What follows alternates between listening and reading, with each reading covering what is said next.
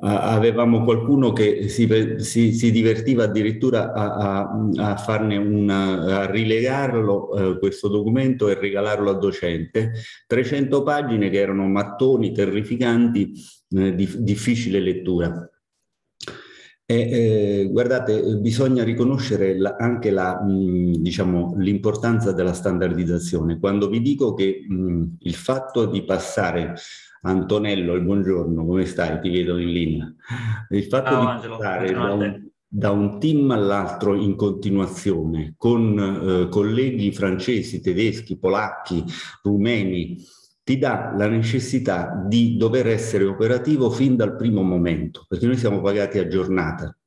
Quindi se noi dovessimo passare 3-4 giornate a coordinarci, a capire come dobbiamo fare il documento, a capire come dobbiamo, mm, che cosa dobbiamo fare, noi eh, sprecheremmo 3-4 giornate iniziali che non ci è consentito di sprecare.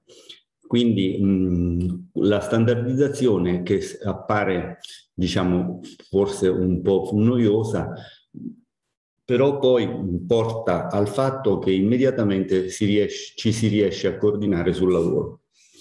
Allora, saluto rapidamente tutti coloro che hanno acceso le telecamere che posso vedere con Sara, per esempio, Maria Claudia Serafini, Andrea Dessi, Susanna Lenzu, Mauro Manca, mm, Francesca Roic che vedo mm, molto bene, Paolo Posadino, Andrea Lafauci, Fabrizio Lecca, mh, mm, Stefania Lecca, eh, la nostra cara Claudia Firino, Viviana Serra, Caterina Secchi, Valentina Secchi, spero che li vediate anche voi, Giorgio Murro, insomma siamo arrivati a 73, aspettiamo ancora qualche minuto. Alessandro Mameli, Vincenzo, il nostro carissimo Vincenzo, Manuela Lai, Ignazio Cannas, Francesca Onnis, Dante Littera mh, mm, e Alessandra Bonelli, insomma Luca Spissu, state tutti in gran forma, vi vedo, abbronzati poco, significa che state lavorando molto, a, a, altro che quelli che dicono ah, che... Eh, boh, ciao, inavvertitamente eh, occhio. E vedo anche Emanuela Cancedda, una delle rappresentanti della Next Generation Sardegna, dico bene, Emanuela, eh? tu sai che eh, stiamo facendo questo sforzo per te, perché tutto, tutta l'Italia è mobilitata per, per voi. Quindi il rimpadron- rimpadronitevi del PNRR perché è fatto per voi, per Bianca Maria. Eh, insomma. Io dico che noi dobbiamo essere l'anello di congiunzione tra la vecchia classe dirigente mh, formata alla scuola di Faiol e voi. Quindi mh, datevi da fare perché tra l'altro è una vergogna che eh, uh, per fare accedere i giovani al mondo del lavoro ormai non basti più la laurea, ci vuole il master, ci vogliono eh, a volte uh, mio nipote, non per fare personalizzazioni, ma è laureato 110 lode in legge, si è dovuto prendere un'altra laurea in scienze politiche e poi mi ha detto guarda mi sono preso pure la terza in economia perché quella in scienze politiche non mi dava tanti punti per poter partecipare ai concorsi, insomma è una follia, è una follia. Tenete conto che il piano Marshall l'hanno fatto italiani che se andava bene avevano arrabattato la laurea durante la guerra, eh, nel periodo su, immediatamente dopo la guerra, quindi con, con, una formazione di fortuna, eppure hanno fatto opere bellissime come eh, la, la, l'autostrada del sole e, e, e, tantissime altre opere anche nel, nell'Italia meridionale. Quindi eh, vi voglio dire un'altra cosa introduttiva, sempre per i nostri giovani. Eh, lo dico spesso perché eh, una volta sono andato a fare una revisione di un dossier di gara, cioè dei documenti di gara di un, del progetto più grosso di finanziamento all'estero di una riabilitazione di ferrovia dell'Unione Europea in Turchia, 350 milioni di euro. Allora dovevo fare questa cosa, ho detto guardate, io la faccio, però mi servono due mh, ingegneri locali forti nella materia degli impianti e del segnalamento. mi hanno presentato due, uno aveva 29 anni, l'altro 32. Io quando li ho visti ho detto che mi avete dato i ragazzini? Cioè, eh, eh, perché mi aspettavo che mi dessero mh, persone mediamente di 50-60 anni, no? Si trattava di, di progetto internazionale con tecnologia. No, no, no, questi qui sono forti, sono li ho guardati con una certa diffidenza, dopodiché ho cominciato a conoscerli, ho visto che erano fortissimi. Uno aveva nove anni di esperienza internazionale, 32 anni, già aveva nove anni di, inter- di esperienza internazionale, aveva lavorato con l'Ansaldo. Quell'altro non so quante ce n'aveva di esperienza internazionale. Insomma, abbiamo fatto un lavoro eccezionale perché loro avevano una propensione al cambiamento che un vecchio cinquantenne o sessantenne bacucco come noi, come me, eh, non, eh, non ha. Quindi gli, gli, si chiedeva una cosa e loro partivano a razzo elaborando per loro conto e, e con molto più eh, diciamo, energia. Quindi è il momento di far lavorare i giovani, ovviamente accanto ai, ve- ai vecchi, perché purtroppo questo paese non ha una generazione di mezzo. Per tanti anni la pubblica amministrazione non ha più assunto. È, co- è la stessa cosa che è successa in Serbia. In Serbia quando è caduto, eh, diciamo, è morto Tito e poi eh, non sono più stati finanziati dagli organismi internazionali per vent'anni. Quindi voi, quando si, ritornando in Serbia, vi accorgete che era un paese che aveva una buona organizzazione, dei servizi eccellenti. Pensate che nel campo dei trasporti su, eh, su, su, tram, loro hanno una scuola che è, è, è considerata la migliore del mondo. Vukan Vucic, che è uno dei massimi esperti di metropolitane, è serbo e insegna alla Pennsylvania University. Quindi avevano una scuola di ingegneria pure fortissima, però per vent'anni non non hanno investito. Quindi voi entrate negli ospedali, sono andato a vedere quattro ospedali, sono ospedali puliti, ben organizzati, eh, però avete l'impressione di vedere che per 20 anni non hanno, non hanno investito, quindi letti ancora con, con, come erano 20 anni fa.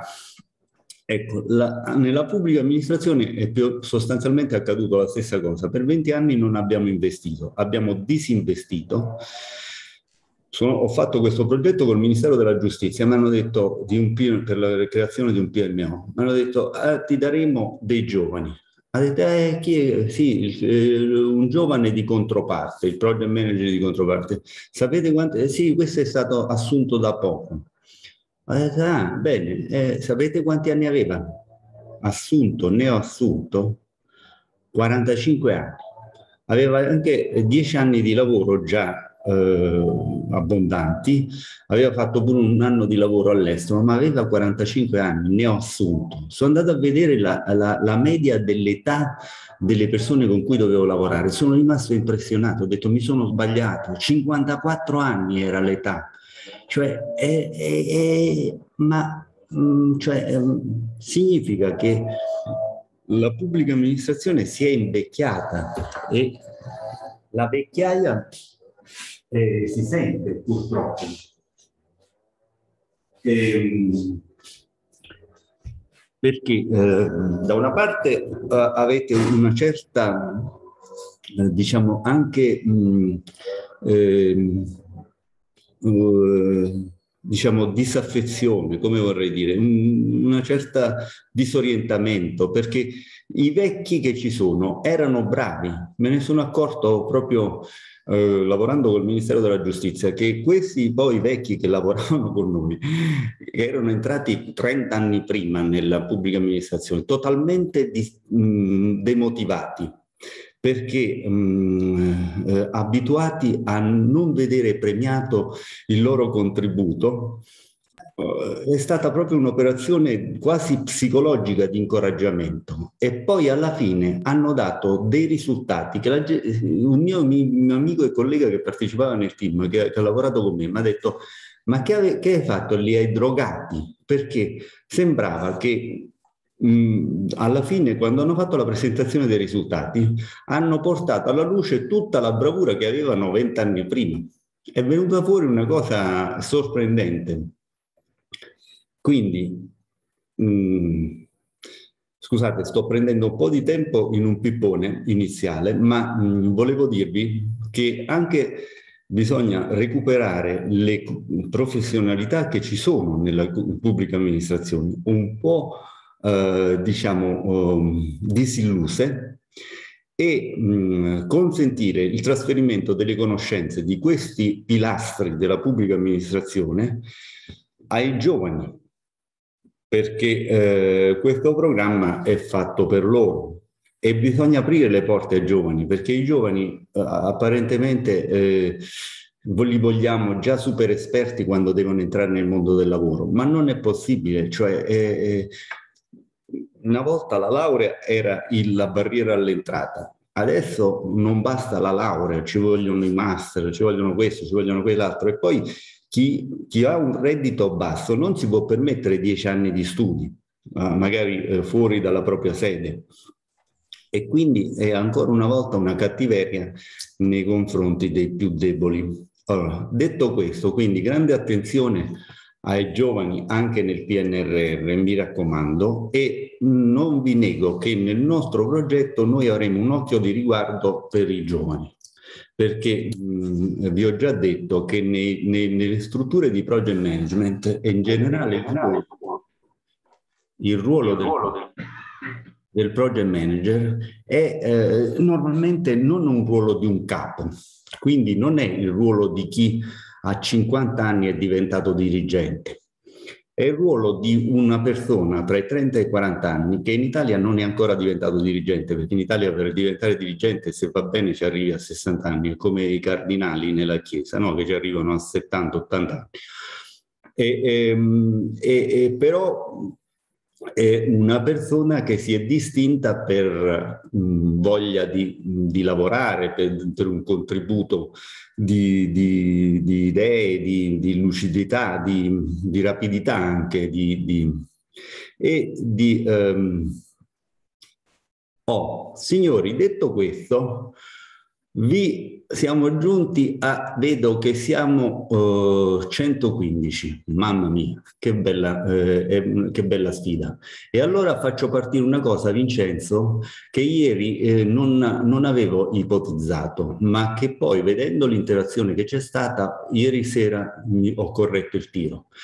Perché normalmente quando facciamo questi corsi, mh, questa, uh, questo non è un corso, questo è un aggiornamento di un corso, cioè si dà per scontato che voi se, avete, uh, se, vi siete iscritti a questo corso è perché già avete una solida mh, diciamo, formazione eh, di gestione di progetti, magari non con le tecniche della Commissione europea che invece ci sono chieste per il PNRR, ma insomma conoscenze di project management ce l'avete.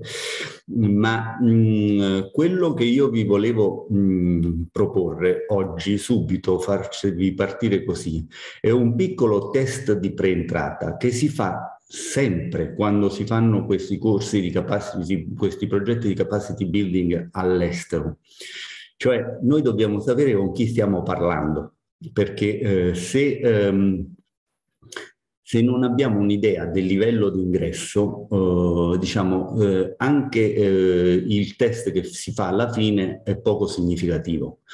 Perché ricordate lo slogan di Obama, lui diceva better is good, cioè non è tanto importante mh, avere un risultato finale mh, ottimo quanto aver migliorato il risultato iniziale. Quindi se noi vediamo quello che erano le conoscenze iniziali e poi vediamo che siamo riusciti un po' a uniformarle e a elevarne il livello, allora il, eh, diciamo, il progetto ha avuto un successo. A questo punto quindi io vi propongo una cosa, così mi riposo pure io un po', cominciate subito a scaldarvi voi. Vi mando un pre-training assessment test, si chiama è, mh, è un documento in Word di tre paginette con dieci domandine a risposta multipla. Non vi preoccupate perché questo non costituirà elemento di valutazione per, a nessuno scopo, è una cosa interna nostra per capire diciamo, qual è il livello d'ingresso del, eh, del, delle persone con le quali sto, stiamo parlando. Allora, vi do la mia mh, mm, assoluta eh, garanzia che mh, mm, non sarà, mh, mm, diciamo, eh, oggetto di valutazione da parte di nessuno se non un'idea che mi farò io di voi e, ehm, e quindi se, e tra l'altro è assolutamente volontario, se lo volete fare fatelo, se non lo volete fare non, non succede nulla. Io sto cercando di metterlo eh, su, sulla chat, ditemi se riuscite a riceverlo. Vedo che c'è stato un errore, lo rimetto. Dottore, ma beh, poi come glielo rimandano? Ecco, io adesso vi do pure un'idea di come è eh, impossibile inviare pre-training test perché uh, fai quick per, uh, perché è in uso. Ah, devo prima chiuderlo. allora, uh, non salvare. Allora, uh, adesso dovrebbe eh, poter essere, vediamo se ci riusciamo, eh, inviato correttamente. Ok, allora adesso vi do le piccole istruzioni. Sono dieci domande, è facili. Eh, una, mh, mm, una richiesta eh, se non sapete di che stiamo parlando, non rispondete, altrimenti eh, diciamo, l'informazione che date, eh, magari eh, per fortuna, per sorte, eh, puntando sulla sorte, può essere ehm, eh, diciamo, fuorviante per noi, perché magari ci azzeccate per fortuna all'ingresso e non ci azzeccate in uscita. Quindi, ehm, per cortesia, eh, se non sapete proprio di che stiamo parlando, non rispondete. Eh, un'altra informazione. Sono quattro, sono quattro risposte per, eh, per uh, alternative per, per, domanda. Sono dieci domande. No, uh, scaricatelo, ma non ancora mh, mm, mettetevi a lavorare. Vi do io il via. Non vi preoccupate, non è un test, ma io vi chiedo una cosa, lealtà, cioè eh, dobbiamo lavorare in, in equal treatment, cioè dovete partire tutti quanti allo stesso momento e io ho piena confidenza che voi lo facciate quando vi darò il via e ho piena confidenza che dopo dieci minuti dal via voi me lo mandiate. Se poi il mezzo eh, me lo fa ricevere dopo 20 minuti eh, non importa, saprò che voi eh, onestamente avete, eh, avete finito di lavorare dopo dieci minuti. Perché? Perché il, test, il tempo è mh, mm, un fattore importante. Avete capito che il PNRR un, ci fa una sfida, dobbiamo essere rapidi, dobbiamo essere tempestivi, quindi anche il PMO deve essere snello, rapido e tempestivo. Allora, intanto eh, ditemi se l'avete ricevuto o non l'avete ricevuto. Quando l'avrete ricevuto tutti daremo il via, non guardatelo fino a che non vi do il via per cortesia. Eh, e, ehm, e, non vi intimorite più di tanto. Intanto siamo arrivati a 124 persone, quindi c'è una grossa partecipazione anche oggi e vi ringrazio tanto. Allora, mm, saluto gli altri che stanno arrivando. Mm, eh, se eh, avete la possibilità di accendere Potete la... alzare le mani chi non l'ha ricevuto, per favore, che glielo provo a rinviare io. Sì, dottoressa Magliardi l'ho visto un attimo, però se non mi si ferma la chat non riuscivo a prenderla. Ho capito. Se vuole, eh, io le, glielo posso mandare per mail e lei lo può mandare per mail a tutti, non so, forse... Io l'ho già ricevuto, eh, l'ho già preso. Eh, eh riesco a inviarlo mh, mm, sia per mail che eh, per, per, chat. Benissimo. Io oh, dico che questo serve anche un pochino a, a renderci più... Uh, perché... Mh, mm, eh, il 15 tornerà tutta la pubblica amministrazione in blocco in presenza, ma questa pandemia ci ha anche abituato a lavorare in video, in conferenza o in, in remoto. Eh, e non perdiamo questo patrimonio eh, perché ehm, vi dico soltanto una cosa che è, è, è incredibile. Pensate che mh, tra qualche giorno dovrò fare dei, dei, del training a degli ingegneri eh, iracheni. Un tempo sarei dovuto partire eh, con una certa paura.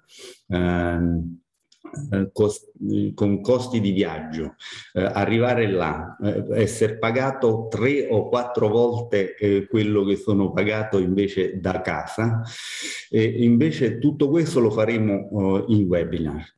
Allora, eh, cioè perdere questa, eh, diciamo, grossa eh, cambiamento, vantaggio di riduzione dei tempi di trasporto, riduzione delle emissioni di, di, per i trasporti non necessari.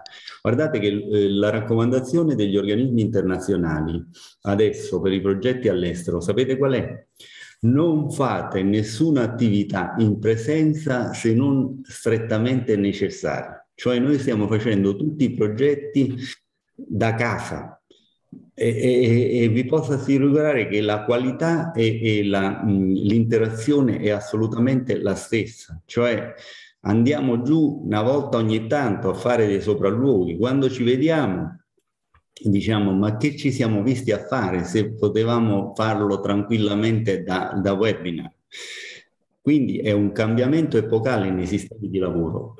Pensare che tutti debbano ritornare un'altra volta in presenza al 100%, anche quello mi sembra un ritorno al passato. Cioè, ehm, il problema è, è, saper lavorare su, eh, su, su, su, a distanza. E quindi non consideriamo queste difficoltà che stiamo avendo come una perdita di tempo, servono anche ad affinare il mondo del lavoro, anche perché quando faremo sto PMO noi questo dovremo fare, cioè eh, non lavoreremo certamente eh, tutti quanti insieme dentro una stanza. Quindi lavoreremo scambiandoci documenti, vedendoci mh, a una determinata ora, rispettando la scaletta degli argomenti che abbiamo, ci siamo fissati e riportando rispetto agli obiettivi della riunione che ci eravamo dati. Tenete presente che mh, bisogna essere sintetici perché eh, tutto diciamo, il management eh, è ispirato, poi lo vedrete anche nelle slide, persino dai tempi di Winston Churchill, eh, ma se mi permettete, Winston Churchill era un emulo di Seneca, perché Seneca scrisse, che era il maestro di, eh, di Nerone, come sapete, e, e, e, lui era tra l'altro spagnolo, pensate, quindi oggi noi siamo pensati, diciamo, approccio spagnolesco per dire un approccio prolisso e barocco. Eh, invece Seneca eh, inventò la brevitas, scrisse la famosa brevitas e disse la gente, attenzione, a volte ha il piacere di sentire nelle, loro, nelle proprie orecchie le proprie parole cioè, eh, eh, dice, state attenti a non essere prolissi perché mh, molte persone parlano per ascoltare se stessi. Ehm, eh, Winston Churchill disse un'altra cosa, io devo coordinare un'azione straordinaria, non posso perdermi nessuno dei vostri messaggi perché ognuno dei vostri messaggi può essere importantissimo per la salvezza nazionale ma scrisse un famoso un documento, per cortesia siate brevi perché io non ho il tempo di leggervi. Allora, prendiamo questi come, mm, eh, come eh, indirizzi perché noi siamo afflitti oggi da overdose informativa. Quindi abbiamo un sacco di cose, quando non abbiamo la... Ecco perché io vi chiedo di, di usare anche gli standard del documento di, di, di Cosa che vi dico, e poi partiamo, sto dando il tempo a tutti di ricevere questo documento, è questo. Nella prima pagina del documento, e non lo troverete nel mio, quindi io per primo ho, ho, ho infranto le regole, guardate che cosa abbiamo insegnato ai nostri, ai nostri ehm, eh, diciamo, abbiamo insegnato, abbiamo raccomandato ai nostri eh, partecipanti al master. Loro producono un documento. Allora, io approfitto per farvi vedere una cosa. Allora, guardate i documenti che ci hanno prodotto. Vi, faccio vedere uno, per esempio. Ok? Allora, perché guardate, questa è una cosa, una cosa di minor conto invece importantissima. Allora, prendiamone uno, per esempio, mm, mm, dove stanno? Mm,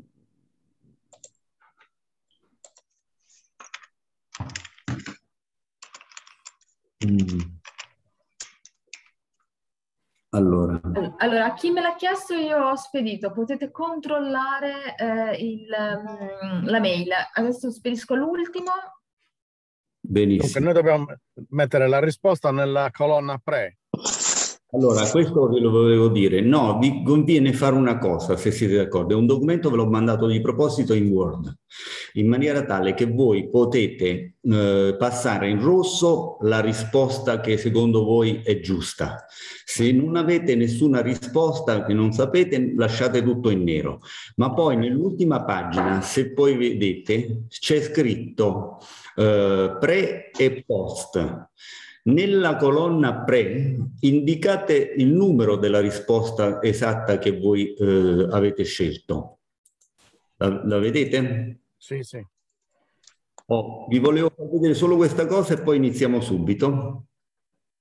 Allora, ehm, guardate un documento preparato dal, mh, durante il master da dei vostri colleghi. Uh, ne ho preso uno, non è eh, necessariamente il migliore, ma eh, è un esempio di stile. Allora, lo vedete? Lo vedete? Sì, sì. Allora, guardate questa cosa che, che vi sto dicendo per, per, per, per rispetto di chi vi legge. Allora, un documento internazionale la Commissione europea, se non lo fate così, ve lo boccia, ma proprio a livello di qualità, cioè il ragazzino che controlla la qualità vi dice non va bene, rifallo. Allora, innanzitutto vi chiede che voi in testa alla, nella copertina indichiate dei dei, delle informazioni obbligatorie, dante littera, tu mi starei dicendo, ma che ci stai a raccontare? Vi sto raccontando una cosa che ti farà risparmiare un sacco di tempo, perché quante volte noi leggiamo un documento, non capiamo che, di che tratta, chi l'ha fatto, che, che data porta, se è vecchio, obsoleto. Allora, l'Unione Europea ci dice invece che non si accettano documenti che non abbiano l'indicazione di chi te l'ha commissionato in testa. Qui vedete MAP, Master in Management, ok? Quindi io so immediatamente chi me l'ha commissionato. Poi di che documento si tratta, che tipologia di documento, cioè vedi qui io ci ho scritto, ci ha scritto il tuo collega documento di identificazione. Quindi io so che non è un documento di valutazione, non sono delle linee guida, non sono delle, do, la relazione della progettazione, è un documento di identificazione e io non posso mettere un nome che mi sono inventato a caso. La tipologia del documento è nota, o è un documento di identificazione, o uno studio di fattibilità, o è un documento di progettazione, o è un, un, un rapporto di avanzamento, o è un, o, insomma i, le, le tipologie dei documenti documenti sono note, devono essere riconoscibili. Poi ci deve essere il titolo del progetto. Vedi, qui c'è scritto e non, non è, il, il, titolo che hanno dato a questo progetto è Next Generation, mitigazione del rischio idrogeologico per la Next Generation del comune di Capoterra. Troppo lungo o non è chiaro. Il titolo del progetto, vedi, ci sono troppe informazioni qui. Il ah. titolo del progetto si raccomanda che sia breve perché deve essere poi ripetuto in tutti i documenti e deve essere univocamente quello.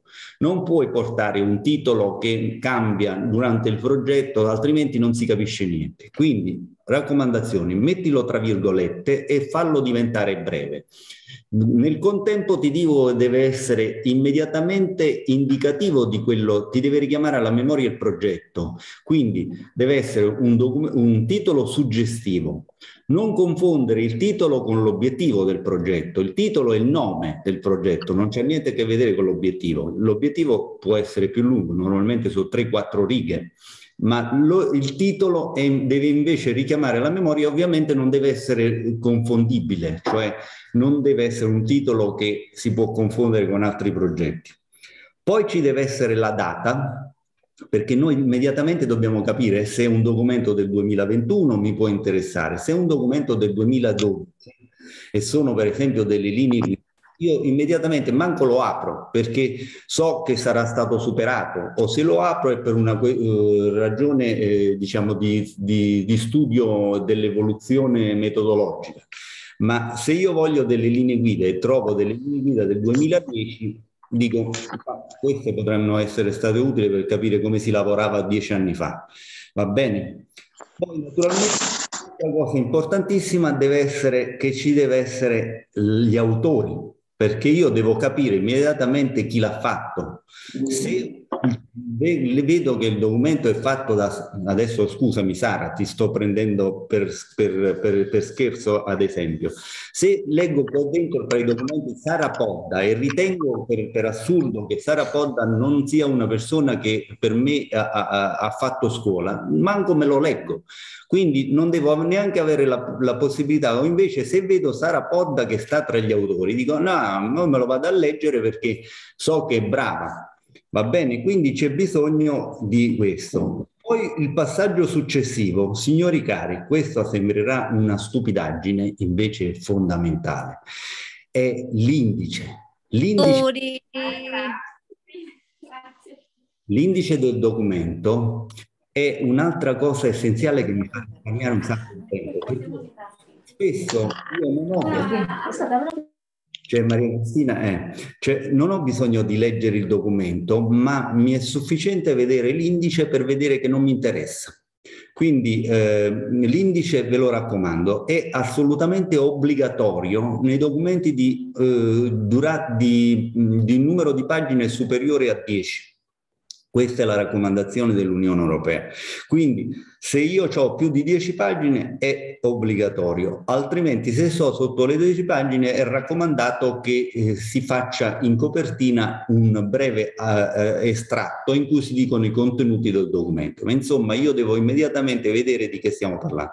Indice con le pagine Adesso vi dico una cosa eh, che vi fa immediatamente capire la differenza tra noi, so che sono registrato, e mm, eh, un, documento che ha fatto parlare tantissimo l'Italia per un mese. Vi ricordate quando mm, fu chiesto il parere a una commissione sulla uh, fattibilità del, de, sulla verifica di fattibilità del, del collegamento ferroviario della TAB, no? Eh, fu creata una commissione nominata dal, dal governo, dall'allora governo, che riprese in esame la fattibilità della TAV. Va bene? Ne abbiamo parlato per, per, per, un mese intero, per due mesi, perché quella uh, relazione diceva che secondo que, quegli esperti eh, che si dichiaravano esperti internazionali, eh, il, il, il, il progetto non era fattibile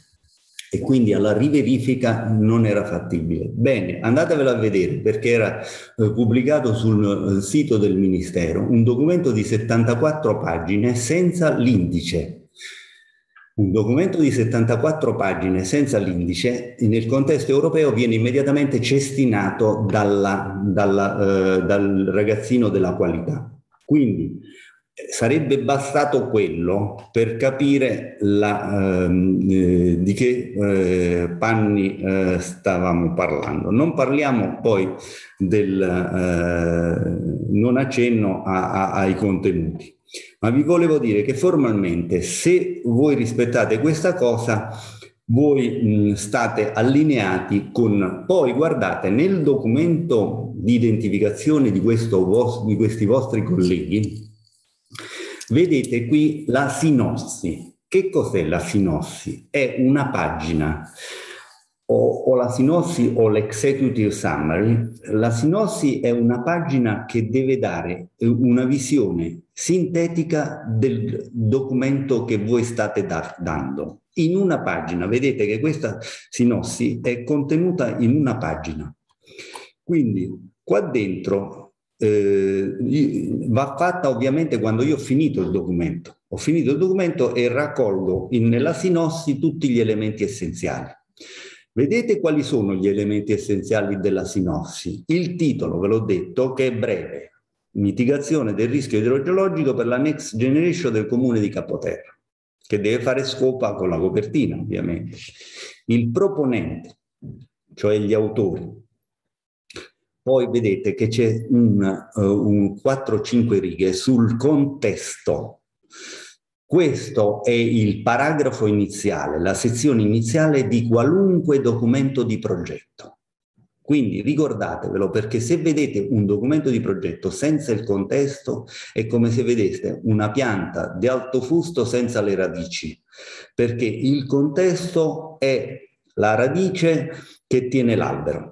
Se uno non riesce a esprimere nel contesto perché si è fatto il progetto, praticamente il, già dà un'idea della qualità del documento. Quindi qua dentro voi dovete spiegare quello che in inglese si chiama il background del progetto, cioè perché il progetto è stato pensato e quali sono i motivi che lo hanno generato, quali sono i problemi che lo hanno generato, che lo hanno fatto. Uh. Poi vedete che c'è la struttura logica subito. Cioè gli obiettivi generali che vi ho detto quelli, che sono quelli che il progetto contribuisce a conseguire ma da solo non consegue, che no normalmente sono espressi con un infinito. Vedete, aumentare, favorire, eh, e possono essere più di uno, aumentare, favorire. Normalmente sono messi con dei bullets, cioè con degli, delle palline quindi aumentare e la convenzione vuole che siano in infinito. Voi direte, ma è una sciocchezza, poi vi spiego perché. Mentre invece l'obiettivo del progetto Convenzione e Commissione europea è, deve essere espresso con un sostantivo. Voi direte, ma che stai a dire? Ma che, che, che sono queste cretinaggini? guardate che ho un, una spinta a ragionare bene, perché l'obiettivo è una situazione che voi dovete promettere al termine del progetto. Quindi se lo mettete, quando ho fatto i corsi con Irene Lorinska, eh, mettevo come eravamo abituati noi in Italia a mettere l'obiettivo come un infinito, lei mi diceva no, se lo metti come infinito, quella è un'attività, non è un obiettivo. Ma come? Io dicevo, ma che... Inizialmente pensavo che dicesse una stupidaggine, poi invece mi sono reso conto che ti aiuta proprio mentalmente a pensare a che cosa stai promettendo alla fine del progetto. Perché? Perché alla fine del progetto lo devi dare. Quindi se io ho scritto nelle slide rafforzamento delle capacità di lavoro, io alla fine di questo progetto a dicembre, se non le ho rafforzate le vostre capacità di lavoro, ho fallito quindi l'obiettivo è un sostantivo che deve promettere qualcosa al termine del progetto. Se quella cosa, quindi è una spada di Damocle, è una cosa seria. Ovviamente non c'è niente a che vedere con, il, con il titolo, come vedete, il titolo è tutta un'altra cosa. Poi qui, trattandosi di un documento finalizzato al PNRR, vedete i milestone e target, perché loro si sono preoccupati di esprimersi eh, con gli stessi mh, termini richiesti dal PNRR. E vedete che i milestone hanno un indicatore sì e no, cioè vi ho detto che è un indicatore qualitativo. Quindi o l'ho, o l'ho raggiunto, significa che sono sulla buona strada per raggiungere l'obiettivo, per conseguire l'obiettivo, o non l'ho raggiunto. Quindi c'è un indicatore sì e no, giustamente, bravi. I target invece sono eh, nella realtà, a mio giudizio, i target sono risultati attesi, non l'obiettivo. Quindi loro hanno riportato giustamente i target che vedete che hanno degli indicatori invece quantitativi, quindi sono stati bravissimi perché li hanno riportati ancora una volta in, come sostantivi e ci hanno messo un indicatore quantitativo, quindi numero 3 progettazioni di intervento, realizzazione per completata, aggiornamento piano urbanistico, poi insomma dovrebbero essere qui, se vogliamo fare una critica, che i target sono troppi, Cioè l'Unione Europea ci chiede di indicare dei target e poi ci dice non ne mettete troppi, altrimenti non riusciamo a seguire molto facilmente se l'avete realizzati o no. Quindi vanno indicati due, tre target al massimo, ma veramente significativi del fatto che eh, il progetto ha conseguito successo. Per esempio, potrebbe essere, guardate, vi dico un assurdo. Se io so, questo progetto lo sto facendo in una regione che è stata sistematicamente inondata, magari al, mh, mm, al, uh, posso dire che um, c'è un indicatore di rischio per le case eh, che mh, uh, calcolato tra l'altro dalle assicurazioni per le quali eh, se non facciamo il progetto il 100% delle case in quella zona sono a rischio di inondazione, perché loro si fanno i loro calcoli e dicono poiché non ci stanno gli argini, poiché ci stanno degli eventi di pioggia sistematici che, in, che inondano, io non ti faccio l'assicurazione, te la faccio pagare un fracco di quattrini perché se mh, viene un'inondazione s'allaga il tuo garage. Va bene? Quindi basterebbe dice di mettere una percentuale di riduzione del rischio per il numero delle case eh, perché io non devo dire come vado a fare il progetto, se vado a demolire l'ex idrocontrol o se vado a innalzare gli argini.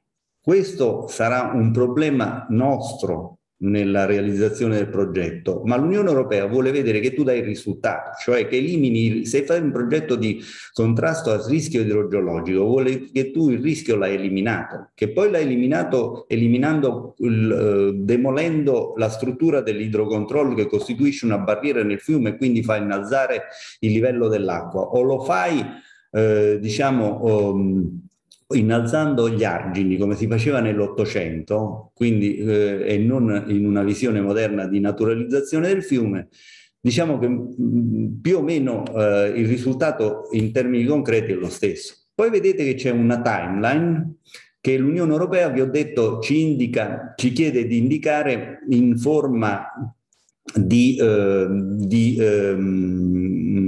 eh, semestrale, insomma, con, con, una cosa con degli indicatori temporali riferiti ai semestri, quindi molto indicativa. E poi ci sono delle stime di costo che sono, derivano dalla progettazione, ma nel, nel documento di identificazione derivano da parametri di esperienza di chi sta facendo il documento, perché questi la progettazione non ce l'hanno ancora però devono darci un'idea di perché sono arrivati a 25 milioni di euro, perché se uno mette nel progetto 25 milioni di euro a livello di stima iniziale, deve fare un uso etico delle risorse, deve andare a dire, giustificare dove l'ha tirate fuori questi 25 milioni. I 25 milioni sono una cifra. Quindi deve andare a dire dove le ha tirati fuori questi 25 milioni, cioè deve dire il criterio di stima che normalmente è parametrico, eh, basato sui, si dice sull'expert judgment. Ultima, ma non ultima, e qui torno ai giovani, deve dimostrare che questo progetto risponde ai eh, requisiti di impatto dell'Unione Europea per il PNRR, che sono tre, ve li ricordate, no? Riduzione della coesione, cioè coesione, riduzione dei divari, scusate. Eh, quindi ci deve dire mm, perché questo progetto riduce i divari. Allora, devo dire, eh, le inondazioni in una regione ben gestita dal punto di vista territoriale avvengono una volta ogni 100 anni, da noi vengono una volta ogni due anni. Se io faccio questo progetto contribuisco a ridurre quindi l'impatto sulla coesione è che mh, miglioro diciamo, la, la gestione del territorio. Poi crescita, devo far capire perché questo progetto fa crescere, perché potrebbe essere un progetto in mezzo al deserto e quindi lo faccio o non lo faccio, il, la regione Sardegna non se ne accorge. Invece un progetto che mh, diciamo oh, candidato al PNRR deve dare dimostrazione anche che fa crescere il territorio eh, in termini economici, sociali, in, in qualche misura e poi creazione di posti di lavoro. Perché se io facessi questo progetto per dire oggi ho 100 addetti alla manutenzione del territorio, per esempio, con questo progetto ne faccio avere due e licenzio 98 persone, è un progetto sicuramente innovativo, ma non, sul, sul, dal punto di vista della crescita dei posti di lavoro non, non ha impatto, anzi ha un impatto negativo. Quindi può essere finanziato, può essere brillantissimo, magari con altri strumenti dell'Unione Europea, che ne so, Horizon 2020 quando c'era, quelli della ricerca, ma non con questo del PNRR. Tutto questo, vedete, deve essere contenuto, se fatto bene, in una pagina, in maniera tale che se uno si legge questa cosa, immediatamente capisce la struttura logica del documento. Poi, se la trova interessante, va avanti. Se invece pensa che sia una schifezza, non, non solo legge manco, quindi risparmia un sacco di tempo. Vedete che poi si dettagliano tutte le cose, ma soltanto per chi ha trovato interesse nella lettura della sinossi. Andrea, Andrea De Sì, ti è sembrato che questa chiacchierata che abbiamo fatto su queste cose apparentemente banale non è stata, mh, mm, non è patrimonio comune? Queste sono nozioni di general management, ma Ce le mai raccontate qualche dirigente delle nostre strutture? Dice fai il documento così? Mai, mai. È stata una perdita di tempo secondo te questa chiacchierata iniziale? No, no, assolutamente.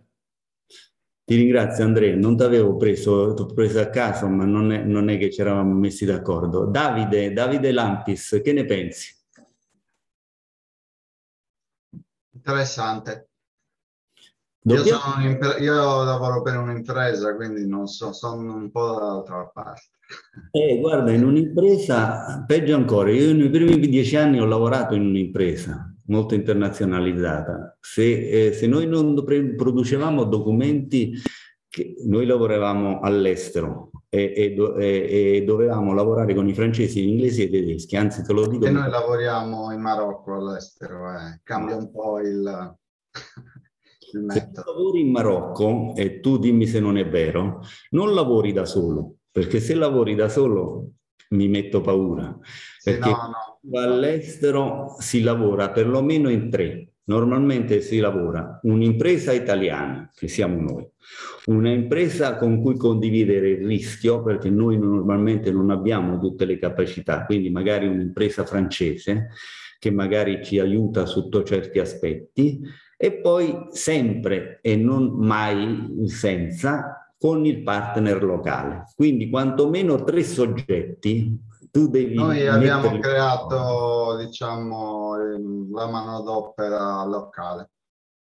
Quindi abbiamo la manodopera locale, la, il nostro responsabile che è Sardo, diciamo e poi abbiamo dei partner sul territorio. Locale, sono sicuro Davide che la manodopera locale non te la sei presa andando al mercato a cercare gli operai. Sono no, sono, c'è una decina d'anni di lavoro, insomma. Coordinati da qualcuno localmente. Insomma. Quindi sostanzialmente quando si va all'estero si, si, si va sempre col partner, perché se no uno non sa come si fa la DIA oppure eh, le, tutti gli adempimenti per il personale locale non sa come funzionano, perché se non c'è un partner locale che te lo spiega, passi l'intero eh, primo sei mesi a capire com'è il quadro normativo.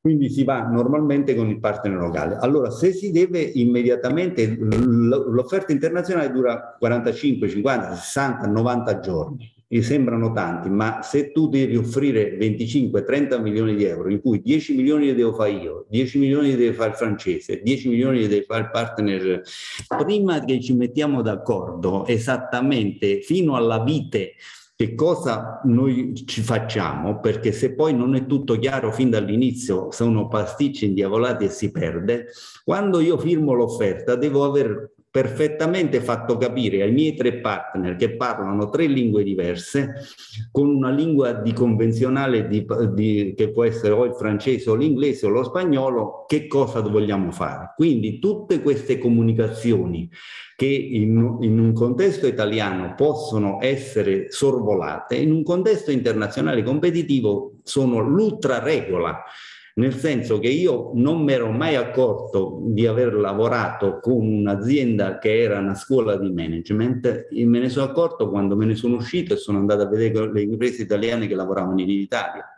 Per noi, come si gestisse una riunione di, di persone per pianificare un lavoro, avendo pratiche di lavoro con i francesi, i tedeschi e gli inglesi che ce l'avevano insegnato, era la regola. Noi avevamo il planning theater, cioè che era una, sana, una sala con tutte le, mh, le lavagne, su, su tutte le, le, le, pareti in cui venivano fatte appunto le suddivisioni e le pianificazioni del lavoro in offerta internazionale, perché noi facevamo offerte da 100 milioni di, di dollari e dovevamo ripartircelo tra i francesi, gli inglesi e il, il locale.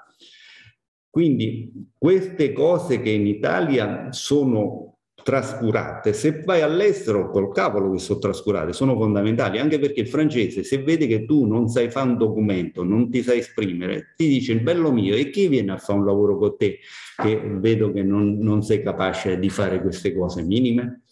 Quindi peggio mi sento e anche grazie a Davide perché ci ha richiamato l'attenzione sul fatto che questa esigenza che adesso noi dobbiamo, abbiamo di allinearci al, alle pratiche del, della Commissione europea è un'esigenza assolutamente obbligatoria se poi andate all'estero, perché voi dovete essere credibili all'estero. Sapete che la prima eh, la prima mh, opinione, scusate se vi dico questa cosa che sembra una banalità, la prima opinione che si fanno quando vedono Davide Lampis arrivare all'estero dice questo chi è? È un italiano. Ah, sapete che cosa dicevano prima? Allora questo sapete come lo usiamo? Lo usiamo per andare a comprare le sigarette.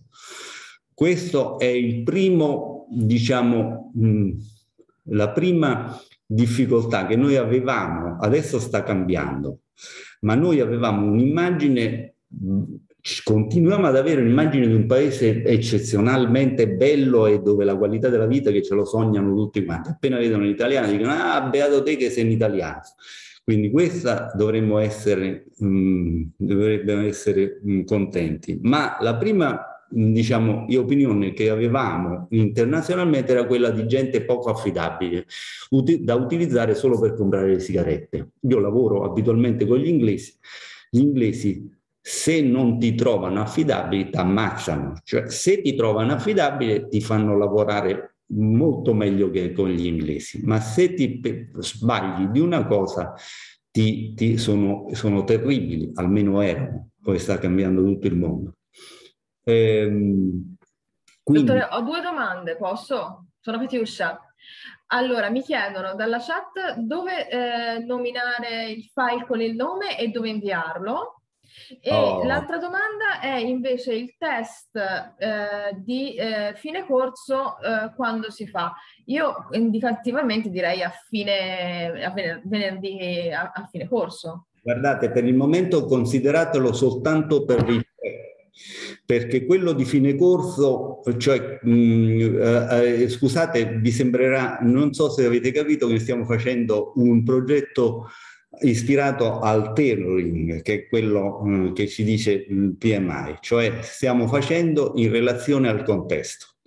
Eh, non è detto che io il post training assessment test lo faccia esattamente uguale a quello che avete visto in pre, ma questo mi serve per vedere un, un, un attimo le conoscenze in entrata. È un test indicativo, non è un test obiettivo, non è un test diretto, è un test, come si dice, proxy. Quindi prendetelo così. Adesso io ho dato il tempo a tutti di venire e di entrare. Siamo diventati 134, che era la stessa media di ieri. Questo anche è un bel risultato. Cioè se si tornano a collegare 130 persone è un bel risultato. Allora, sono le 10 meno 5. L'avete ricevuto tutti. Eh, adesso io vi do... Il scrupolo lo, rimetto uguale in questo momento nella chat. Perfetto, allora il, eh, per coloro che ci riescono, eh, partiamo adesso, mettete il nome e cognome se non avete problemi. Io lo gestirò in estrema confidenzialità, avendo voi dato la, comunque la, eh, diciamo, l'autorizzazione a, utilizzare il vostro nome e cognome per soli fini eh, diciamo, del, del, corso stesso. Ehm, dieci minuti, eh, vi ho già detto che non avrà nessun eh, diciamo, utilizzo non, eh, ai fini della selezione. Serve soltanto a me per capire le conoscenze in entrata, che poi vi comunicherò mediamente e statisticamente, ovviamente, non personalmente. Dieci minuti da adesso, eh, mettete il nome, mm, fate il, in rosso la, la, domanda giusta, riportate il numero della domanda giusta nella pagina finale, mh, mm, prendete il documento e o, eh, Catiuscia mi dia un, un, consiglio, lo facciamo restituire a lei in mail o eh, in chat? In chat non, eh, in chat non tutti riescono a spedirlo. In ah. mail eh, pro- proviamo eh, a info-sportellappaltimprese.it. Allora se ridice o, o, rimette in chat la sua mail. Sì, in... la rimetto. Info, insomma, alla stessa mail sulla quale avete ricevuto il, il documento la, rim- la rinviate, ok? Signori, vi ringrazio, dieci minuti di vostro lavoro, in bocca al lupo. Se non avete idea non ci mettete niente, va bene? Partite.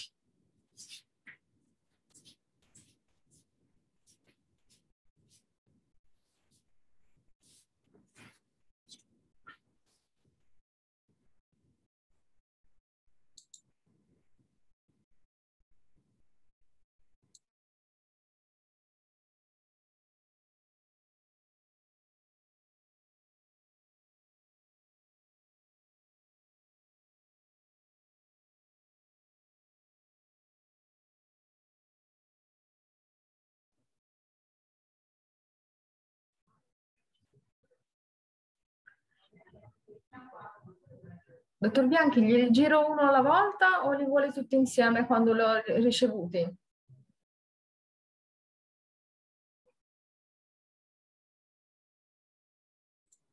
Direi tutti insieme quando li ha ricevuti, anche stasera ovviamente, non c'è problema.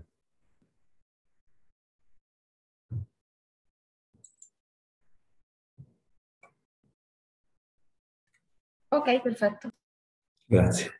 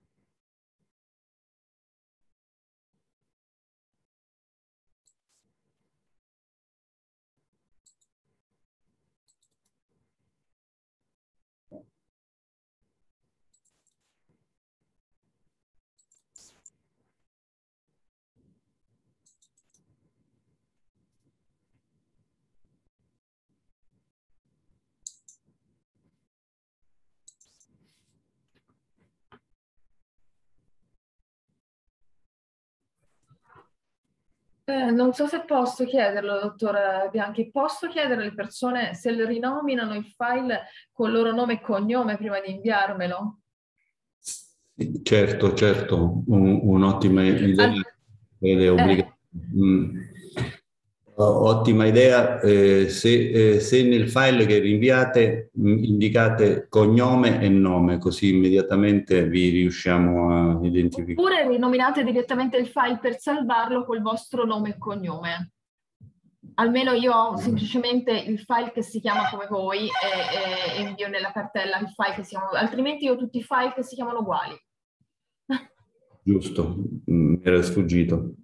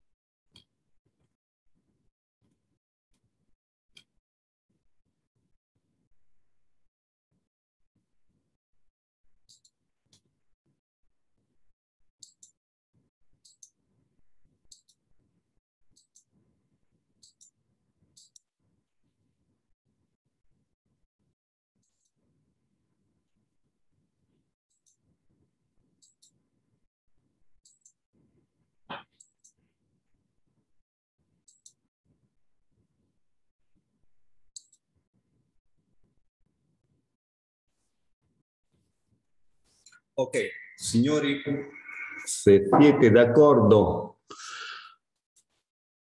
tra un minuto consegniamo.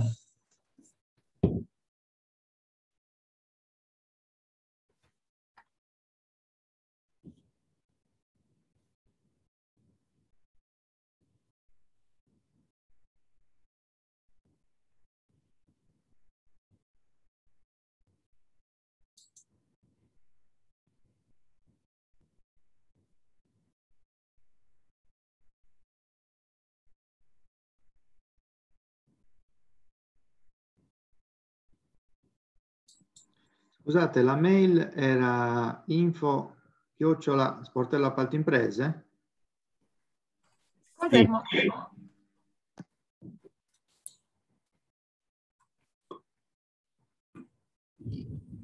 La mail, lo ripetiamo per tutti, è info chiocciola sportello appaltimprese.it mettete sul file nome e cognome vostro,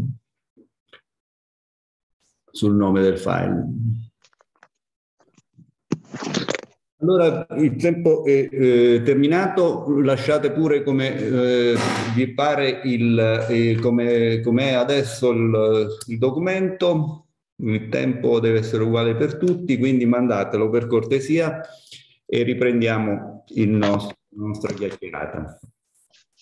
Allora, intanto ringrazio i partecipanti, siamo uh, ancora su una media di 130, se riuscite a tenere le telecamere accese io riesco ad avere interazioni con voi. Per esempio adesso vedo perfettamente Maria Claudia Serafini che eh, ringrazio della partecipazione, vedo Susanna Lenzo, vedo Davide Azzei, vedo Bianca Maria Pisano e con loro sarà più facile dialogare se compaiono a video. Elena Lai, Francesco Meloni che abbiamo visto anche ieri, Paolo Posidan, po, po, Posadino, scusate, Claudia Giattino, alcuni li conosco e sono vecchie conoscenze come il nostro amico Pietro eh, e quindi è un piacere rivederli.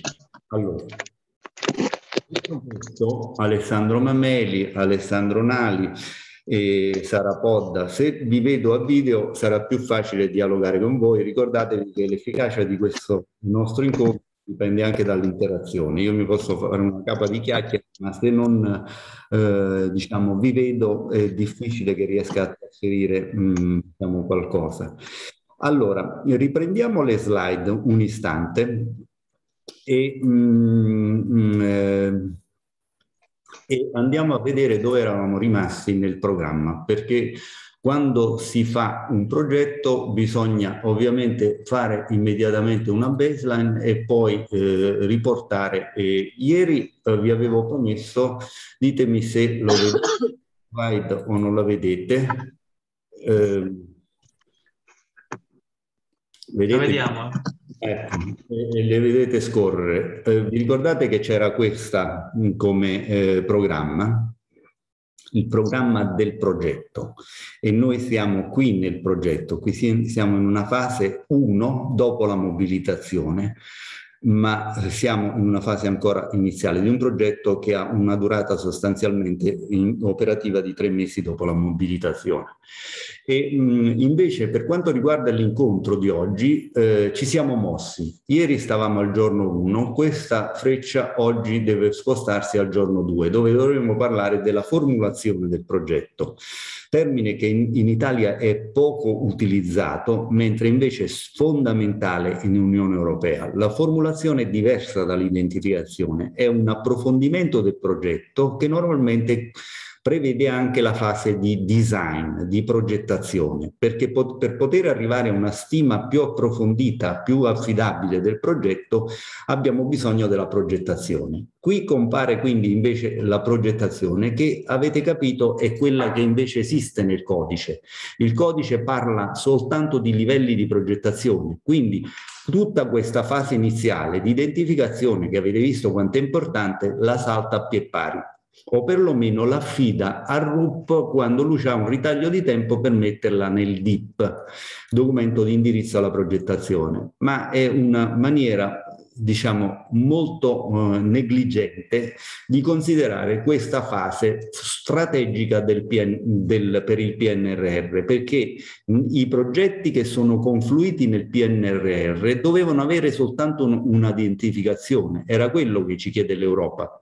E quello abbiamo messo perché nessuno vi è venuto a chiedere le progettazioni per infilare i progetti nel PNRR ma adesso che dobbiamo andare avanti nell'attuazione, dobbiamo formulare i progetti e dobbiamo eseguirli fino al completamento. Quindi dobbiamo scendere giù nel ciclo di progetto. Oggi parleremo dell'importantissima fase di formulazione, che è quella, la prima di attuazione del codice, perché del PNRR, scusate, perché adesso che il piano è stato approvato con le identificazioni fatte, è diventato la baseline per, per, il PNRR, adesso bisogna cominciare a formulare i progetti, quindi progettarli e eseguirli. Abbiamo detto che lo dobbiamo fare nel quadro normativo italiano, quindi eh, ci siamo ieri messi a parlare del... Vedete che qui la fase che noi adesso trattiamo oggi è la formulazione, gli americani la chiamano preparazione o planning, planning significa pianificazione, pianificazione operativa quindi, eh, la pianificazione o la planning o la formulazione o la preparazione è una fase fondamentale. Come vedete in, uno, in, in Europa prevede due studi, due elaborati eh, come deliverable, che sono lo studio di fattibilità, feasibility study e il design. Allora vi devo raccontare una stranezza dell'Italia. In Italia sapete che invece il codice prevede il progetto di fattibilità. Avete visto che questa questo termine progetto di fattibilità lo usiamo solo in Italia, non esiste all'estero. L'ha inventato un professore anzianotto che ho incontrato in un seminario di Milano, il quale quando dicevo ma io sto progetto di fattibilità, sono 30 anni che giro all'estero, non l'ho mai visto, lui mi ha detto, sono stato io l'inventore del termine del progetto di fattibilità. Allora, abbiamo questo termine che normalmente non si utilizza all'estero, perché in all'estero abbiamo lo studio di fattibilità che non prevede progettazione e il preliminary design, che è la progettazione Attenzione che il preliminary design non è una progettazione preliminare come sembrerebbe la, mh, mm, eh, la voce eh, cioè di assonanza col termine inglese. Il preliminary design inglese è un progetto che contiene le, le indagini di campo perché deve dare una stima definitiva del costo dell'opera. Quindi a questo punto vi dico immediatamente una cosa, che poi era una delle domandine del test.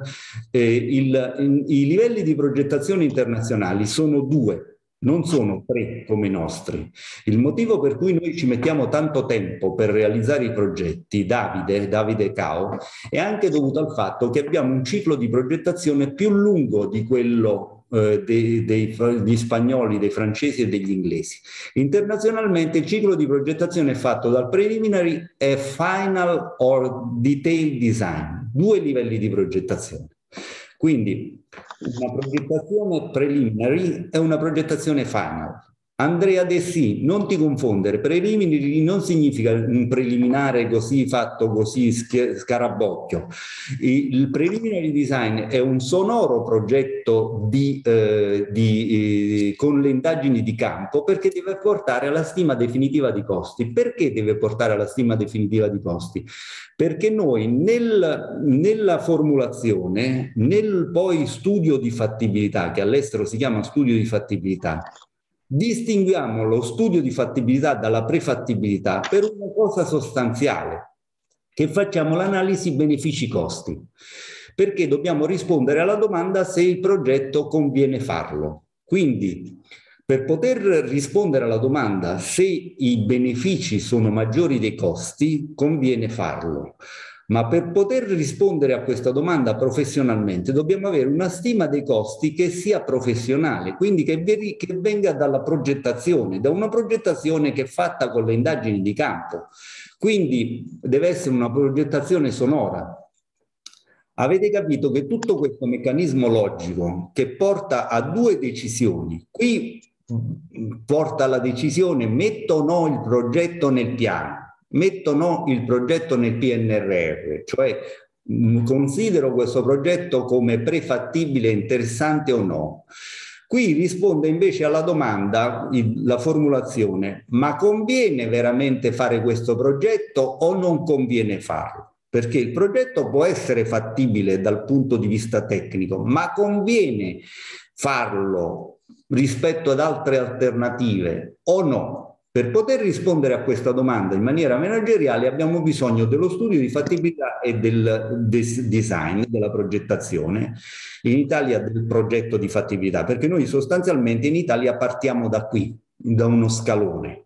Fin dall'inizio ci dimentichiamo tutto questo, o perlomeno affidiamo questo al DIP del RUP, che è un, un ragazzotto del, del, comune che può avere 5 anni di... Ah, poi ci può avvenire l'avventura di, che un professionista con pochi anni di attività, tutte locali magari, e facciamo partire diciamo, il progetto da, su questo indirizzo del RUP, che vi ho detto può essere un, una persona brava ma con cinque anni di esperienza locale, e facciamo partire un progetto magari da 25 milioni di euro con uno scalone iniziale perché gli facciamo fare subito il progetto di fattibilità, che è una crasi tra eh, lo studio di fattibilità e il preliminary design. Viviana Serra, so, ti ho confuso le idee o si sta capendo la differenza? Si capisce, si capisce.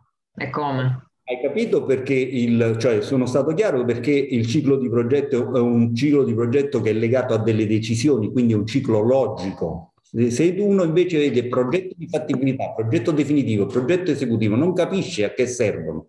Cioè, se, se, se, se invece mh, guardi questo, capisci immediatamente che servono per far prendere delle decisioni al decisore politico o al decisore eh, del, eh, del, al dirigente della struttura. Pietro, sono stato chiaro? Pietro Mascia? Ah, bravo, Pietro parla un linguaggio. Antonello, tu ti raccomando, sei il mio monitoratore. Eh? Se io non mi faccio capire, uh, fammelo capire a gesti, dammi dei segnali di allarme. Eh, tranquillo, Angelo, lo sai che io parto avvantaggiato perché avendo fatto il master, queste cose le ho già viste. Quindi non prendere me come riferimento perché sono ah, avvantaggiato, lo sai è giovane, ha preso 30 lode all'esercitazione in FAD, è stato bravissimo durante il master, quindi è proprio un, un, una, una risorsa importantissima per la Sardegna ormai. Eh, con lui come tutti i nostri studenti del master che, che, sono studenti per modo di dire perché sono, sono persone di già colleghi esperti. Allora mh, come Giussi come, come Isabella come Tiziana e via dicendo allora, eh, andiamo avanti e, e, e, vediamo che cosa possiamo dire ancora. Non possiamo, eh, diciamo, diventare adesso superficiali, dobbiamo entrare nei dettagli, perché eh, questo è un corso che vi deve non, eh, diciamo, infarinare, come si dice, è un corso che vi deve, eh, diciamo, indirizzare a lavorare meglio. Quindi voi dovete sapere questi dettagli, perché i dettagli non possono essere trascurati. Allora, sapete che il documento di indirizzo di progettazione che eh, il codice ci impone, cioè che codice mh, diciamo non ci impone, scusate, lo, a stento lo cita, anzi era citato nel mh, a stento lo cita, era, era definito nello schema di, sui livelli di progettazione che non è mai stato approvato. Quindi io l'ho messo in verde, ma è una buona pratica che si raccomanda. Tiziana ieri che è bravissima, vi ha detto che spesso è trascurato perché non essendo imposto molto chiaramente dal codice, magari qualche amministrazione manco se la fa. Invece almeno questo è importantissimo e non c'è dubbio che a cura del RUP dovrebbe dare gli, i termini di riferimento, perché all'estero questo documento si chiama in tutto il mondo, il, questo documento si chiama Terms of Reference TOR. Noi quando ci incontriamo con un francese, un tedesco, un marocchino, un senegalese, un malgascio, diciamo dobbiamo preparare i TOR e tutti sappiamo cosa significa. Sono i, i documenti di indirizzo però non alla progettazione, perché alla progettazione è riduttivo il documento di indirizzo a tutti i servizi, perché i TOR prendono anche per esempio la direzione lavori, che qui invece è, sembrerebbe trascurata. Sembrerebbe che il RUP deve pianificare nel DIP soltanto la progettazione, ma invece lui deve eh, pro, pianificare tutto il progetto e tutti i servizi di ingegneria del progetto, compresa la direzione lavori, che non è una cosa trascurabile. Anzi, Maria Claudia Serafini, tu ti occupi di lavori? Sì, me lo ricordavo. Vada bene che se poi posso dirti una cosa, in Italia se c'è un bubbone mai visto nei lavori pubblici è la scarsissima attenzione alla direzione lavori. La direzione lavori fa la qualità dei progetti di lavori, non tanto la progettazione quanto la direzione lavori, perché se la direzione lavori è di buona qualità può addirittura correggere degli errori di progettazione, tra l'altro in una situazione difficile perché lo fa quando il progetto è in fase di esecuzione. Ma se la direzione lavori è scadente o è inappropriata, porta a fallimento la, mh, il progetto. Quindi eh, in Italia la direzione lavori storicamente, voi vi do anche una dimostrazione storica, è stata totalmente non voglio dire, voglio dire che è stata addirittura martirizzata, è stata, eh, è stata eh, deliberatamente eh, eh resa povera, eh, azzoppata. Dobbiamo dare invece di, la giusta importanza alla direzione lavori, perché eh, pensate che nel DIP manco lo, la citano. Cioè la, la direzione lavori invece è un elemento sostanziale dei servizi di ingegneria. Allora, vi faccio due esempi per farvi capire quanto è trascurata la direzione lavori. Guardate che la direzione lavori non riguarda soltanto i lavori, riguarda anche gli i servizi e le forniture, perché sapete che il DEC, cioè il, eh, il direttore dell'esecuzione del, del, contratto, è il direttore dei lavori nei, nei, contratti di servizi e fornitura. Quindi non è un discorso che vale soltanto per Maria Claudia che si occupa di lavori, vale anche per chi deve supervisionare i servizi e le forniture ancora di più. Vi racconto due, un aneddoto e un fatto eh, clamoroso.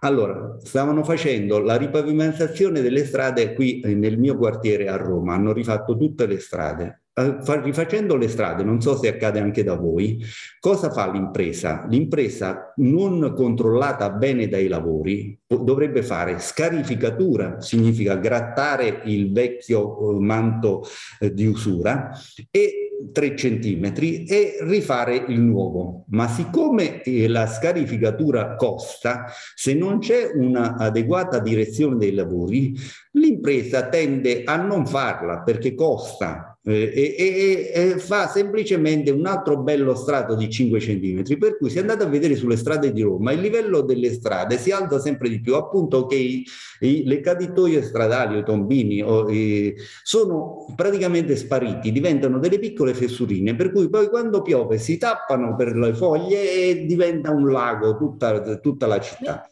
Allora, essendoci questa situazione, io stavo andando a comprare il pane vi direte ma che ci racconti? I fatti tuoi? No perché questo significa oh, yeah. stavo comprando il pane. A un certo punto ho visto che stavano facendo la scarificatura e avevo visto che nei quartieri che nelle strade circostanti si era verificato questo fenomeno. Allora cosa ho detto? Mi sono avvicinato a uno che sembrava il capocantiere e ho detto guardi allora non facciamo scherzi. Guardate che io sono un ingegnere eh, di trasporti, gli ho detto, perché ho, mi sono occupato tanto di trasporti, in realtà come, come, nasco come ingegnere civile, dico, ho fatto anche le foto sul nostro marciapiede, c'è una, un, un'altezza del marciapiede che sono 12 centimetri da standard e eh, quindi non fate scherzi, fate la, la scarificatura prima del... Eh, e sono andato a comprare il pane. Torno dal pane, dalla salumeria e vedo uno che telefona, ve lo dico in napoletano, ma lui parlava in romanesco. Oh, ci hanno, ci, ci hanno fotografato, che dovevamo fare? Ci hanno fotografato, sento, vi posso assicurare.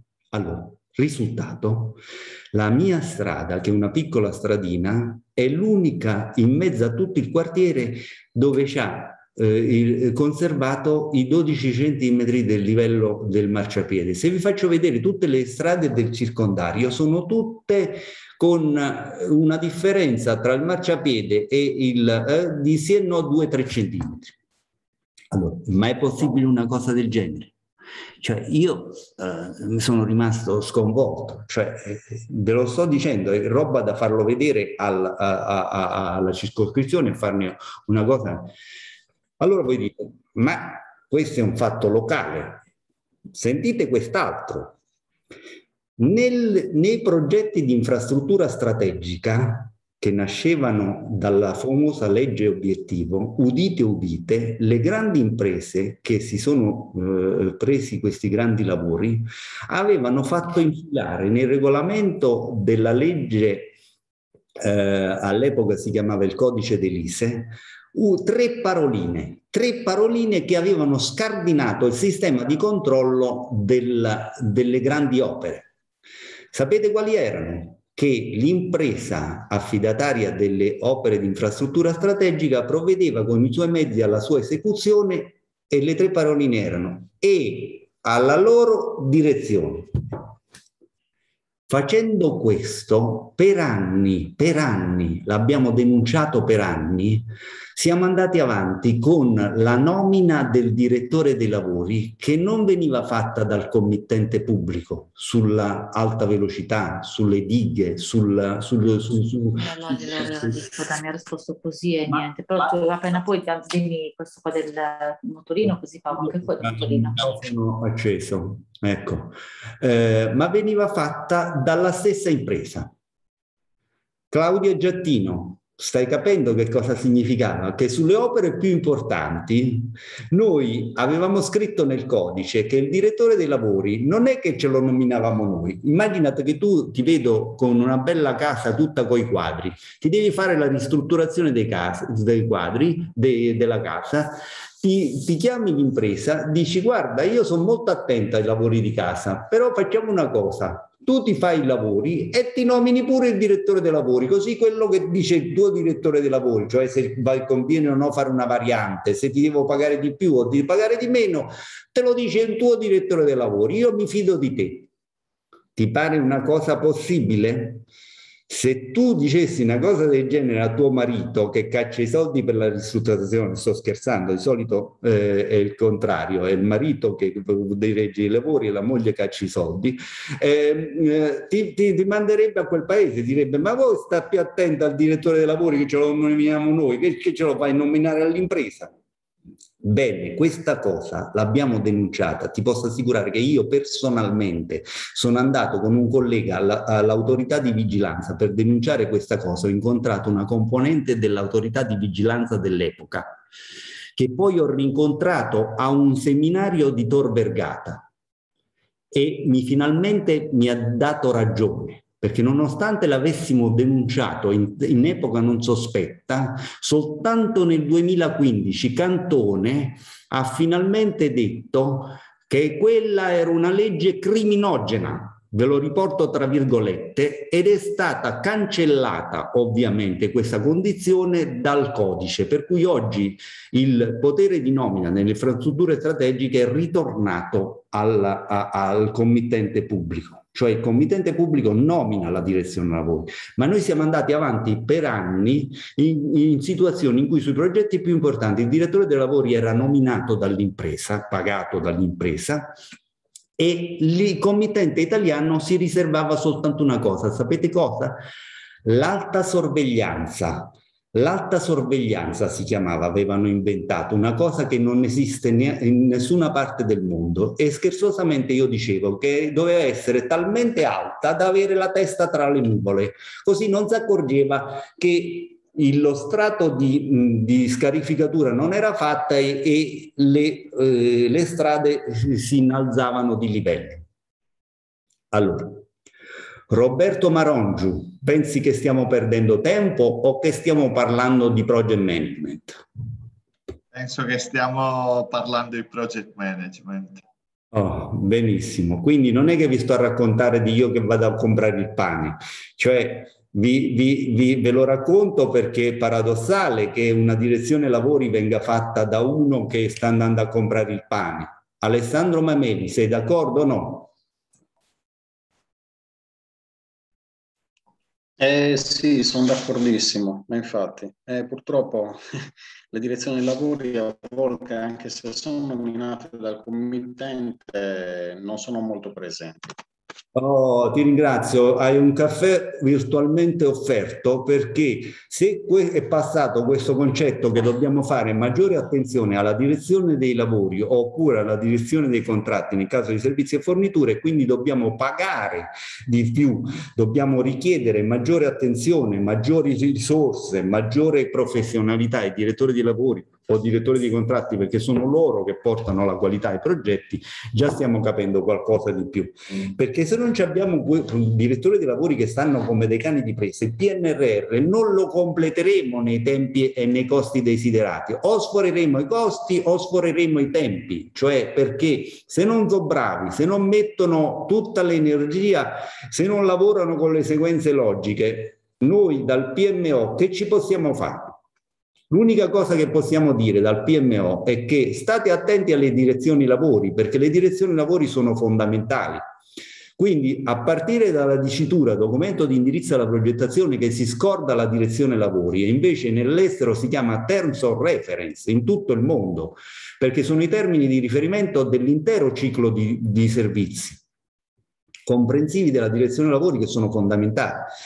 Tra l'altro, guardate che normalmente l'Unione Europea raccomanda che colui che progetti sia anche il direttore dei lavori, così c'è continuità tra, sono, c'è un dibattito internazionale tra due scuole. La scuola americana tende a distinguere il progettista dal direttore dei lavori e dice che il direttore dei lavori, prima di iniziare a lavorare, deve eh, analizzare e eventualmente correggere il progetto che è andato a trovare è la scuola americana della Banca Mondiale.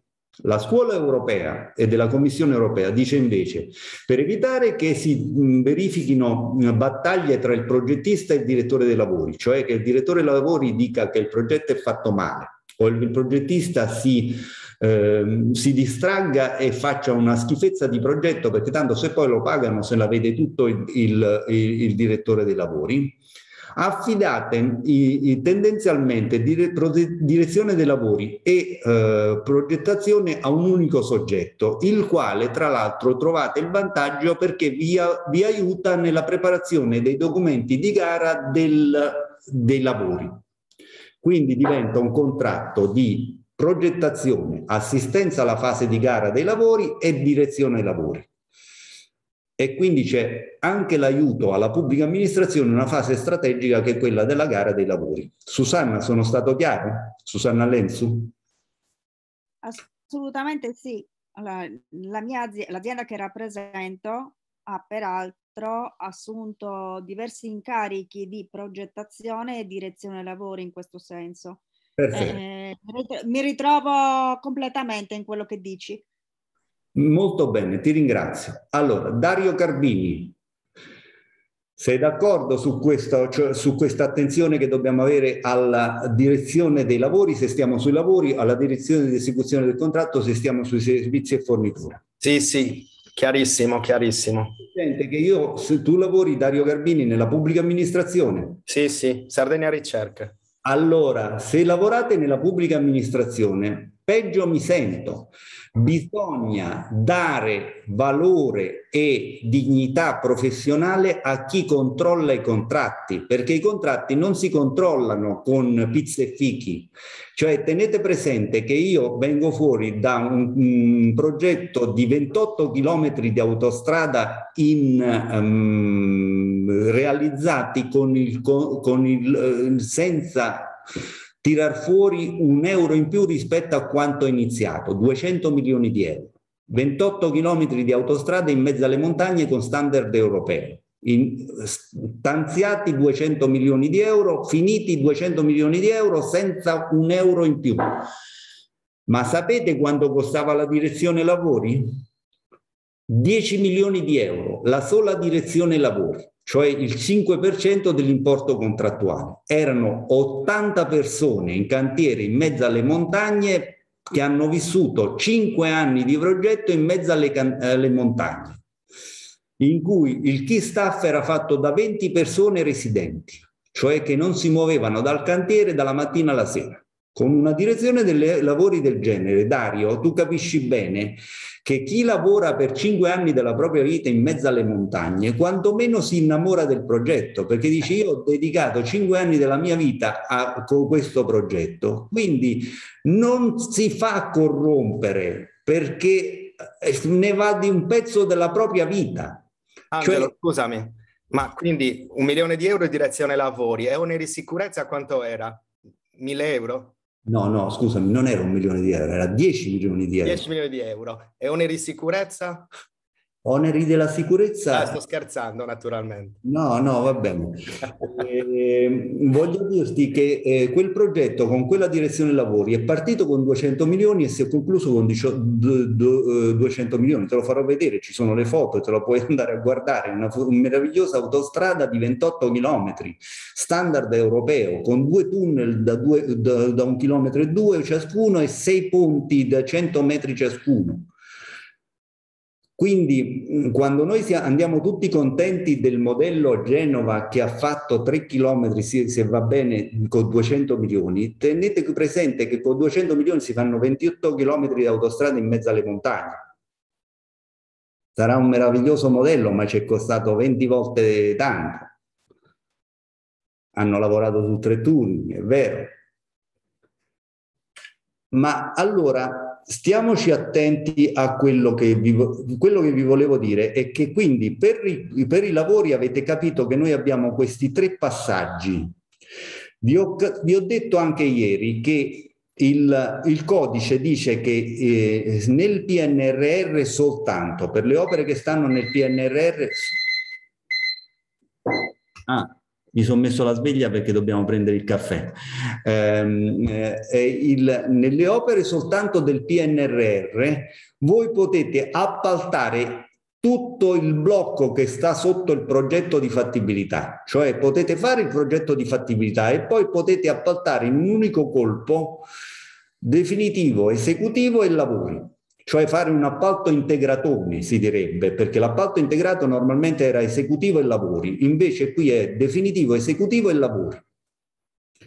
Se lo fate, attenzione alla direzione lavori, perché la direzione lavori deve essere controllare definitivo, esecutivo e lavori. Non è che controlla solo i lavori, controlla in quel caso definitivo, esecutivo e lavori. Claudia Piras, sono stato chiaro?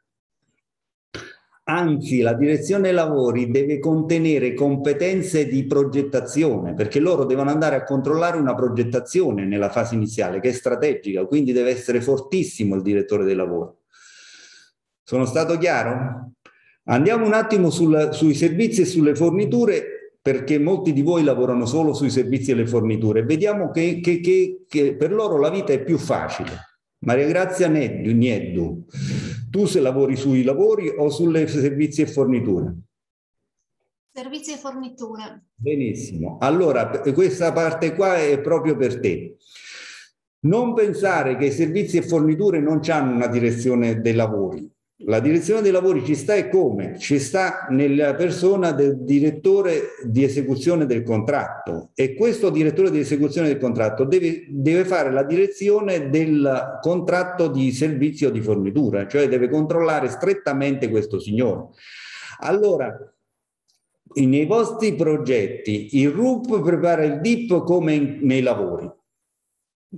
State attenti che questo DIP è molto importante poi dovete fare un ulteriore approfondimento che mentre qui viene appaltato, qui lo dice il codice lo dovete fare internamente. Quindi se state a Sardegna Ricerche, il progetto di fattibilità che è il primo, l'unico livello di, nel caso di servizi e forniture, lo dovete fare con personale interno, in generale, dice la, la norma, perché se poi avete, che ne so, da, da fare un servizio di, per, per, esempio, se dovete comprare gli autobus, vi faccio un caso, preparare i documenti di gara di, di un autobus, un autobus costa 500 mila euro, farlo con personale interno è una follia perché i documenti di gara di, di, di, di 600 autobus per una città sono una cosa difficilissima. Io ho comprato 10 locomotive e ci ho passato un anno con due esperti di locomotive a preparare i documenti di gara, perché è una cosa complicatissima. Allora, eh, attenzione che il documento, cioè qui invece il codice dice che il progetto di fattibilità dovrebbe essere fatto con risorse interne. A questo punto voi appaltate il contratto di servizi e fornitura e il DEC la deve controllare. Quindi anche attenzione al DEC. Quindi in un caso o nell'altro, servizi, forniture o lavori, tenete presente che chi controlla il contratto è una figura importantissima. Quindi deve essere pagato, deve avere le risorse, deve avere la dignità per strillare, perché dovrà strillare alla grande, altrimenti gli sfugge il progetto di mano. Claudia Giattino, sono stato chiaro? Quindi messaggio di oggi, fate grande attenzione alle direzioni lavori o alle direzioni di esecuzione del contratto, perché se no il PNRR ci sfugge di mano, non riusciamo a completare il progetto nei tempi e con i costi desiderati.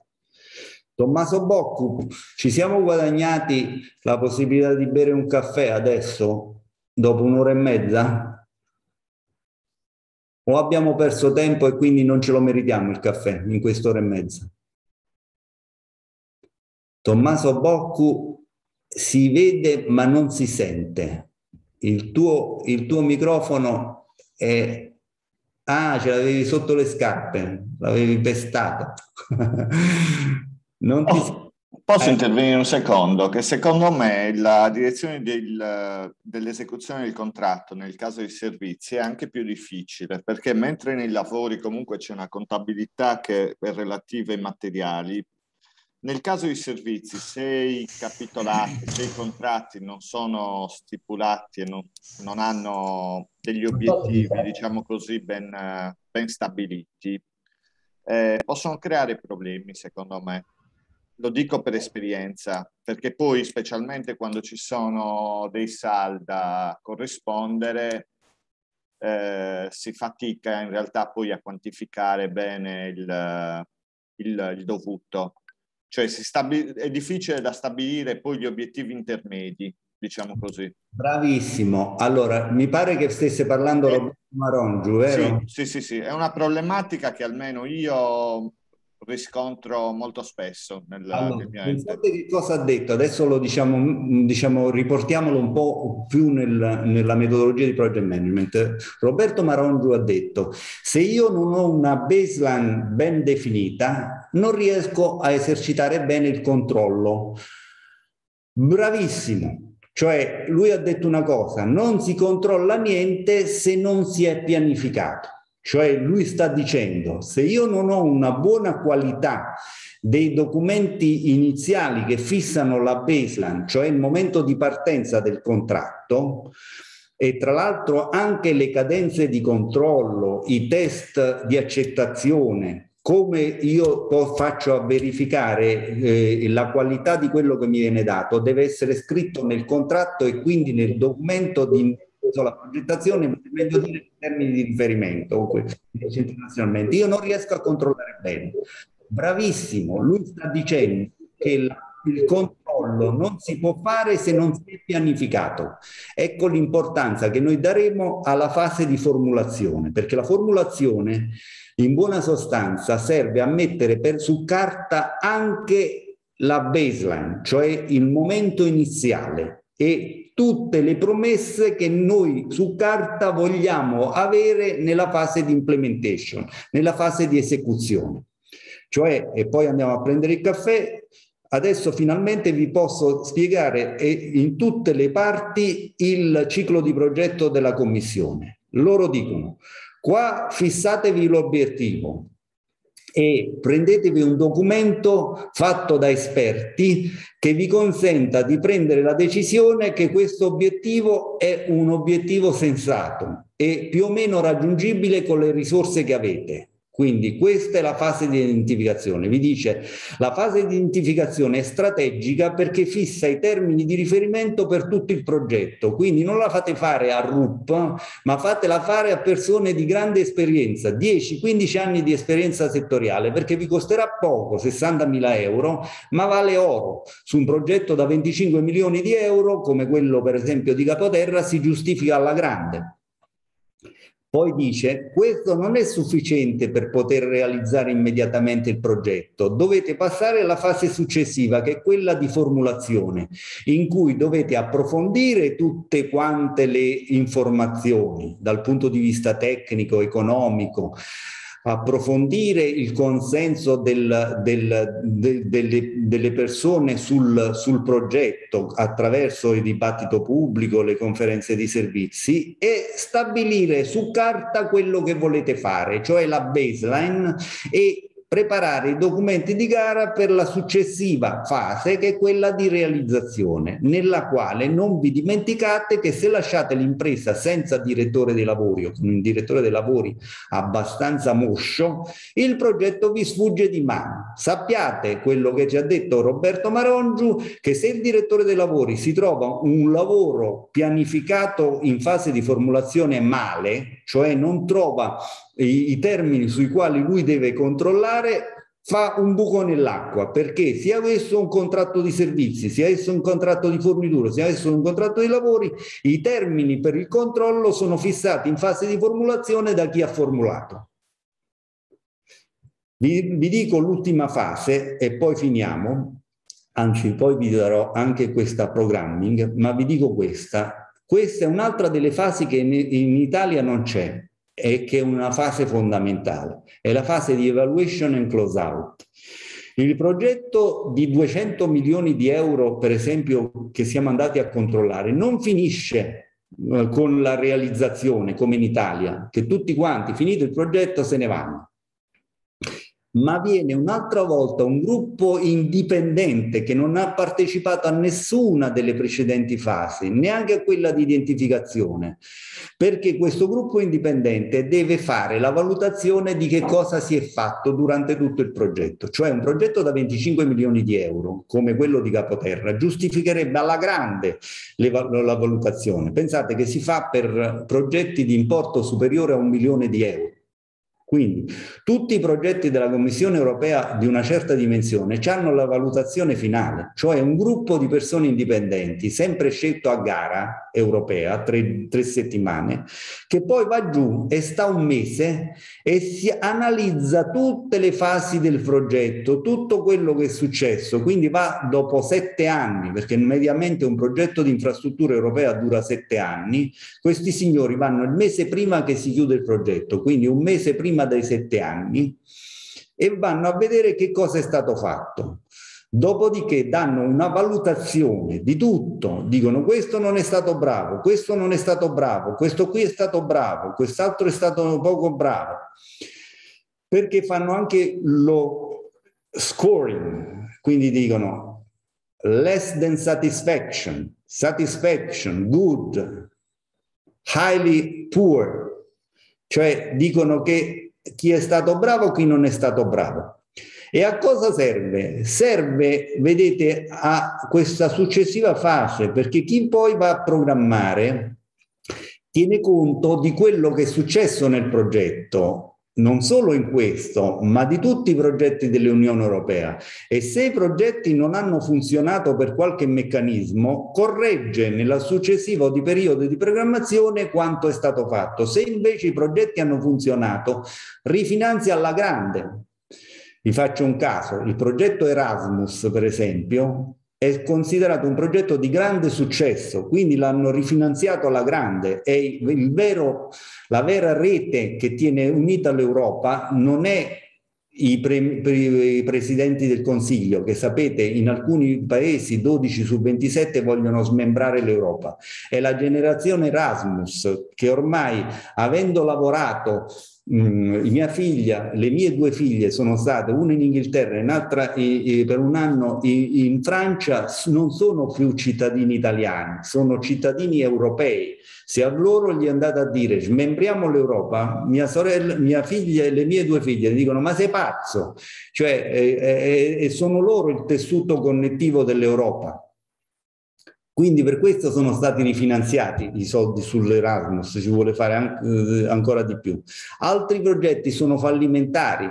Il progetto in particolare, ahimè, eh, ci ho lavorato, LIFE, che era un progetto fondamentale strategico perché era per l'ambiente, un disastro e i fondi sono sempre più ridotti perché si è resi conto che nonostante il settore lo chiedesse alla grande la qualità dei progetti ambientali, erano progetti sempre più fumosi, sempre più eterei, sempre più inconsistenti. Ok?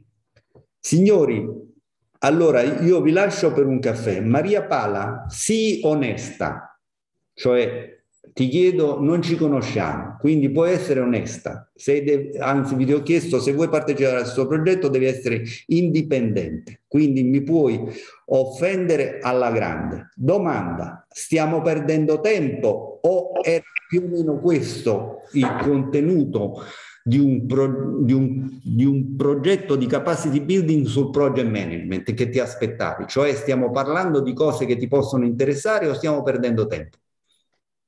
No, tantissimo, mi interessano tantissimo e mi, mi ritrovo su... Eh, vabbè, intanto grazie perché tieni altissima l'attenzione e, e questo non è poco.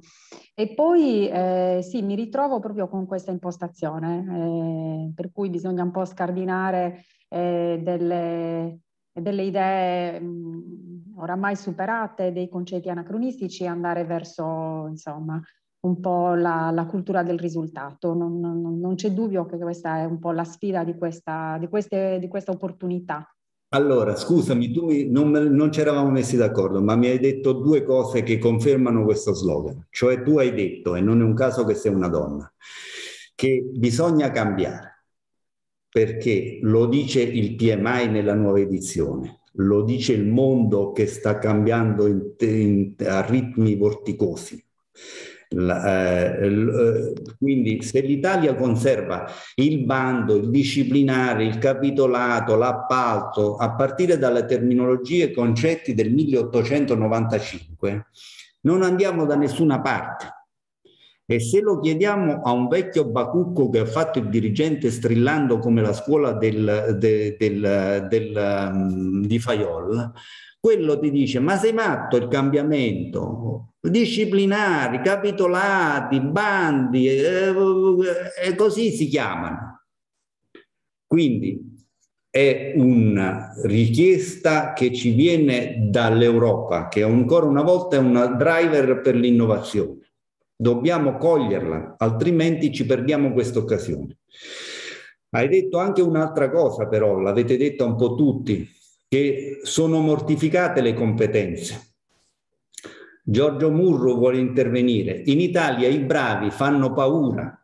I giovani bravi se ne vanno, se ne scappano perché nelle, nelle amministrazioni pubbliche o sono mortificati per l'importo del contratto, che parte da 1200 euro, oppure sono mortificati perché non gli fanno fare niente, le fotocopie Oppure se sono bravi, è successo a me, l'ho sentito io con le mie orecchie, dicono stai attento a quello, perché a me mi sembri più bravo. No, no, no, quello sgomita. Sapete perché?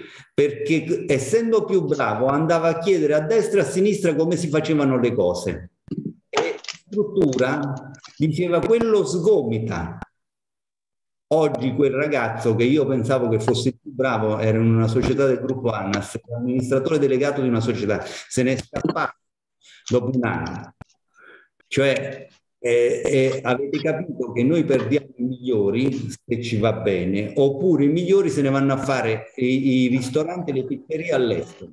Cioè, ma, ma è possibile. Cioè, eh, eh, noi dobbiamo cambiare la classe dirigente o perlomeno dobbiamo utilizzare la classe dirigente che è anche molto brava per, deve darci le informazioni per il cambio generazionale. Ma che cazzo ci dà?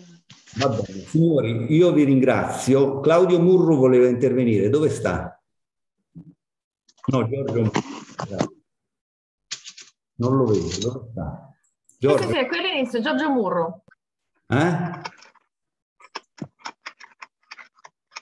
Se, se, riesci a intervenire, intervieni perché stiamo andando al caffè. Il microfono, Giorgio. Sono aperto. Eh, volevo chiedere se la guida Europrogettazione, che è stata pubblicata qualche anno fa dalla comunità europea e poi è stata proposta, mi sembra, da Formez, è ancora aderente eh, per i, i, progetti PNR, come in realtà ricalcava un po' la, la tecnica del PMA e del come si chiama, del, che stiamo affrontando in questo corso. Giorgio mi, mi, mi invita a nozze perché anche lì hai capito che gli italiani sono fantasiosi. In quella guida ho persone che hanno... Il passaggio è pericolosissimo.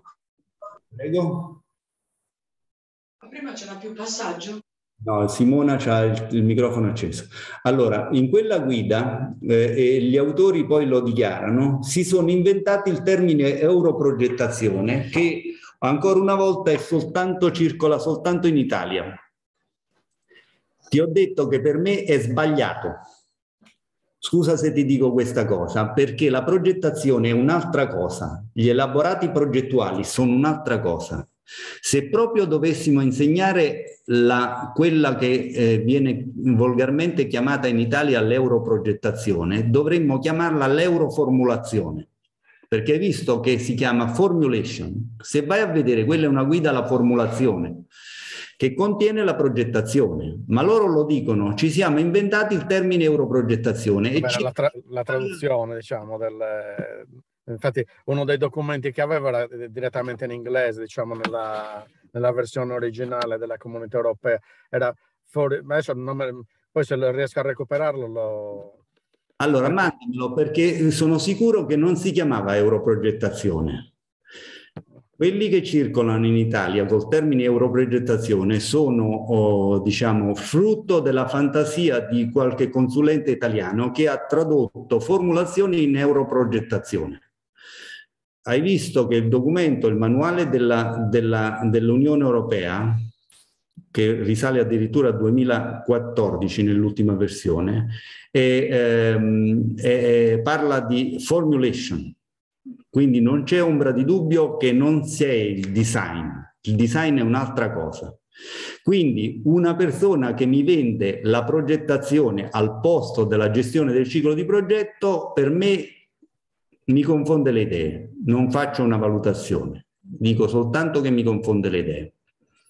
Se fossero stati bravi con tutti i corsi di, di europrogettazione che abbiamo visto circolare in Europa, non saremmo al penultimo posto Invece, nonostante tutti i corsi di europrogettazione, siamo al penultimo posto nell'uso dei fondi strutturali. Dati agenzia visto, visto del, quindi ti ho risposto con dati.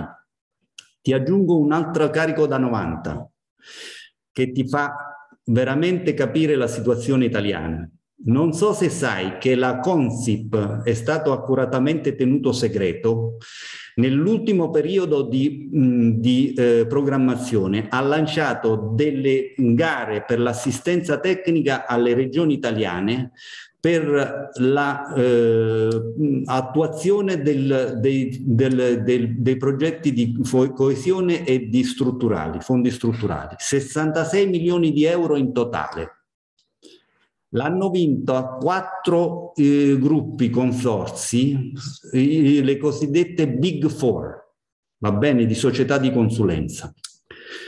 Queste società di consulenza sono state a fine periodo di programmazione eh, sanzionate dall'autorità antitrust per quella gara che ha imposto niente meno che una sanzione di 23 milioni di euro su un totale dei contratti da 66. Hanno fatto ricorso, ma hanno perso sia al TAR che al Consiglio di Stato. Allora, questo ti fa capire che se avessimo veramente dei maestri di gestione... che si mette a non disturbare. Eh? C'è qualcuno che è intervenuto? Se avessimo dei maestri di europrogettazione o di gestione di fondi strutturali in Italia non staremmo penultimi, le, queste società di assistenza non sarebbero state sanzionate per, eh, per, per attività con, contrarie a, alla concorrenza, alias si erano spartite il mercato con un cartello. E noi non avremmo come consulenti nelle regioni dei ragazzini con bravi con la grisaglia, con due anni di attività che vanno a fare l'assistenza tecnica, che non avendo grande esperienza non ci sono di grande vantaggio. Scusa se ti dico questo, ma l'assistente tecnico deve essere un personale senior che deve avere almeno dieci anni di esperienza, perché è difficile andare a fare assistenza tecnica se non hai fatto mai un progetto. Cioè, scusa se ti dico, ma quello che tu stai ascoltando qui, ho la presunzione di dire che non l'ho letto studiando in due anni all'università, ma oltre a studiare e non finirai mai di studiare, tu, cioè, quello che voglio dire, lo dico sempre a tutti, no, se, se, finite di studiare siete dei tromboni. No, no, non si finisce mai di aggiornarsi e i consulenti bravi non smettono mai di studiare, ma tu non devi andare a raccontare quello che hai studiato all'università 30 anni fa, devi raccontare quello più tutto quello che hai studiato fino all'ultimo giorno di ieri, più 30 anni o 10 anni minimo di esperienza internazionale, dove se lavoravi male ti cacciavano, perché nel, nel, contesto internazionale il consulente che non lavora bene viene immediatamente cacciato perché non, più, non vince più una gara individuale se ha lavorato male. Quindi è una genetica positiva. Va mm, bene. Vorrei aggiungere che c'è un, un, problema di criticità, soprattutto sui fondi europei, sull'assistenza tecnica e sul supporto, che praticamente lo stesso programmi comunitari impongono dei contratti spot per la durata del programma, per cui le spese di assistenza, le spese, cioè eh, noi andiamo ad assumere del personale, diciamo, a tempo determinato, eh, come sta succedendo adesso per il PNR. In realtà c'è un toto di risorse per il supporto, per l'assistenza tecnica, ma noi vogliamo assumere del personale specialistico con dei contratti sottopagati a tre anni eh, sarebbe opportuno creare una, eh, cioè siamo da vent'anni che si gestiscono programmi comunitari, creare delle risorse all'interno dell'amministrazione e eh, diciamo aggiornarle in modo da poter eh, capitalizzare diciamo quelle conoscenze che si formano. Mamma mia, che state a sentire che cosa ha detto il nostro amico. Ha detto una cosa che noi vorremmo cercare di fare. Cioè noi vorremmo rafforzare le capacità interne perché soltanto il committente capace riesce a controllare i propri progetti. Se, se, il committente non è capace, non riesce a comprare consulenza buona. Quello che ci sta dicendo il nostro amico è che dobbiamo rafforzare il personale interno, è proprio quello che vogliamo fare, cioè vogliamo dare l'ownership dei progetti a chi li realizza, sapendo che però loro da soli non hanno il tempo, le forze e neanche è giusto che facciano, passino il loro tempo a specializzarsi nella gestione dei progetti, ma che qualcuno le deve fare per loro. E questo qualcuno non devono essere società che ci vendono i ragazzini con la grisaglia, cioè ragazzini pagati come consulenti che però hanno due anni di esperienza, bravini, ma non sanno niente della vita, perché eh, non hanno ancora fatto manco un percorso in Italia o all'estero, ma persone che hanno perso i capelli e si sono sbattuti per cercare di portare a, proget- a successo i progetti all'estero o in Italia perché se no li cacciavano.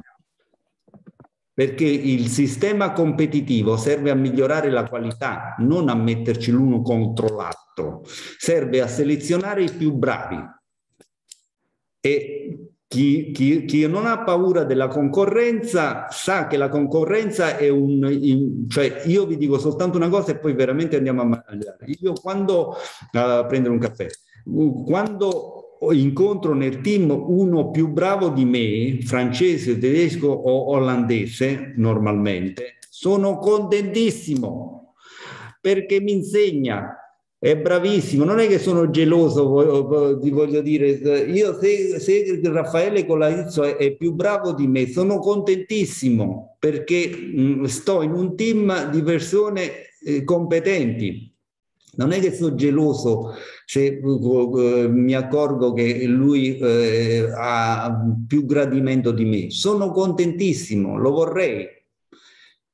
È, è questo che noi dobbiamo cercare di trovare nei giovani. Simona Zanda, se è bravissima, la dobbiamo aiutare a farlo capire. Antonello Porcu, che è bravo, molto bravo, lo dobbiamo aiutare Quindi se lui ha preso trend e lode non è perché noi così ci eravamo distratti, perché vogliamo incoraggiare persone che lavorano bene a andare avanti. Magari lui meritava 28, ma io gli ho piazzato un trend e lode perché ci ho voluto scommettere. Va bene, quindi bisogna, bisogna anche incoraggiare. Va bene? Andrea, siamo, ci siamo guadagnati questo caffè, Andrea Dessi, o no? Andrea Dessi ci dà il via libera al caffè. Io ve lo offrirei se fossimo in presenza, però non siamo in presenza un quarto d'ora per il caffè, perché è un caffè all'inglese, quindi si prende lentamente, capito? Non è il caffè alla napoletana che è un minuto e ti passa un quarto d'ora per il caffè, ci vediamo alle, do- alle 11.15, 11.17. Scusate, interrompo un attimo. Durante la pausa metterò eh, un sondaggio di gradimento del, della prima giornata del corso. Chiederei ai partecipanti di dedicarmi due minuti per rispondere. Grazie mille. Ammazza, siamo valutati momento per momento, è un monitoraggio in itinere del gradimento, avete capito? Qua non ci possiamo distrarre un minuto, andiamoci a prendere il caffè. Arrivederci.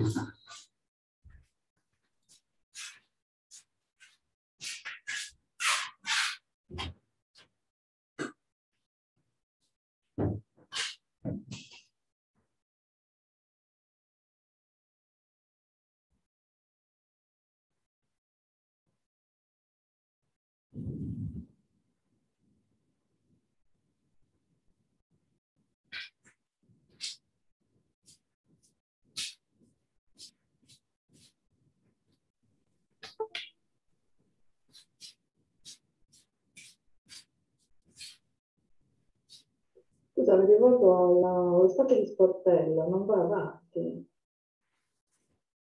Mi sento?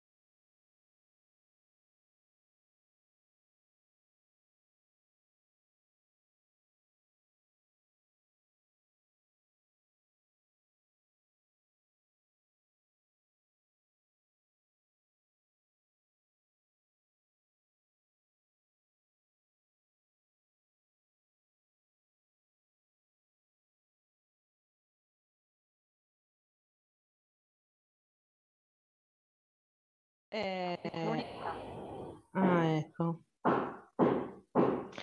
Aspetta. Fede, Fede, c'è il microfono acceso.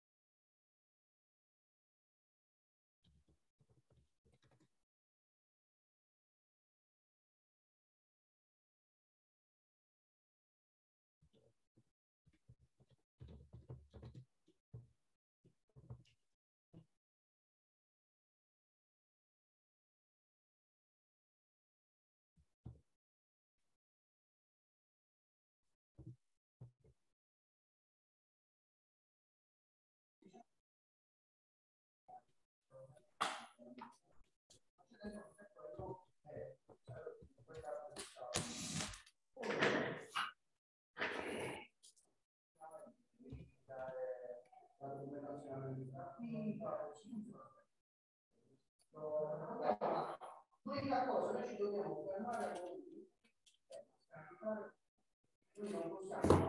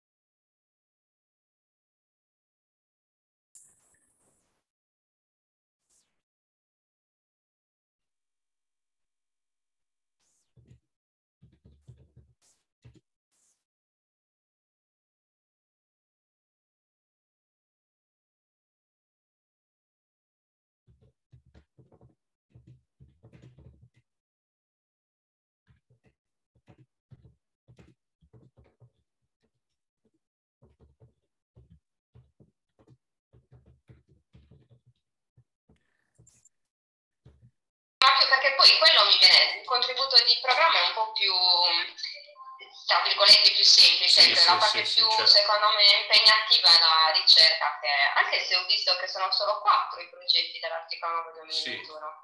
Mi aspettavo 10 progetti. No, ma scherzi, 10 progetti, che li ho diffidati dal farlo, Angela, ma scher- no, non scherziamo su questo.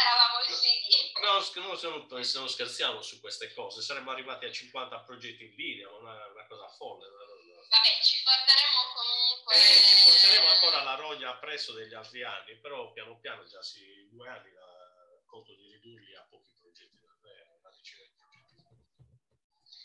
Va bene, allora Già così mi sembrava interessante, capito? Sono... Per qualsiasi cosa adesso sta riprendendo l'altro, l'altro seminario, ok, dai, ti, scrivimi, non- che magari sono, sono collegato col microfono e mi sentono. D'accordo? Ok, ciao. Ciao, ciao, ciao.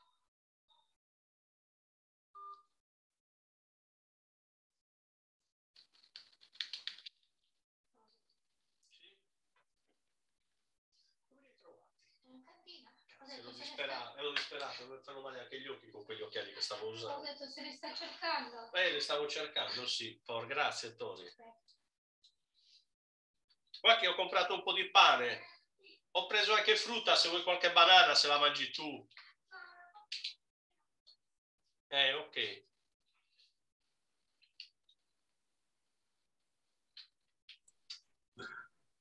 Bentornati signori.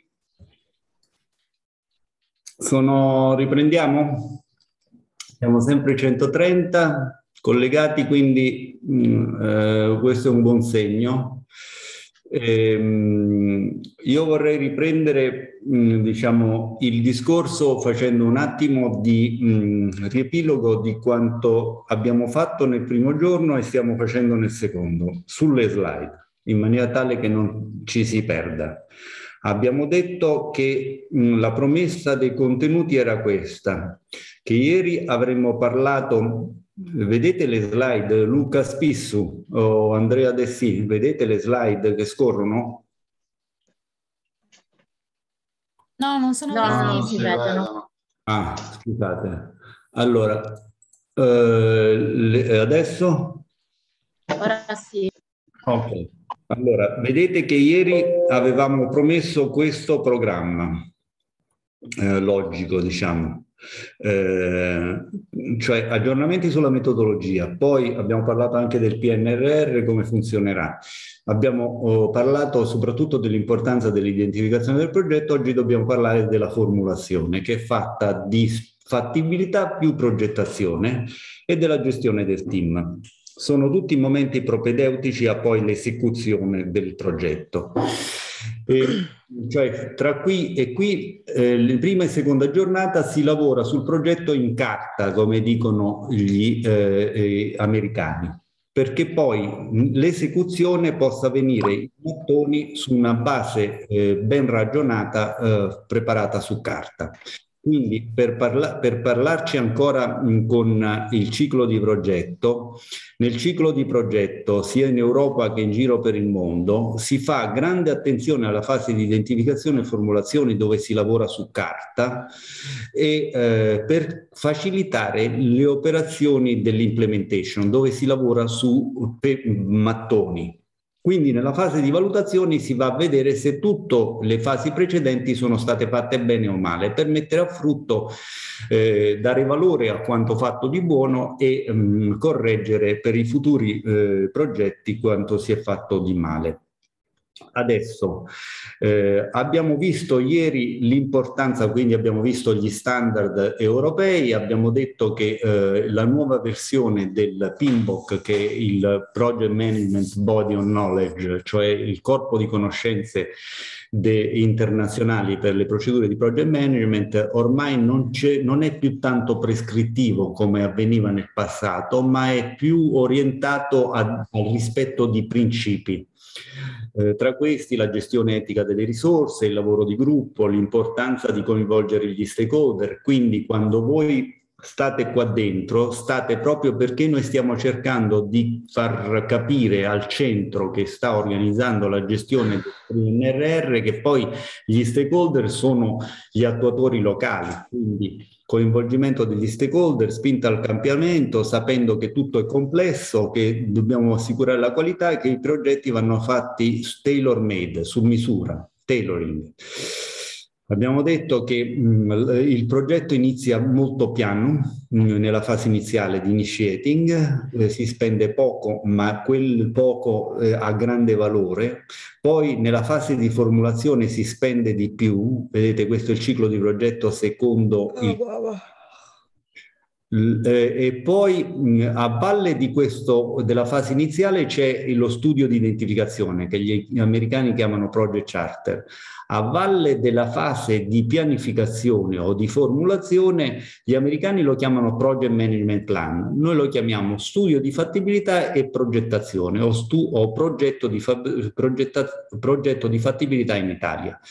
Quindi inizia la fase di esecuzione dove spendiamo più soldi e poi nella fase finale il progetto si chiude e si continua a spendere in maniera più lenta, ma è una fase molto delicata perché le imprese spendendo poco sono poco propense a chiudere il progetto e quindi bisogna fare grande attenzione altrimenti slittano i tempi della, della chiusura del progetto. Il progetto sfugge di mano proprio nella fase di chiusura perché le imprese, vedete, poiché guadagnano poco, non sono tanto spinte a darsi da fare per, eh, per i dettagli finali del progetto, che costano tempo e fatica.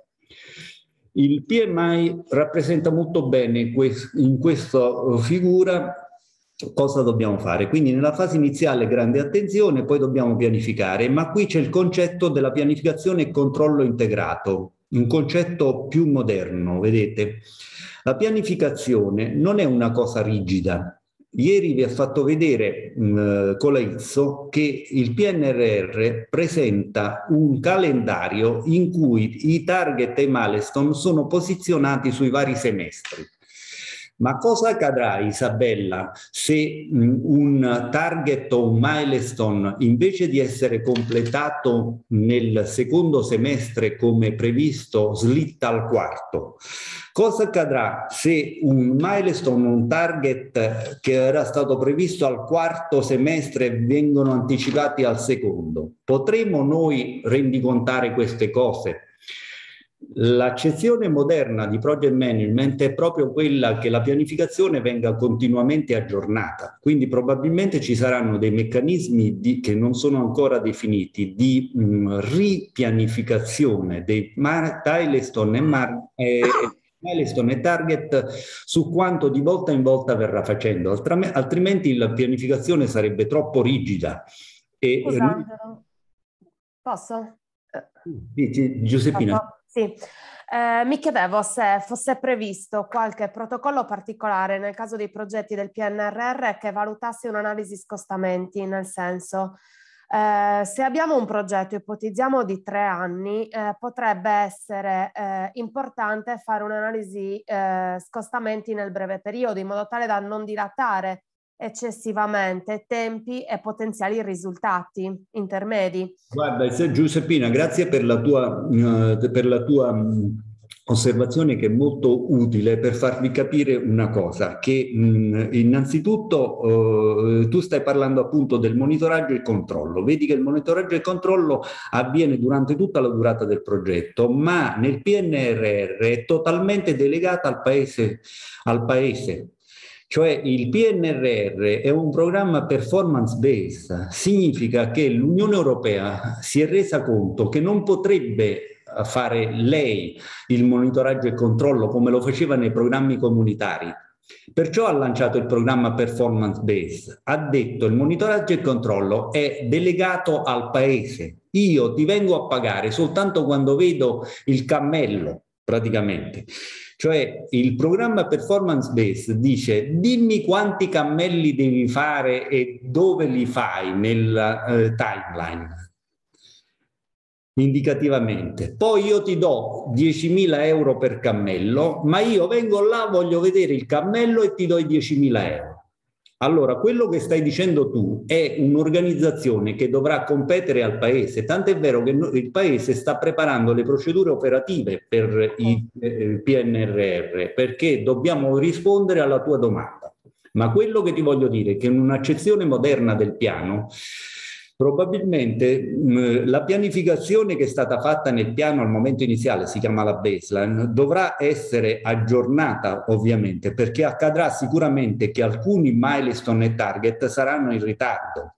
Ma potrebbe, è questo che ci auguriamo, che alcuni milestone e target che abbiamo messo prudenzialmente più avanti siano invece eh, realizzati prima Potrebbe anche accadere questo e questa è la speranza. Nel, se, se, no va a finire che se ritardiamo tutto quanto, ben venga che lo completiamo al 2026, otteniamo tutti i soldi soltanto sui semestri finali. Quindi dovremmo in teoria anticipare tutti i soldi, almeno dell'anticipazione che abbiamo ricevuto noi, perché l'Unione Europea ci paga soltanto a milestone e target realizzati. Sono stato chiaro, Giuseppina? Chiarissimo, chiarissimo. Infatti parlavo di eventuali protocolli interni, ecco, na- nazionali. Ti eh, stato... perché, scusa se ti dico questa cosa e ti mostro che proprio, diciamo, ha una struttura diversa. Quando ti dico che si usano forme contrattuali completamente diverse, è proprio questo, cioè internazionalmente il performance base ha una forma di contratto diversa perché non si fa più la misurazione eh, di, di, di componenti parziali ma si va soltanto a vedere quelle componenti funzionali che sono state realizzate e si pagano solo le componenti funzionali al prezzo stabilito inizialmente per quelle componenti funzionali, che poi quelle componenti funzionali abbiano comportato più o meno soldi di quanto avevamo pianificato è un problema del paese. Sono stato chiaro? Chiarissimo, chiarissimo. Assolutamente. Dobbiamo capire questo perché è anche un, un diverso approccio del, rispetto al passato. Naturalmente vedete che se noi dobbiamo fare il project management... Un attimo, scusa, puoi ripetere l'ultimo concetto con calma? Non ho proprio sentito, non che non l'ho capito, non ho proprio sentito. Giuseppina, stai parlando con noi? Uguale va bene, grazie. No, Giuseppina sì, c'ha il microfono attivo. Ok, vedete che mm, il PMI ci dice che se vogliamo entrare nel PMO e vogliamo dare una mano alla gestione dei progetti del PNRR, non possiamo avere soltanto un tipo di conoscenza. Dobbiamo avere conoscenze di loro dicono 10 aree di conoscenza del project management che sono l'integration innanzitutto. Chi va nel PMO non deve essere uno specialista di un settore, deve essere uno specialista dell'integration. Significa che lui deve avvalersi delle competenze degli altri e deve saperle integrare.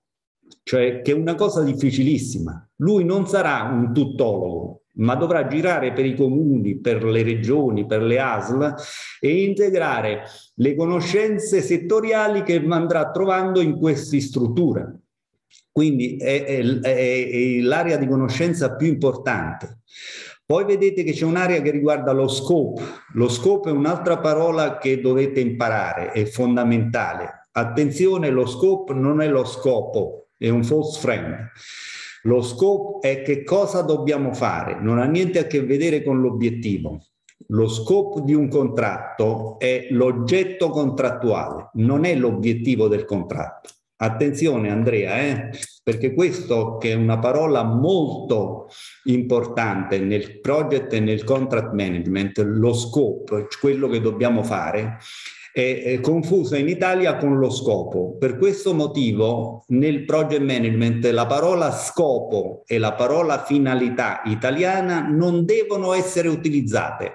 Deve essere utilizzato solo l'obiettivo quando vuoi definire l'obiettivo o se vuoi definire lo scope, in Italia l'hanno tradotto maldestramente ambito ambito del progetto per dire quello che si deve fare. Io vi sconsiglio assolutamente di utilizzare ambito perché non si capisce niente. Vi consiglio di usare la parola scope, che è la parola internazionale, che sarebbe l'oggetto, le cose da fare. Ok? Questo pure è difficile da, da, da, stabilire perché chi non è esperto non sa che cosa si deve fare, ma che cosa si deve fare? Il primo passaggio per fare la pianificazione perché poi vedete c'è il passaggio successivo che è quello di mettere in sequenza logica le cose da fare. Perché vedete, lo vedete la slide, Andrea? Sì, allora vedete che dopo lo scope management c'è schedule, time schedule management, cioè eh, la gestione dei tempi e delle sequenze logica. Questa cosa fa perdere un sacco di tempo in Italia. Vi ho detto che i tempi di attraversamento dipendono proprio dal fatto che si metti, non si fa attenzione ai passaggi logici, anche di approvazione. C'è un altro motivo che ci fa perdere un sacco di tempo, che i livelli di progettazione sono tre invece di due, quindi le approvazioni sono tre invece di due, come avviene in Europa. Questo in parte è stato corretto nel PNRR perché vi ho detto che il PNRR consente di passare eh, alla fase di gara dei lavori direttamente sul primo livello di progettazione che è il progetto di fattibilità mettendo in gara definitivo ed esecutivo. E dice la norma di semplificazione che il definitivo e l'esecutivo in teoria potrebbero essere fatti in un unico colpo a patto di mettere nel definitivo e l'esecutivo tutti i contenuti del definitivo e dell'esecutivo. Quindi come vedete hanno corretto quello che noi stiamo dicendo da anni di ridurre i livelli di progettazione a due. Va bene che un'altra delle grandi novità del PNRR. Oh, poi c'è il cost management. Il cost management è il controllo dei costi e delle risorse in generale. Guarda Andrea che in un programma di eh, performance based è fondamentale perché l'Unione Europea se ti promette 10 e tu spendi 12 per fare quella componente che è stimato 10, come abbiamo fatto nell'alta velocità, che abbiamo promesso 3.000 a Roma-Napoli, l'abbiamo fatta con 12.000, quegli altri 9.000 te li paghi tu, perché l'Unione Europea eh, il performance based dice quella, sta attenta alle stime. Ieri ci ha fatto una contestazione, un amico tuo ha detto: Ma allora eh, la gente che si fa le stime si fa quelle stime un po' diciamo oh, tranquille. Esatto, L'Unione Europea non ha l'anello al naso, tant'è vero che dice le stime di costo devono essere accurate. Non è che tu puoi dire una strada normalmente costa 3, 3 milioni di euro a chilometro, la dobbiamo mettere nel PNRR, facciamo finta che stiamo tranquilli, mettiamo 6 milioni. E quelli ti dicono, ma dove l'hai tirato fuori questo 6 milioni? Dalla stima dei costi dell'ANAS che dice che 3 milioni. Bello mio, allora passala a 3 milioni. Quindi l'Unione Europea ha già fatto queste verifiche e non è che ci ha consentito di mettere per la riabilitazione o la coibentazione di un appartamento, i francesi mettevano 36 mila euro, noi non è che ci ha messo consentito di mettere 64 mila. Va bene, probabilmente ne metteremo 32 mila o 30 mila. Però poi se noi ci sfuggono i costi, avete capito, è pericolosissimo perché l'Unione Europea non ce li paga con i fondi del PNRR. Poi c'è la qualità, ovviamente la gestione delle risorse umane, che è importantissimo, le comunicazioni, che, di cui parleremo, le comunicazioni sono fondamentali. Immaginate un sistema del genere che svede tantissimi sistemi, eh, soggetti attuatori, se noi non affiniamo i sistemi di comunicazione ci perdiamo metà del tempo a raccontare quello che stiamo facendo poi i rischi, la gestione dei rischi che è una gestione avanzata, poi c'è il procurement. Il procurement sarebbero quelli che maldestramente in Italia chiamiamo con un termine desueto appalti. Attenzione che il procurement, Isabella, come tu sai, anche se ti vediamo solo in ombra, il procurement insegna ai nostri amici, che tu sei ormai diventata maestra, che non è soltanto la fase di affidamento in Europa, il procurement, il processo di procurement è il processo che prevede sia la fase di affidamento sia la fase di gestione del contratto. Quindi il procurement del PNRR si completerà nel 2026, cioè noi dovremo fare le gare, ma poi dovremo controllare anche i contratti che eh, eh, ci porteranno all'esecuzione di questo PNRR. Il procurement, l'esperto di procurement, che non è l'esperto di appalto italiano, il procurement specialist europeo, fa eh, la gestione del contratto, assiste la, la pubblica amministrazione nella gestione del contratto, quindi che è importantissimo. Poi vedete l'ultima che è stakeholder management. Stakeholder management è appunto la gestione de delle persone, delle, eh, dei portatori di interesse, si chiamano. Fondamentale. Va bene? Se io lancio un progetto nel eh, di, di, eh, contrasto al dissesto idrogeologico a capoterra della bordata eh, di 25 milioni di euro e nel DIP non scrivo una parola su chi sta gestendo, chi è il proprietario della, per esempio, idrocontrollo, che è sicuramente uno stakeholder di quello, perché l'idrocontrollo scritto da tutte le parti che sta in mezzo alla golena del fiume e, in qualche misura è stato anche inondato eppure vandalizzato. Se io non riesco a capire che devo quantomeno gestire gli stakeholder, andare a sentire e riferire in gara che cosa si è pensato di, di studiare su quella cosa, io non sto facendo lo stakeholder management, va bene? Che è una componente fondamentale anche in funzione della... Abbiamo poi visto che cosa ci aveva chiesto l'Unione Europea, è stata anche una domanda del vostro test, ci chiedeva questo per mettere i progetti nel PNRR e ce li chiede tuttora di stabilire una baseline iniziale, i milestone, i target, metterli in una timeline, fare delle stime accurate dei costi e dirci se questi progetti hanno un impatto che è coerente con i principi del, eh, di crescita, creazione di posti di lavoro e coesione. Se no non può entrare nel PNRR. Poi abbiamo detto... Una cosa... Scusa. Samir, dimmi. Eh, Quando integration... mi riempiete di gioia, eh? Samir, quindi vai. Con integration management cosa si intende?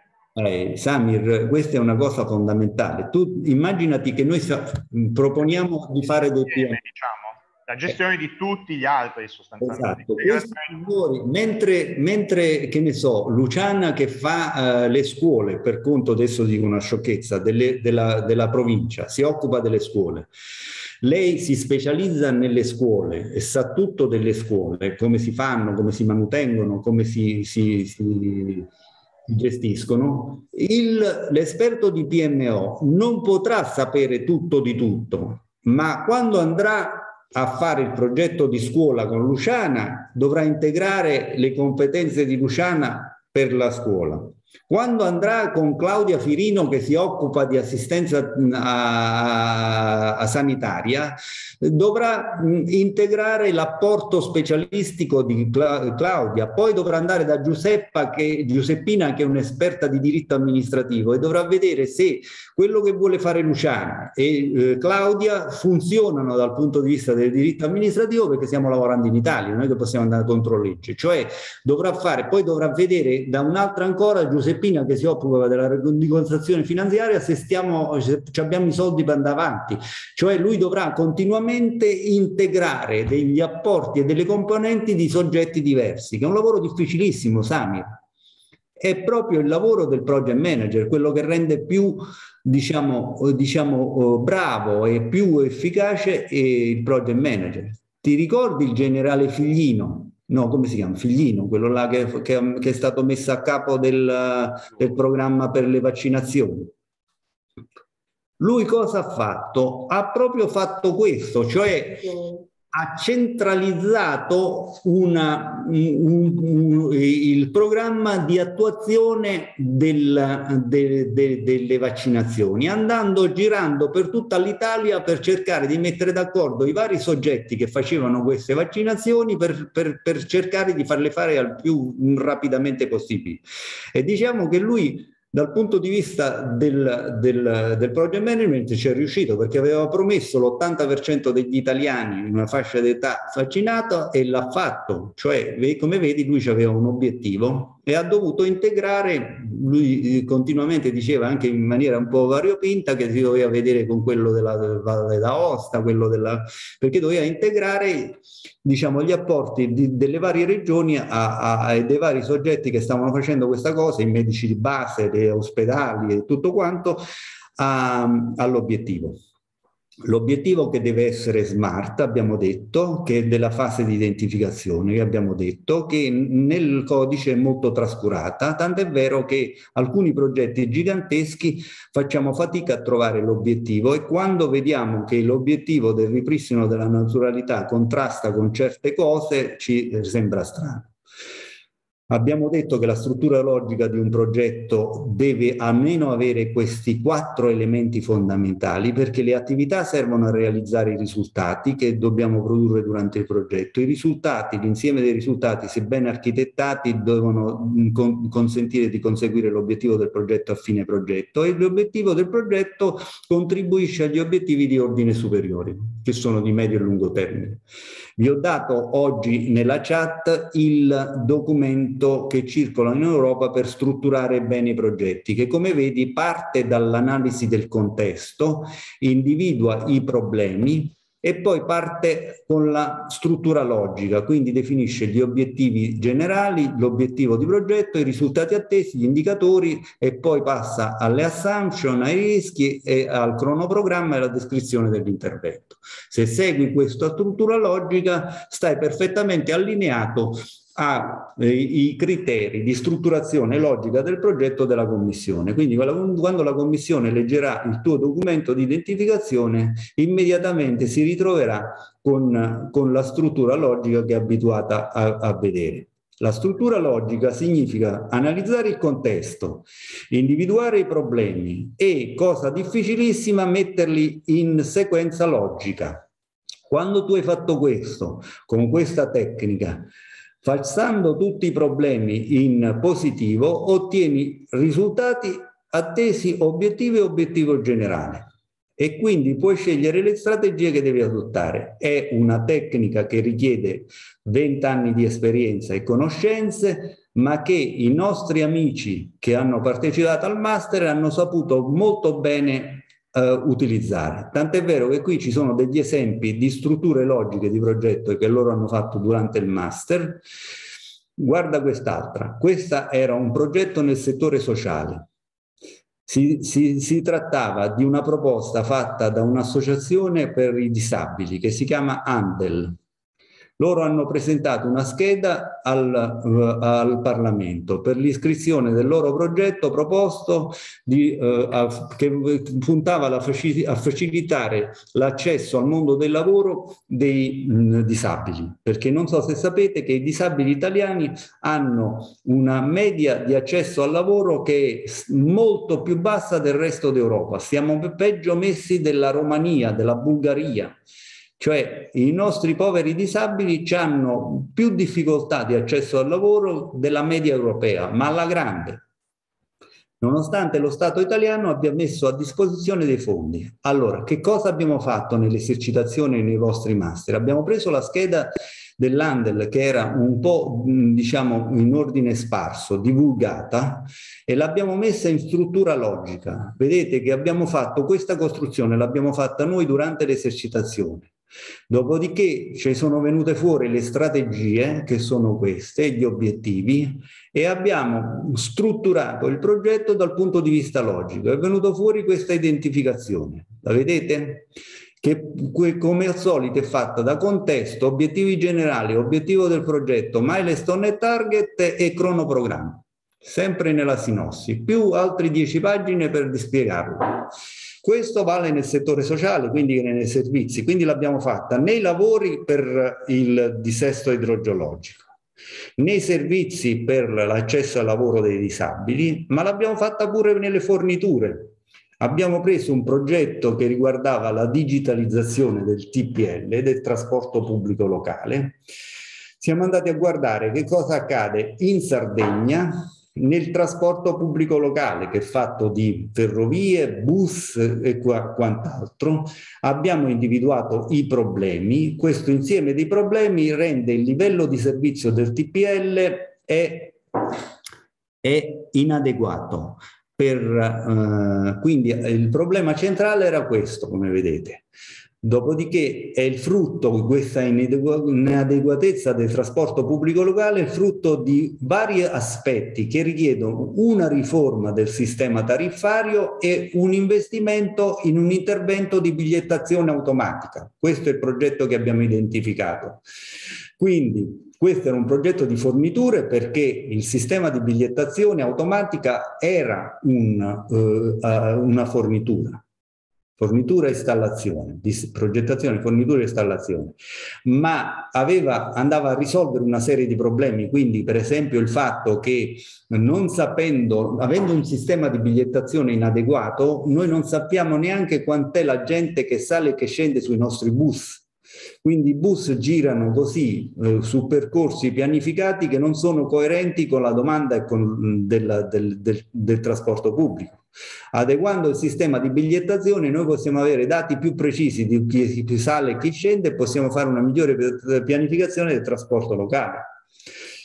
Tra l'altro il sistema di pianizzazione richiede una riforma e questa è un'altra delle grandi novità. Dante, sta a sentire questa cosa, perché questa è un'altra delle grandi novità del PNRR. Il PNRR ha ben capito e ha ben chiarito, e molti target e molti milestone sono proprio in questo senso, che i progetti da soli non cambiano l'Italia, in, per poter cambiare l'Italia, oltre ai progetti, occorrono le riforme. Tant'è vero che l'Italia dentro al PNRR ha promesso 50 riforme. La riforma della pubblica amministrazione, la riforma del fisco, la riforma della giustizia, la riforma dei lavori pubblici, la riforma di questo e di quell'altro. Quando voi vedete i milestone del PNRR, andateveli a vedere, soprattutto quelli dei primi anni, sono riforme Tant'è vero che abbiamo promesso la riforma della giustizia, adesso dobbiamo approvare la riforma del fisco, abbiamo promesso una riforma del, dei lavori pubblici, per adesso abbiamo passato come milestone la semplificazione bis, il decreto di semplificazione bis che se l'Unione Europea fosse entrata nel merito ci avrebbero sparato, invece ci hanno pagato per fortuna va bene? Perché 75 mh, articoli che in qualche misura semplificano, per esempio introducono due livelli di progettazione invece che tre. Quindi qualche cosa di positivo c'è. Però così è fatta. Andiamo avanti. Poi naturalmente è importantissimo identificare gli stakeholder. Quando vi dico che per Capoterra non si può lanciare una gara di 25 milioni di euro senza aver citato cosa si voglia fare sull'ex hydrocontrol, significa che bisogna identificare gli stakeholder, il proprietario di Capoterra. Bisogna riferire e andare a interrogare quali sono i requirement di quelli. Bisogna dire i signori di Capoterra sono la stessa regione. La regione, quanto a quell'incentro, che ci vuole fare? Che non significa che quello che faremo nel progetto, perché il progetto nello studio di fattibilità può andare a dire la regione vorrebbe farci, che ne so, un parco giochi per i bambini, ma siccome comunque diventa una zona ad alto rischio, noi invece consigliamo di demolire tutto e levarlo questo potrebbe essere cosa poi il progetto fa, ma i requirement della regione, se la regione è proprietaria di quella cosa, io li devo raccogliere nella fase di identificazione. Vedete che io devo identificare i, i requirement per poi andare a richiedere i, i, i richiedere eh, i, scusate, raccogliere i requirement, raccogliere i fabbisogni. Gli stakeholder vanno individuati e bisogna raccogliere i fabbisogni che ci dicono gli stakeholder. C'è una fase successiva che va capita, non so se mi posso permetterlo di dire adesso perché la fase è un pochino più complicata. Sta a sentire, Dante, sei fresco dopo il caffè che ti sei preso? Allora ti posso spiegare quest'ultima... Freschissima che avevo un po' taciuto del ciclo di progetto perché è la fase più complicata. Adesso ti faccio capire questa cosa. Quando noi programmiamo, facciamo una programmazione a 5, 6, 7 anni. L'Unione Europea la fa a 7 anni, noi nei, nel programma della, del, del, codice programmiamo a 3 anni, facciamo il programma delle acquisizioni per i lavori a 3 anni e per i servizi e forniture a 2 anni. Quindi vedi che abbiamo un arco di pro progettazione, che è un arco di progettazione tra l'altro dinamico, perché ogni anno lo dobbiamo aggiornare che è triennale per i lavori e biennale per le forniture e servizi. Una cosa inconcludente, anche questa andrebbe riformata, perché risponde sostanzialmente a esigenze contabili, ma non risponde a esigenze di project management, perché l'Unione Europea lo sa benissimo che il periodo di programmazione di un'infrastruttura minimo è sette anni. Tant'è vero che il periodo di programmazione dell'Unione Europea è settennale, perché se tu vuoi fare un ponte tra il momento in cui progetti il ponte, fai la gara di progettazione, fai, fai la, la, progettazione, fai, fai, la gara di lavori, fai i lavori, con l'Audi passano sette anni, è matematico. Quindi, detto questo, però, no, la nostra programmazione è triennale. Tu sai, se hai avuto confidenza con la programmazione, che i nostri programmi di lavori sono una riga che ti ho detto è un test per la presbiopia perché c'è un titolo di progetto, poi ci stanno tutta una serie di altre di informazioni che è talmente tante che uno per poterle leggere ci deve avere la, la, la carta di ingrandimento, non, la lente di ingrandimento. Non so se l'avete mai visti i programmi. Eh, Stefania Lecca, hai mai visto un programma dei lavori o un programma dei beni e servizi? Eccomi. Uh, io principalmente mi occupo di forniture e servizi, per cui ho visto un programma, pro- la programmazione biennale che tra l'altro faccio come RUP per la mia struttura, lavoro all'Università di Cagliari. Benissimo, Qua, è facile leggere il programma di beni e servizi? Allora, diciamo che non è facilissimo leggerlo perché secondo me ci sono un po' troppe complicazioni, ma soprattutto se io lo volessi confrontare a livello europeo, poi riuscirei a ritrovare le medesime informazioni io sono molto più, insomma, per, la, per, per, per, dei format, insomma, un qualcosa di comprensibile, come diceva allora, lei, insomma, come ci ha detto lei finora. Che la, quantomeno è di difficile lettura il programma, perché sono tutta una serie di striscioline su cui sono contenuti tanti eh, che poi bisogna, quando il progetto diventa nelle, va a finire nell'elenco annuale, può essere, pianific- può essere uh, finanziato. Ma insomma, quello che vi volevo dire è che, scusami se adesso semplifico, la programmazione finisce per essere, i, questi programmi di triennali di lavori o di servizi, un elenco di titoli vaghi che qualcuno mette là dentro e diciamo, vabbè, mettilo là dentro, tanto siamo in fase di programmazione, poi vedremo che cosa succede. mentre invece la programmazione è una cosa che risponde a delle, è una cosa difficilissima che andrebbe fatta con delle tecniche. Vi mostro come si fa, ma solo così a volo d'uccello, perché la programmazione, diciamo sostanzialmente, dovrebbe darci la priorità dei progetti che noi abbiamo identificato.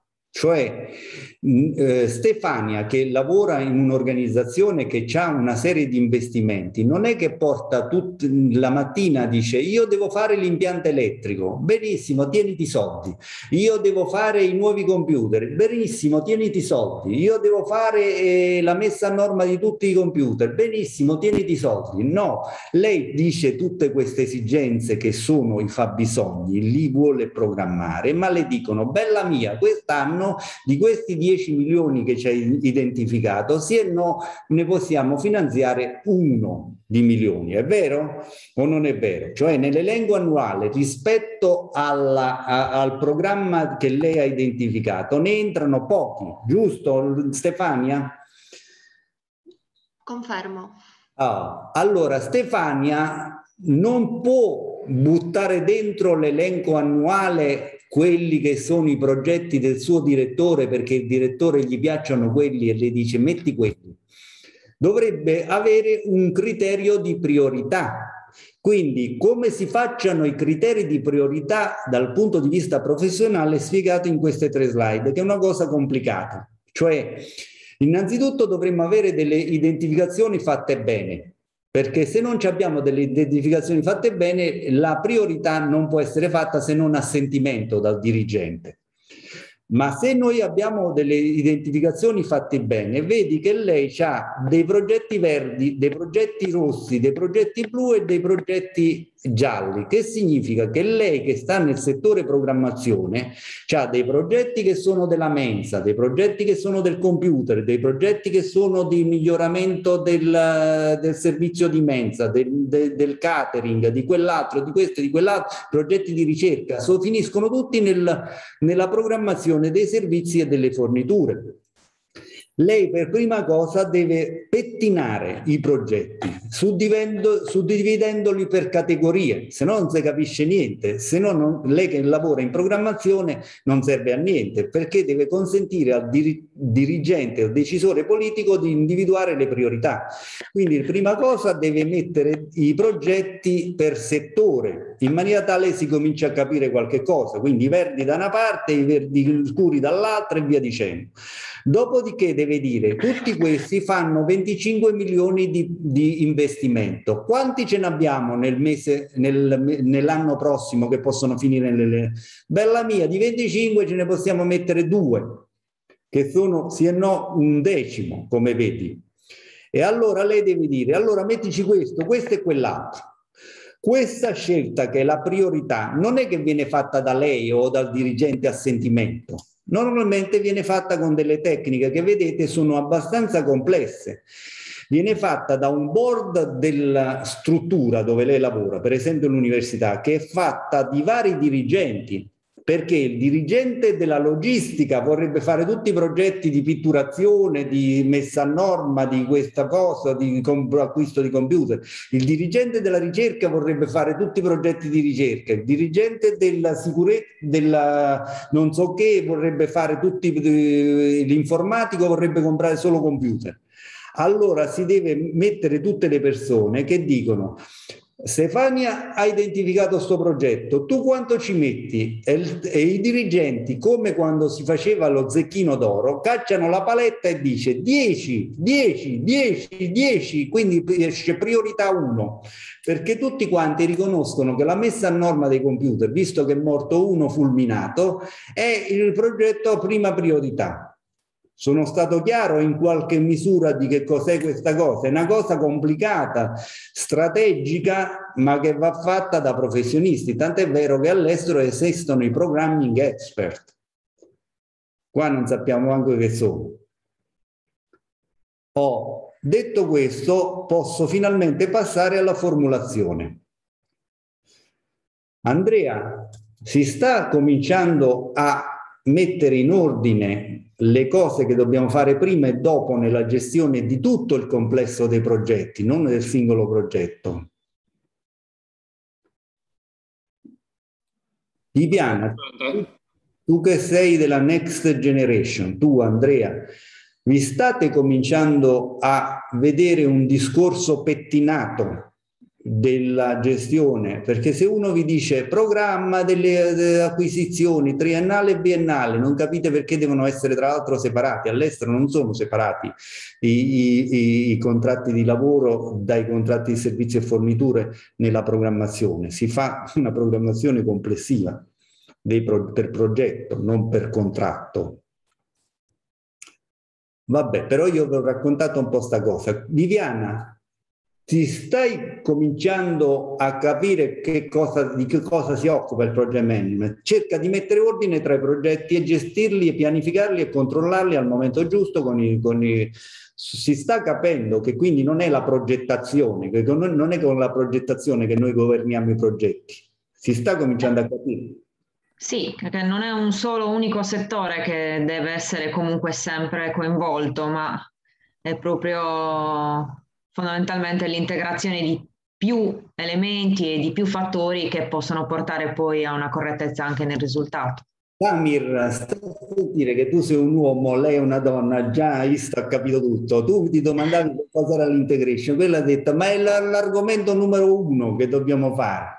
Sto scherzando, Samir, hai visto? Però lei ha, ha perfettamente eh, capito che il ruolo fondamentale del project management è proprio quello di integrare apporti diversi perché c'è la complessità e il project management non la nega, eh, c'è eh, il rischio, c'è il cambiamento, ma bisogna governare tutta questa cosa. Ok? Sì, e poi noi facciamo riferimento comunque a una realtà in cui, insomma, questa è teoria anche, per, non è proprio immediatamente declinabile in termini pratici. Io, comunque... io, sto già capendo tu che intendi per teoria. Cioè tu stai no, dicendo... no, eh, non mi fraintenda. Eh, no, non... no, no, e io perciò voglio nobilitare quello che tu hai detto. Tu stai dicendo. Poi c'è un modello di gestione metodologico che è consolidato nel mondo e si chiama Standard di Project Management nella realtà io da una parte lo devo applicare al contesto normativo e eh, regolamentare italiano che è rigido e non è allineato come stiamo vedendo, ma c'ho più, e tu non l'hai detto, te lo dico io, c'ho più una classe dirigente che mi fa una resistenza al cambiamento pazzesca perché se io gli vado a raccontare che cosa voglio fare e magari ho ragione, quelli che hanno lavorato sempre con i metodi del passato dicono ma che stai di, che, queste, che ce l'ha raccontate questo, quello che arriva dall'America. Continua a fare le cose come stiamo perché io comando e io sono il dirigente. Finché sono il dirigente, tu che sei, fai così.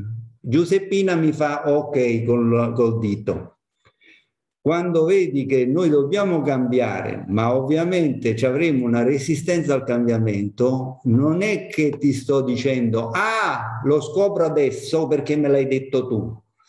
Tutta la seconda parte della giornata di oggi sarà dedicata alla gestione dei conflitti e perché tu, andando a richiedere il cambiamento, inevitabilmente scatenerai una serie di conflitti. Una delle soluzioni una dei, delle, delle, questioni più eh, spinose per il project manager è che lui dovrà gestire dei conflitti sapendo che non è un capo, quindi non può strillare, anzi se strilla lo cacciano immediatamente perché non essendo un capo non ha neanche, secondo la legge di Fayol, diritto a strillare.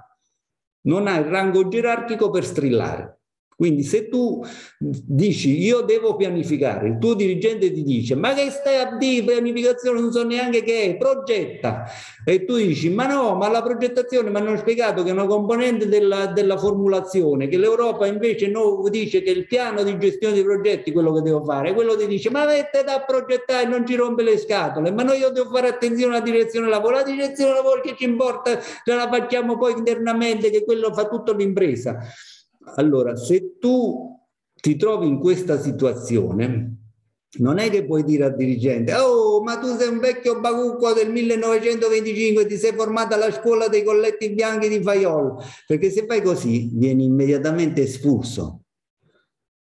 E quindi vedrai che nell'intera giornata di oggi faremo quello che dici tu, cioè come dobbiamo cambiare sapendo che dobbiamo fare in un contesto che è resistente al cambiamento, perché la classe dirigente si è formata alla scuola di Fayol. Vedremo che dobbiamo fare la, la, il passaggio proprio che si è avuto storicamente negli anni 60 all'estero e che adesso in Italia ancora non, non riusciamo a fare, in cui eh, si, si, ci si muove da un modello tradizionale gerarchico funzionale a un, a un, modello un pochino più snello che ti mostrerò come funziona perché non è, non è facile. Ma andiamo a vedere quali sono i contenuti che noi dobbiamo dare alla fase di formulazione? Adesso ti devo complicare un po' la vita, perché ti devo dire che qui nella fase di formulazione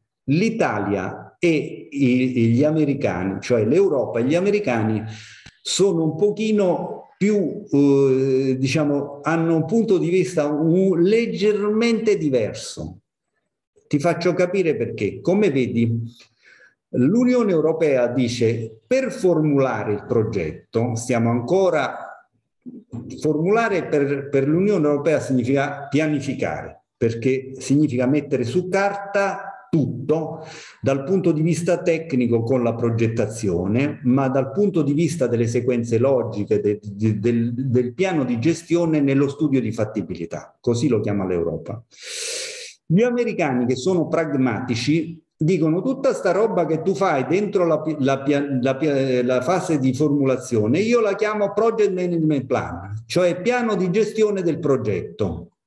E vedi, se vedi qua sopra, che è il ciclo di progetto del PMI, vedi che a valle della fase di pianificazione loro mettono il Project Management Plan.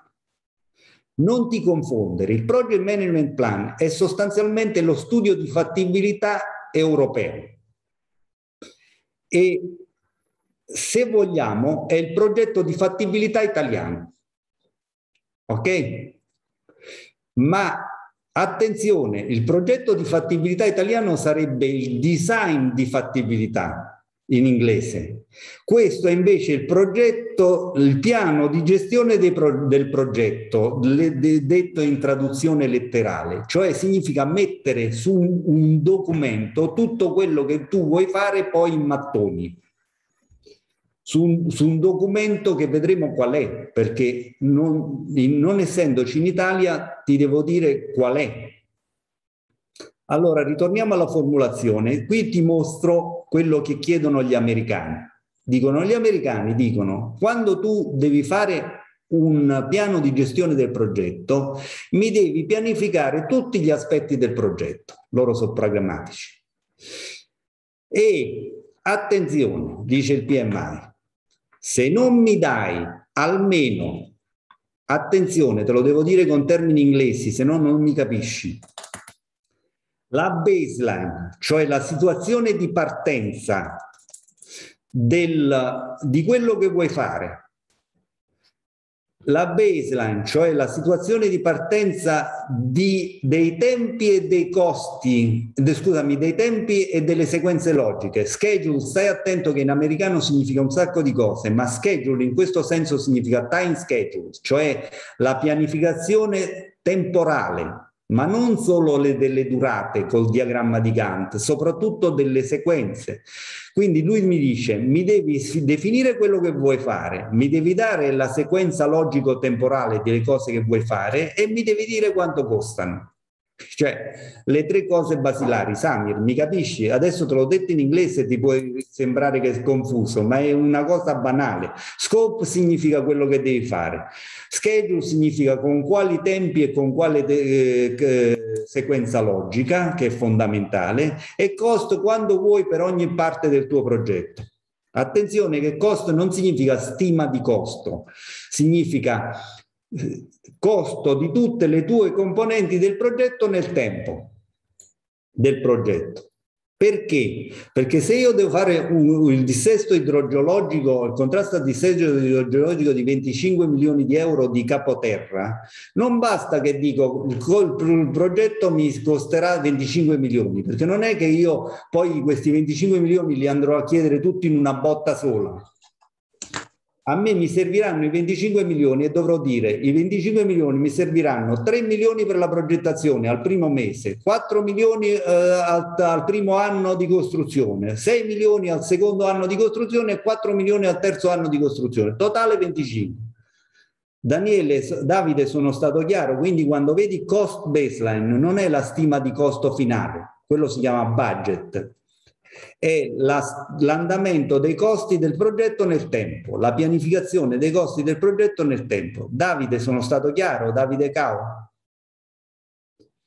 Se chiarissimo, chiarissimo. Se è complicato, non mi spavento, perché la complessità è una componente del project management. Noi lo sappiamo, i PMO devono andare a spiegare in parole semplici a quelli che non fanno questo mestiere allora, gli americani quindi ce lo dicono molto chiaramente. Guarda qui che dicono poi nella fase successiva. Ti ho detto che tu per pianificare dovevi avere identificato i, gli stakeholder, giusto? Poi che fanno? Dicono vai dagli stakeholder e fatti dare da loro tutte le cose che vogliono fare nel progetto te l'ho tradotto in italiano. In inglese, in americano si dice collect requirement. È una cosa fondamentale che in Italia non si fa mai. Andatevi a vedere il dip del, di Capoterra. Loro dicono prepara addirittura una matrice di tracciabilità di questi requirement perché se no ti perdi perché quando vai a, a, intervistare tutti quanti gli stakeholder ce n'avrai una caterva di requirement, cioè di cose che loro vogliono. Ma tu non puoi pianificare senza aver sentito che cosa vogliono i nostri committenti del progetto. Allora, Dante, adesso ti devo fare due esempi, così capisci quanto è importante questa slide, perché se ti proietto questa slide, tu vedi questa cosa e dici che è questa cosa americana? Questa non l'ho mai vista, non serve a niente, questo è fondamentale. Se vuoi fare un progetto bene, questa cosa qua la devi capire, perciò ti farò un attimo di pausa. Non è una divagazione, serve a farti capire quanto è importante questa slide, se no tu la vedi e dici che è questa cosa all'americana? Non la potrò mai fare, Invece ti farò vedere come l'abbiamo fatta. Ti devo raccontare due cose. Prima cosa, ho fatto un progetto di PMO al Ministero della Giustizia, sulla falsariga del PMO che esiste al Ministero della Giustizia inglese. Gli ho proposto e l'abbiamo fatto, l'abbiamo costituito, è diventato decreto ministeriale del ministro, il PMO del Ministero della Giustizia, Direzione Generale per, per i sistemi informativi automatizzati. Te lo posso dire perché è pubblico, ma è nato da dei corsi di formazione in cui io parlavo con i dirigenti e mi ho detto gli raccontavo come funzionava il project management. A un certo punto i dirigenti mi hanno chiamato, io lavoravo con l'università, mi hanno detto, mi ha chiamato il professore dice Angelo, ma che gli hai raccontato? Questi vogliono fare un progetto. E che progetto vogliono fare? Vogliono fare quel PMO che hai detto. Ah, e allora devo perdere il tempo? Eh sì, ho messo tre pagine e ho messo progetto finanziato. Sette mesi l'abbiamo fatto. È veramente stato così. Quindi ti sto raccontando cose italiane vere, pubbliche. Però ti devo dire che cosa è successo. Quando sono andato alla riunione iniziale che dovevamo partire con la pianificazione, sono andato dal dirigente dell'organizzazione di quella direzione e gli ho detto, direttore, scusi, dovremmo intervistare i magistrati perché i magistrati, noi facciamo i, i programmi per dobbiamo identificare i magistrati. Garau ha, ha alzato la mano. Garau, chi è? Dove stai? Giana, dimmi, avevi alzato... Eccomi. Sì, ho alzato la mano riguardo la fase proprio di, richiesta, di raccolta dei, dei fabbisogni dei, degli stakeholder. Non mi è chiaro eh, se, un, diciamo, se una, una, parte che va fatta inizialmente prima di definire eh, nei dettagli il progetto o se eh, fa già parte allora, ti, Eh. ti- be- bella domanda e grazie per averla fatta. Hai visto che la fase di identificazione deve avere già identificato gli stakeholder, ma tu nella fase di identificazione c'hai tre vecchietti, quelli non possono andare a intervistare eh, il proprietario della regione, il- il- i proprietari dei condomini, perché è una fase iniziale che dura poco. Ma loro devono dire state attenti che se fate questo progetto dovete intervistare il proprietario della, eh, della fabbrica, il proprietario, il coordinatore dei condomini, perché sono degli stakeholder principali, altrimenti pianificate e quelli vi, vi fanno mettono i bastoni fra le ruote. Questo significa identificare gli stakeholder. Qui invece vedi che siamo passati in formulazione quando il progetto ha già più soldi, perché si è già detto approfondisci gli studi sul progetto, prepara il piano. A quel punto qualcuno si deve porre il problema, dovendo pianificare, di raccogliere i requisiti dei- degli stakeholder. Vedi che è una fase quindi di formulazione.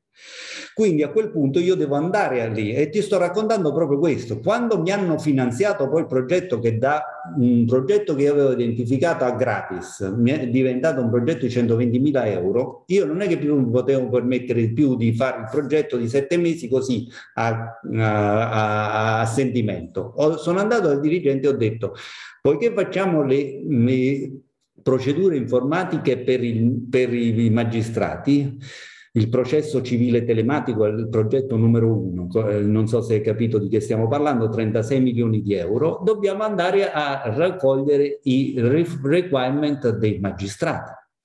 Risposta. Ah, ingegnere, non si può. E come non si può? Come non si può?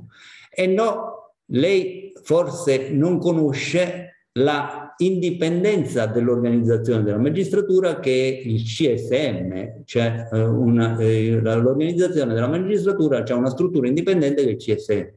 Ho detto di come non la conosco? La conosco. Però se noi dobbiamo fare il processo civile telematico significa eh, portare il processo civile dalla carta al telematico e vogliamo fare le procedure, dobbiamo andare a sentire questi che vogliono. Dobbiamo raccogliere i requirement. Ah no, non si può. E loro hanno una struttura organizzativa. Ho detto, ma stiamo scherzando. Ho detto, ma c'è qua un dirigente che coordina i rapporti con, con il CSM? Sì, un magistrato. E andiamoci a parlare. Siamo andati a parlare e quello ha detto, ma come no? Non no? Sono ben contento. Ah, com'è bello questo approccio, che finalmente ce lo venite a chiedere prima, invece di stare ogni volta a farvi secchi su tutto quello che proponete che non funziona. Io sono rimasto sconvolto.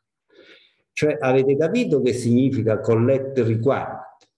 Sì, sì, sì, assolutamente. Io mi occupo soprattutto della parte in cui si scrive il progetto per partecipare e sperare di vincerlo all'avviso di gara. Ed è fondamentale perché altrimenti risulta calato dall'alto. Però non mi era chiaro quando scrivo i dettagli del progetto mh, come accoglierle queste richieste, cioè mh, come rendere chiaro che farò una cosa e come poi metterò in pratica le al Ministero richieste. della Giustizia. Adesso ti faccio vedere un altro ministero, un ministero dell'interno. Ho avuto la fortuna di partecipare come integration manager a un progetto per i migranti. Non so se avete mai sentito i progetti FAMI. Perché vi sto dicendo queste cose? Vi sto dicendo questo per divagare e far, far confondere le idee? No, perché se vi dico questa matrice importantissima, voi dite ma che cacchio stai dicendo? Non capisco niente e ve la scordate. Ok? Se vi dico che invece il processo civile telematico, che era già partito da due anni e mezzo, è, ha costato 30, 30, eh, 29 milioni di euro, poi è andata a gara, quella cosa che vi ho detto è a prova di querela, cioè io riferisco quello che ho sentito con le mie orecchie. Era già partito da due anni e mezzo. Non mi fate dire altro.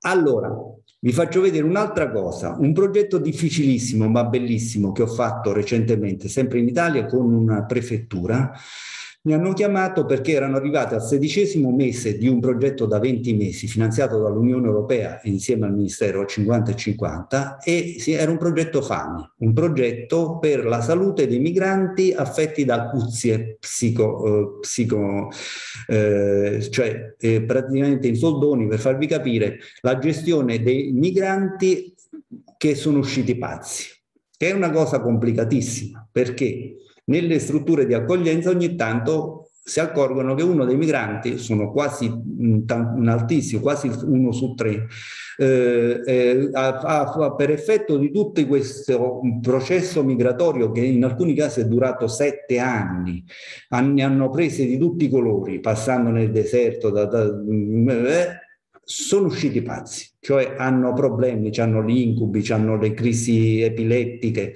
non riescono a dormire la notte, durante la notte si svegliano, cioè è una cosa complicatissima. Allora ci si doveva fare come gestire questi qui, perché sono una complicazione ovviamente per le strutture di accoglienza.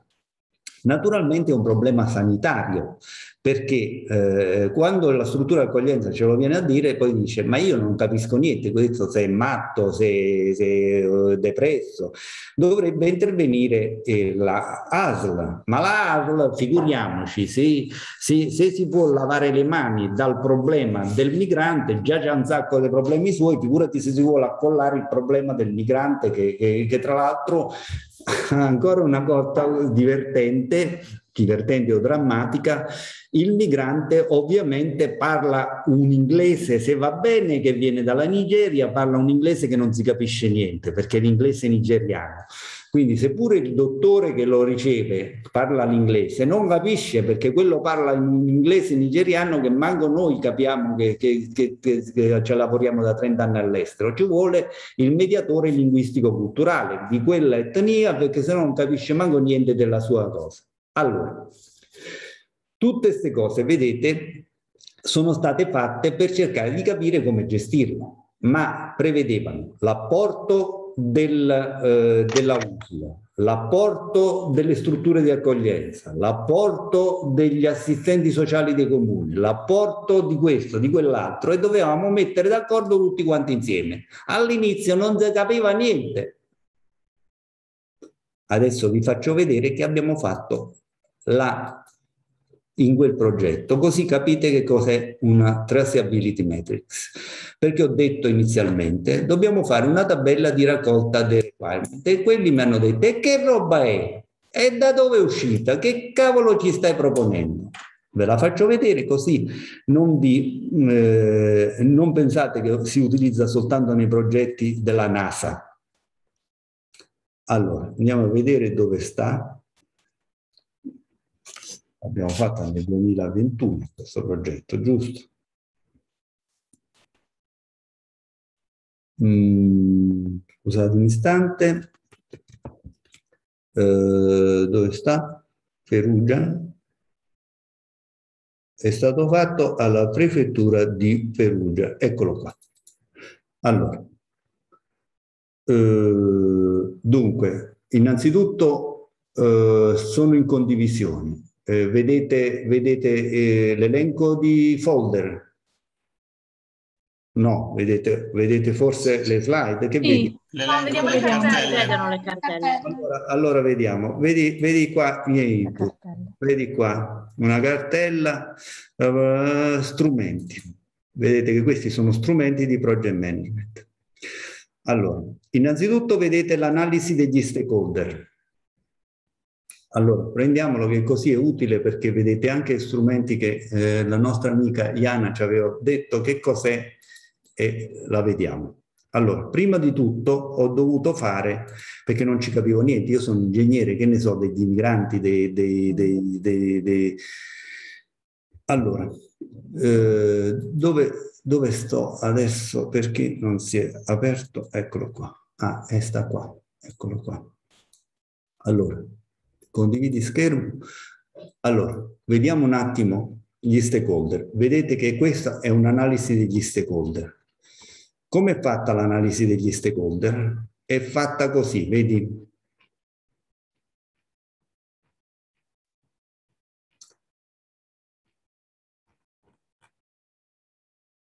Allora, ti va a raccontare tutti gli stakeholder che tu hai nel progetto, ma no, adesso non, non, te lo, non, non, ve la sto a mostrare in questi termini, se no diventa troppo complesso per voi. Ve lo faccio vedere in, in, direttamente nella... Mm,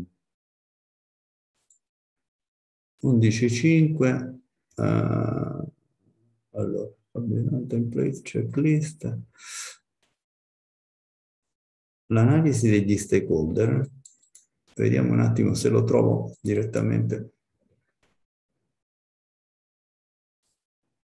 eccolo qua alla fine scusate non lo trovavo alla fine è una tabella nella quale vedete quali sono gli stakeholder per quel progetto. Questo era un draft.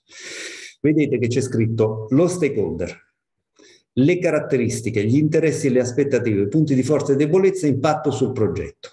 Cioè inizialmente io mi sono cominciato a, raccon- a dire ma chi sono gli stakeholder di questo progetto? Ho messo i migranti con dimora presso i CAS, i migranti con dimora presso i SAI, i migranti regolari non domiciliari. Innanzitutto i migranti, poi le prefetture, prefettura di Perugia e prefettura di Terni, le USLA, unità sanitarie locali si chiamano così là, l'ANCI e via dicendo. Poi i medici di base, gli ambulatori dei migranti, il CSM, l'SPDC, le, il SERD, i servizi sanitari, per chi si opera nei, nei servizi queste cose le conosce, l'ospedale, i, servizi di mediazione linguistica, le cooperative eh, che gestiscono i CAS e i SAI. Vedete, ho dovuto classificare tutti quanti gli stakeholder. Ianna, ti è chiaro adesso che cosa sono identify stakeholder?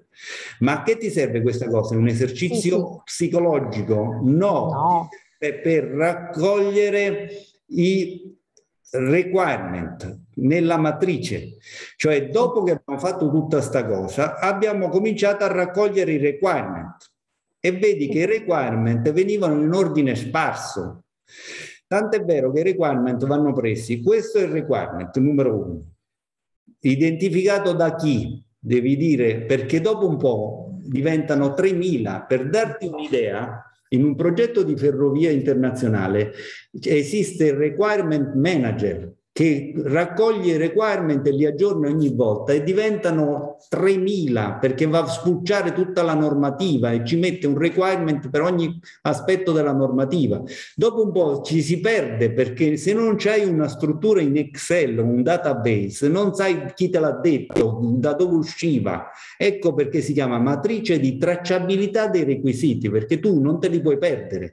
Se te li perdi, perdi un pezzo del, del progetto per pianificare bene.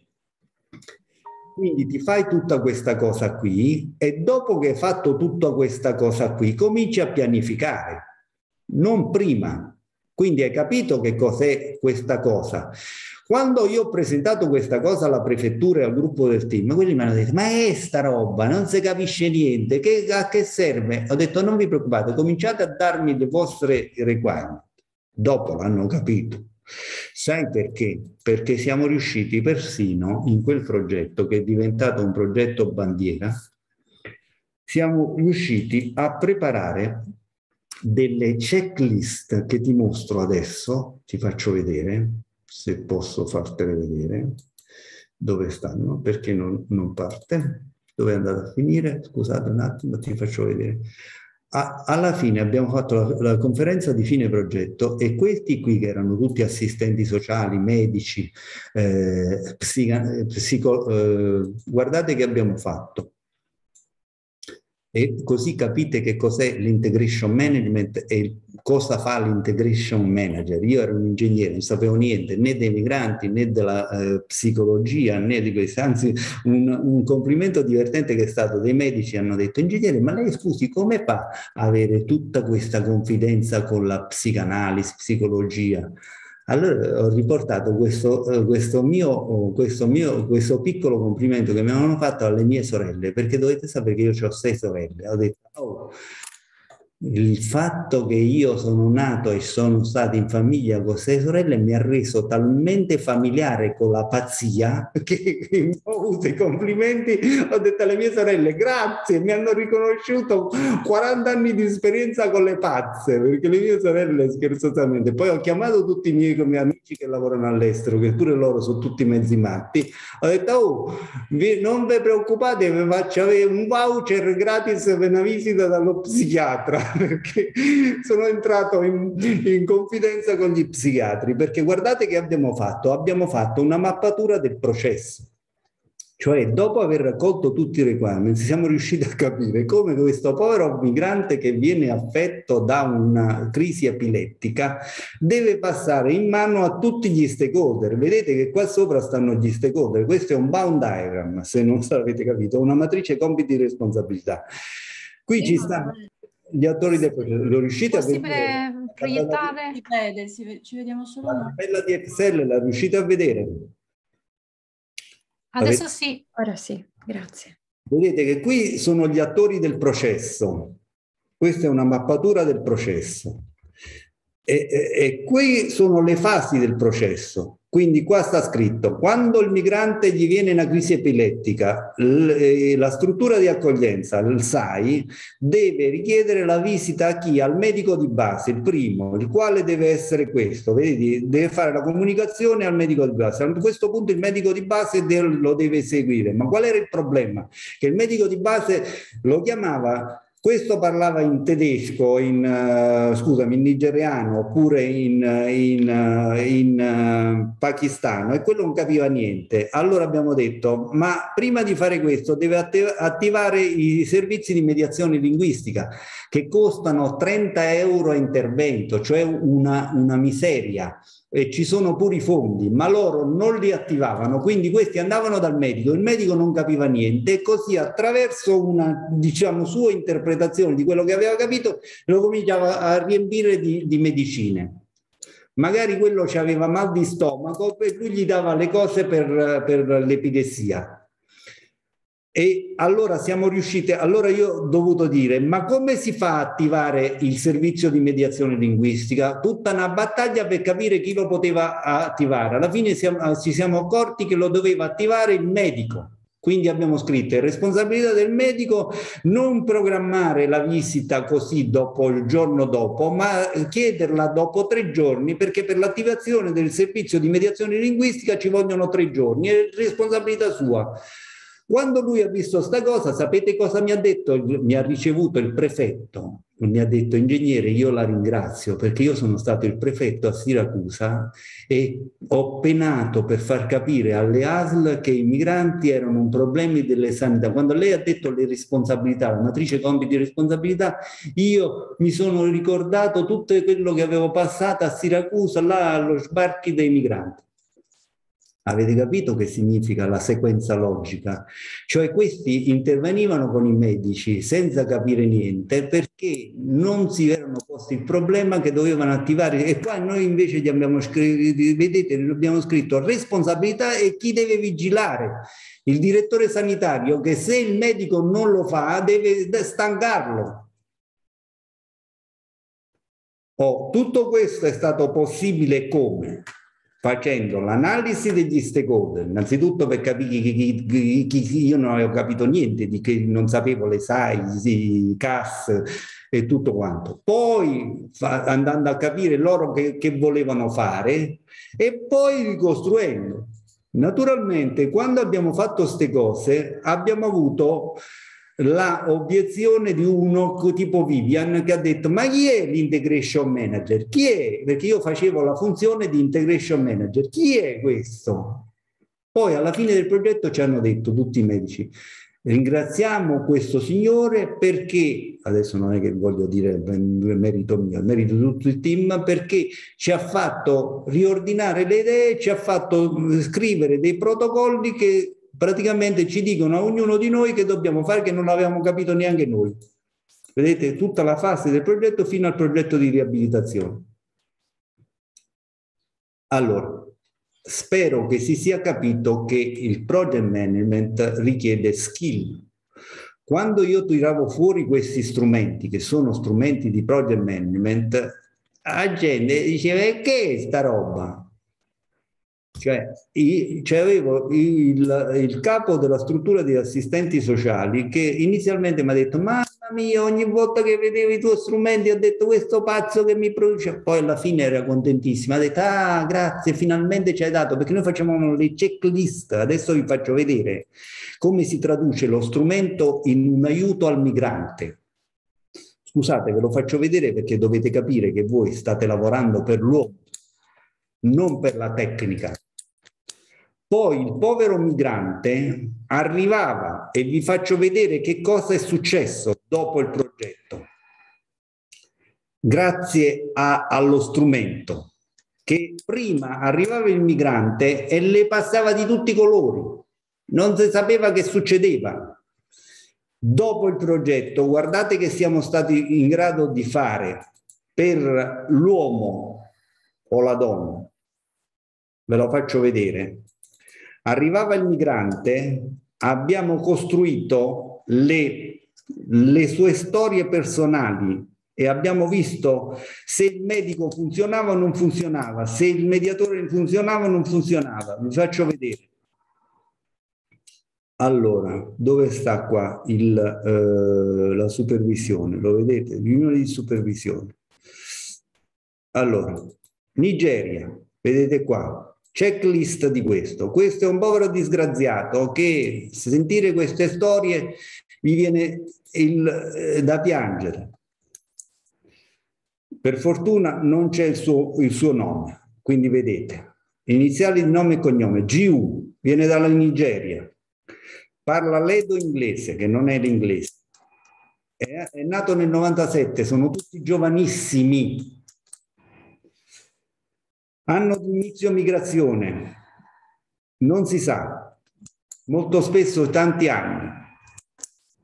C'è il permesso di soggiorno, documento giuridico. Sono state raccolte informazioni sul percorso migratorio durante il SAI? Sì, no. Perché?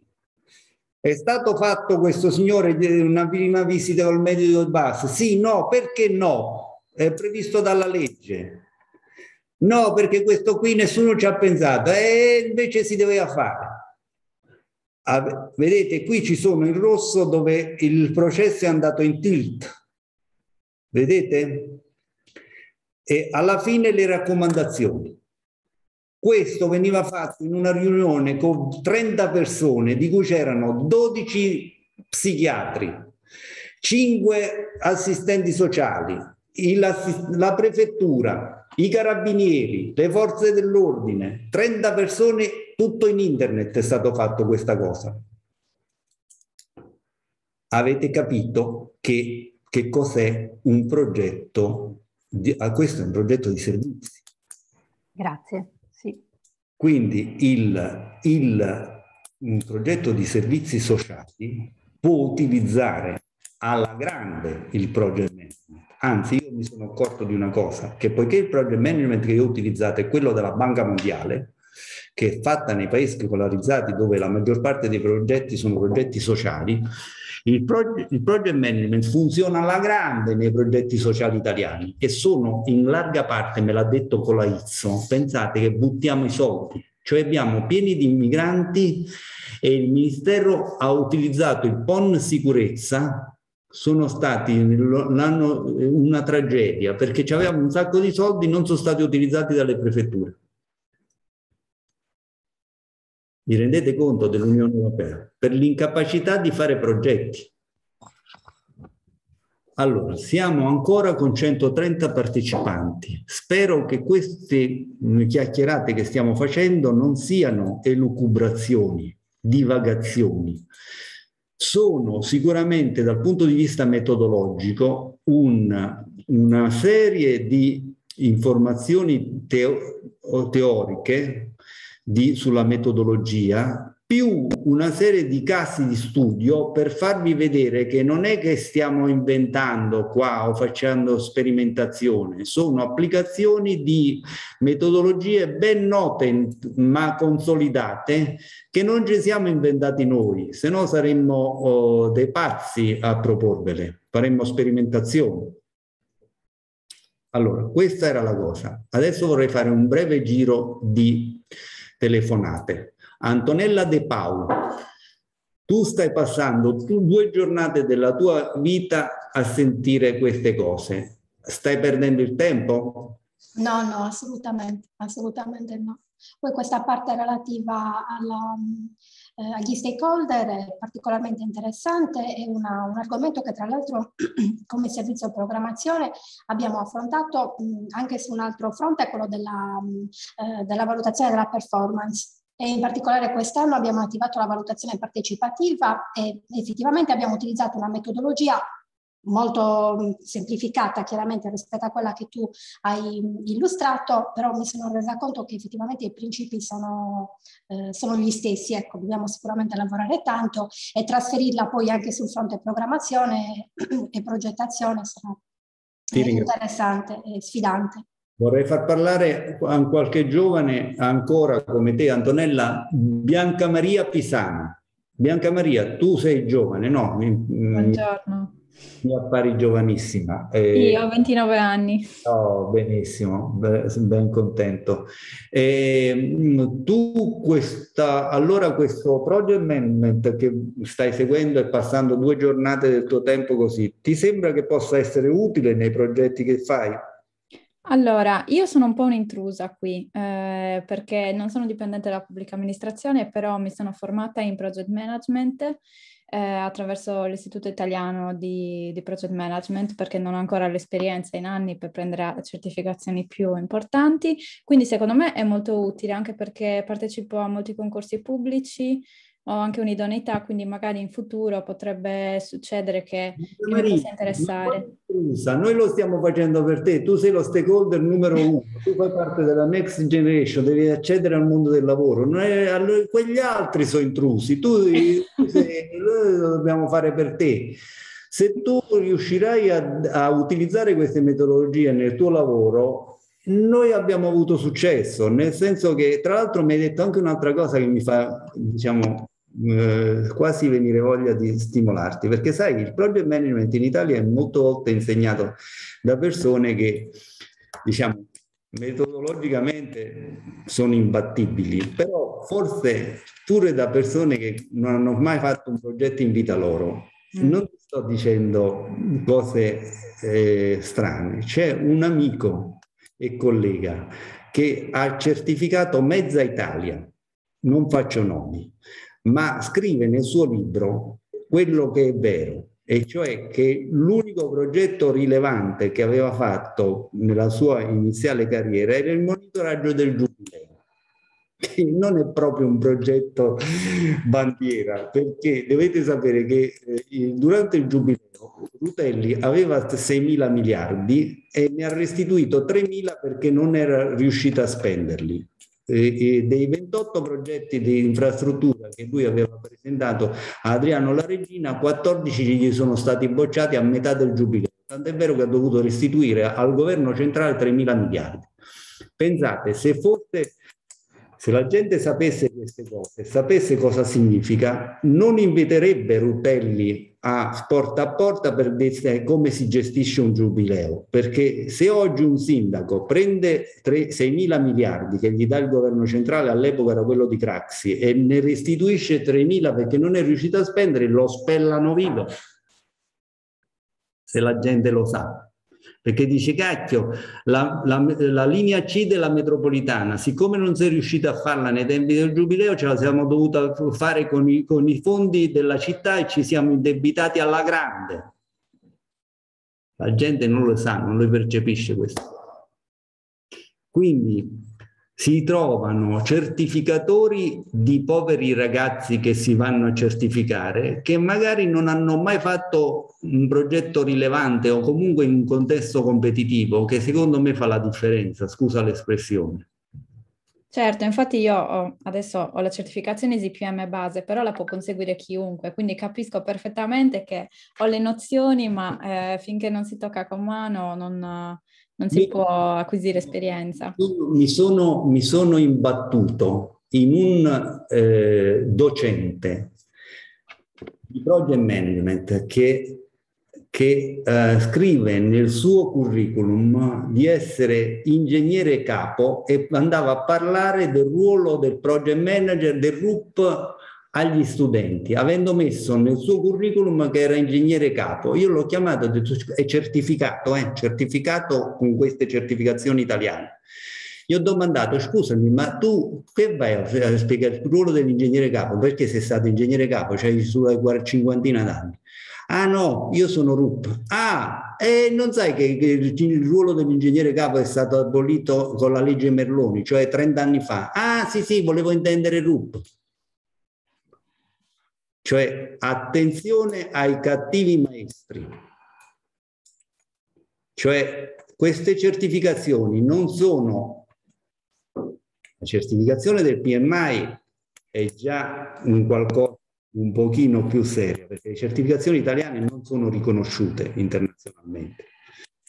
La certificazione del PMI è già una cosa, però non vuol dire che uno, avendo la certificazione, è un eccellente project manager o un integratore degli apporti. Io vi dico, mantenete l'umiltà di dire che dopo 40 anni di, un, di attività, 30 di anni di attività internazionale, la laurea, il master e 30 anni di studio, ancora non sapete come si lavora. E siete sempre disponibili a apprendere, a, a studiare, perché se non avete questo approccio, siete dei tromboni. Bene, se voi dite io sono un giovane, 30 anni, sono certificato, però nessuno mi pensa, perché pur essendo certificato nessuno mi pensa, allora uno che sa il fatto tuo dice ma chi, che si crede di essere di un project manager con la certificazione rarissima presa da quello che dice che è un ingegnere capo, ma, ma leva da mano, pigliamoci uno che è meno presuntuoso e più forte. Scusami Bianca Maria, non è il tuo caso, ma l'ho usato a sproposito per far capire che cosa significa. Certo, assolutamente, capisco perfettamente il discorso. Diventi forte, ma per essere forte devi essere umile, sapendo che la tua certificazione è una cosa bella che hai fatto, ma non hai finito di studiare, perché quello che ti hanno raccontato è un centomillesimo di quello che dovrai sapere per andarlo a vendere agli altri sul mercato competitivo. Va bene? Allora, detto questo, andiamo avanti e mh, pro, proseguiamo col nostro corso. Siamo arrivati all'una meno 20. Io, Samir, tu che sei un po', diciamo, diventato quasi la mia antenna nel, nel mio nel corso, perché non lo so perché sei uno scherzo informatico, ma mi appari sempre tu sullo schermo, evidentemente. Perché sono un falso giovane. Ah no, avrai fatto un accordo con Google che oh, fatemi comparire sempre a me così mi faccio pubblicità. Avrai pagato un qualche cosa, mi esce sempre la foto tua. Allora, no, forse perché hai fatto più domande, allora di, di, sei passato in prima fila. Quindi fate molte domande che passate in prima fila. Samir, domanda, se io ti proponessi un caffettino per adesso alla, alla, alla napoletana di 5 minuti, poi facciamo l'ultimo quarto d'ora della mattinata, ti, ti, ti piacerebbe? Manuela Azzurri dice... Allora facciamo una piccola pausa di 5 minuti, poi facciamo gli ultimi 10-15 minuti finali della mattinata e poi nel pomeriggio continuiamo, va bene? Signori, la cosa buona è che siamo sempre 130, cioè che la gente non si è stufata di sentirci e stiamo ancora continuando con questo numero che era più o meno quello di ieri, va bene? Quindi cerchiamo di mantenere un certo interesse, va bene? A tra cinque minuti, grazie. Giuseppina Mallardi, buon caffè. Ok, grazie. Ciao Stefania Lecca, ciao Dante Littera, ciao Antonella De Paolo. A tra poco, ciao a tutti. Ciao Luca Spissu. Ciao, a tra poco. Ciao.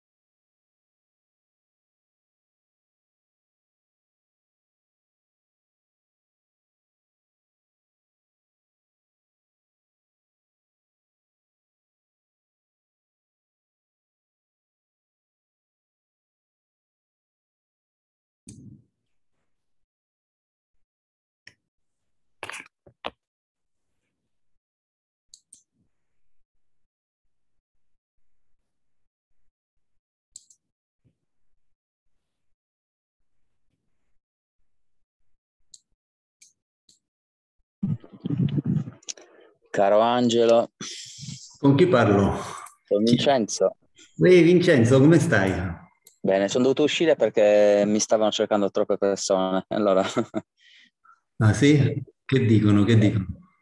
Eh sì, sì, sì, è un sacco di cose, un sacco di problemi da risolvere all'istante.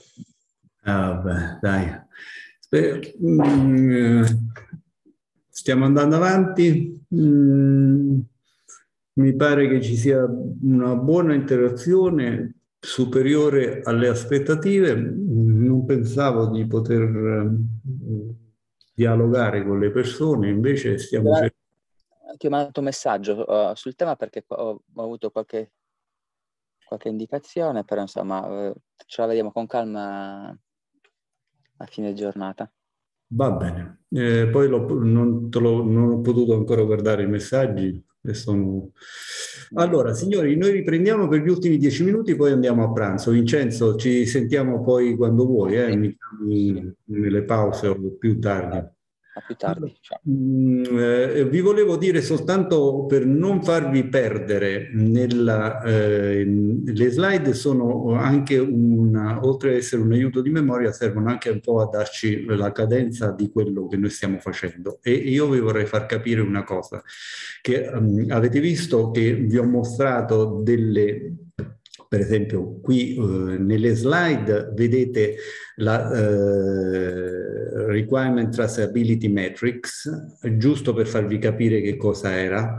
Eh, poi avete visto un'applicazione di questa, eh, ehm, ma di fatto nel primo ciclo di formazione noi non ve l'ho data, non, non l'avete utilizzata. Qual è l'approccio che vorrei utilizzare? È che eh, nei successivi livelli di approfondimento del nostro progetto, nella fase 3 e nella fase 5, noi eh, con quelli lì che eh, ci proseguiranno eh, approfondiremo il discorso. Cioè, qui ve l'ho fatta vedere, vi ho fatto capire l'importanza, vi ho fatto vedere anche un'applicazione pratica. Magari nel livello successivo vi do il template. Nel livello successivo ancora riempiremo il template su un caso sardo cioè questo è un po' il concetto che vorremmo utilizzare. Quindi se avete la pazienza, la voglia e eh, diciamo, la, il tempo per poter partecipare alle fasi successive faremo degli approfondimenti.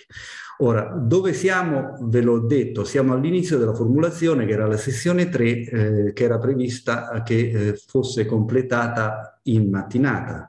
Siamo ancora alla terza slide, siamo in ritardo, mm, non è questo, la pianificazione è, segue mm, una un ritmo che eh, necessariamente si deve confrontare con voi. Mm, quindi io non ho ancora eh, avviato questa slide, che è la slide principe della sessione 3, la facciamo adesso prima di pranzo, nel pomeriggio facciamo un'esercitazione piccolina, ma seguo la vostra esigenza, non è che mi metto a fare tutta le, le cliccare le slide come se fosse tutto, pre, perché noi stiamo facendo tailoring. Se qualcuno mi fa una domanda io mi devo fermare, soffermare, non è che posso trascurarla, senza perdere ovviamente la sequenza logica e i tempi. Adesso vediamo a mente fresca un attimo, uh, a mente calda direi, eh, come si pianifica e poi questa è la ricettina per fare la pianificazione. Quindi Viviana, Serra, grande attenzione adesso, poi la vedremo nei fatti dopo pranzo. Ok? Allora, Luca, per poter pianificare bene, questa è la ricettina, prendi penna e carta, innanzitutto abbiamo identificato gli stakeholder a livello di identificazione. A questo punto, per fare il piano, dobbiamo raccogliere quello che vogliono fare questi, i quali saranno richieste in ordine sparso, come hai visto. Ti ho detto che la requirement traceability metric si utilizza proprio perché arrivano tante di quelle richieste che poi alla fine te le dimentichi. Quindi deve essere un database che tu puoi ripescare con una data, con l'argomento.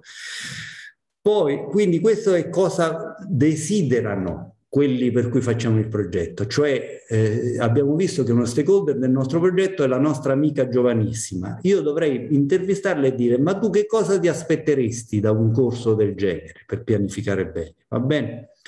Dopodiché non è che quello che mi dice lei diventa lo scopo work, cioè quello che noi facciamo, perché tra la, i requisiti richiesti e cosa bisogna fare lo scopo work c'è il mare di, di, quello che fa il piano, cioè lui deve vedere tutta questa roba che ha raccolto, quello che lui evidentemente deve proporre come cose da fare. Si chiama lo scopo work poi deve definire le attività per farle, cioè come vanno fatte, perché le attività producono le cose fa- che dobbiamo fare.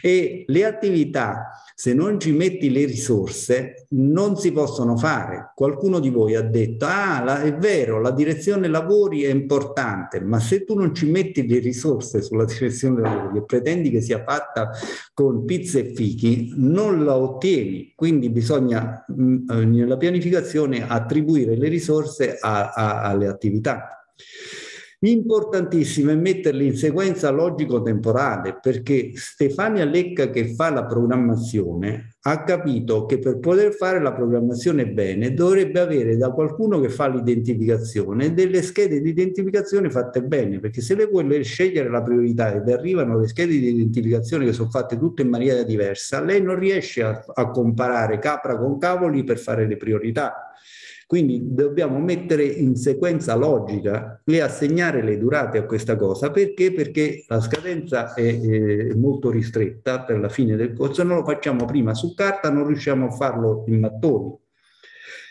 Poi, poiché le cose devono essere fatte, una cosa è che le risorse che ci stanno su queste cose, un'altra cosa è la responsabilità. Hai visto che nella checklist io ho messo da una parte la responsabilità e da un'altra parte la vigilanza.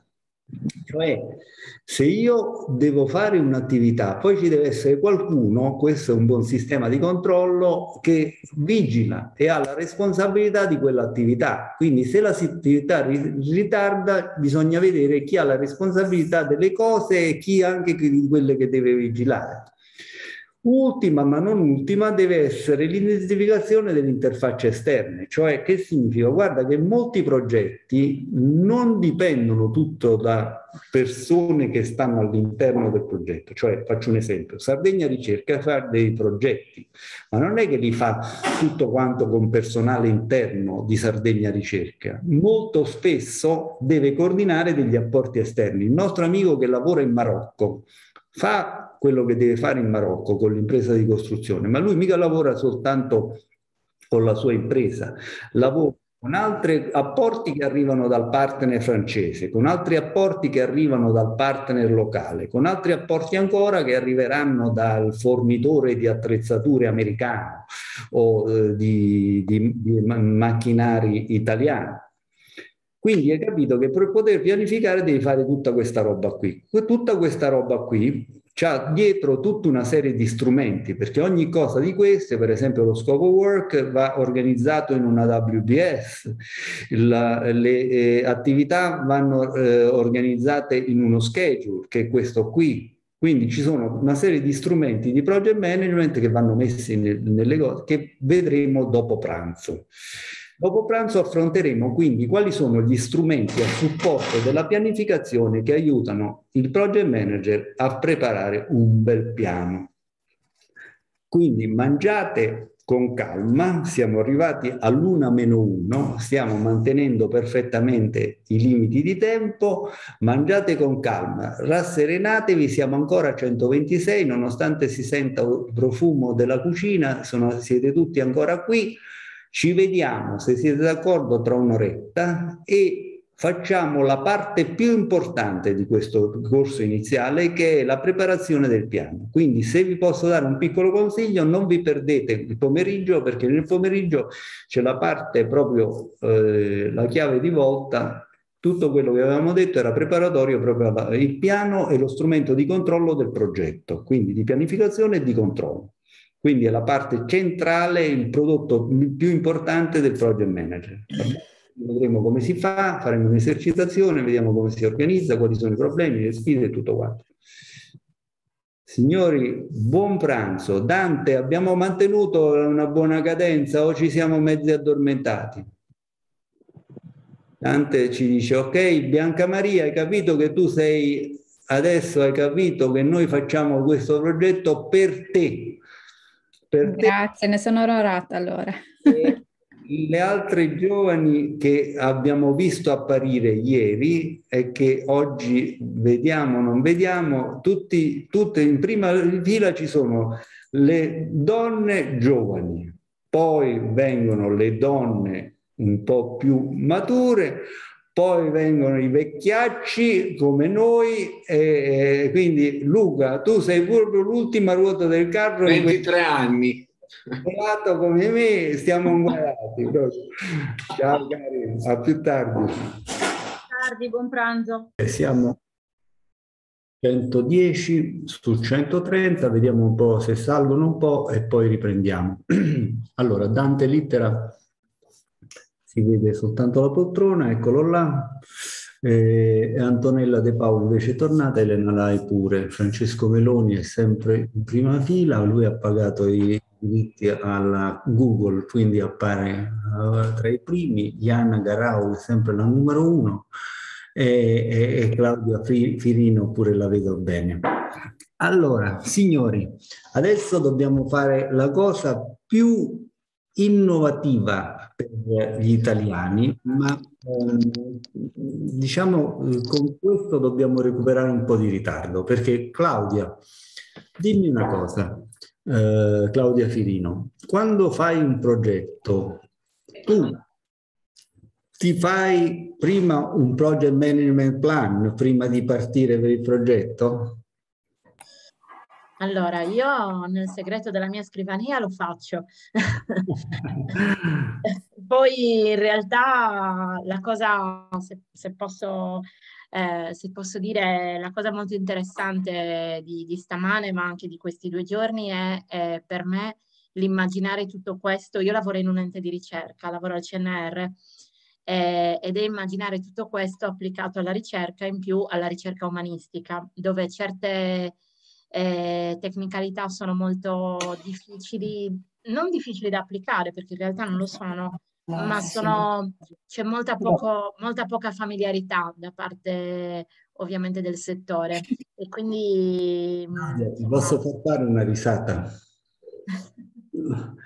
tu che mi parli Prego.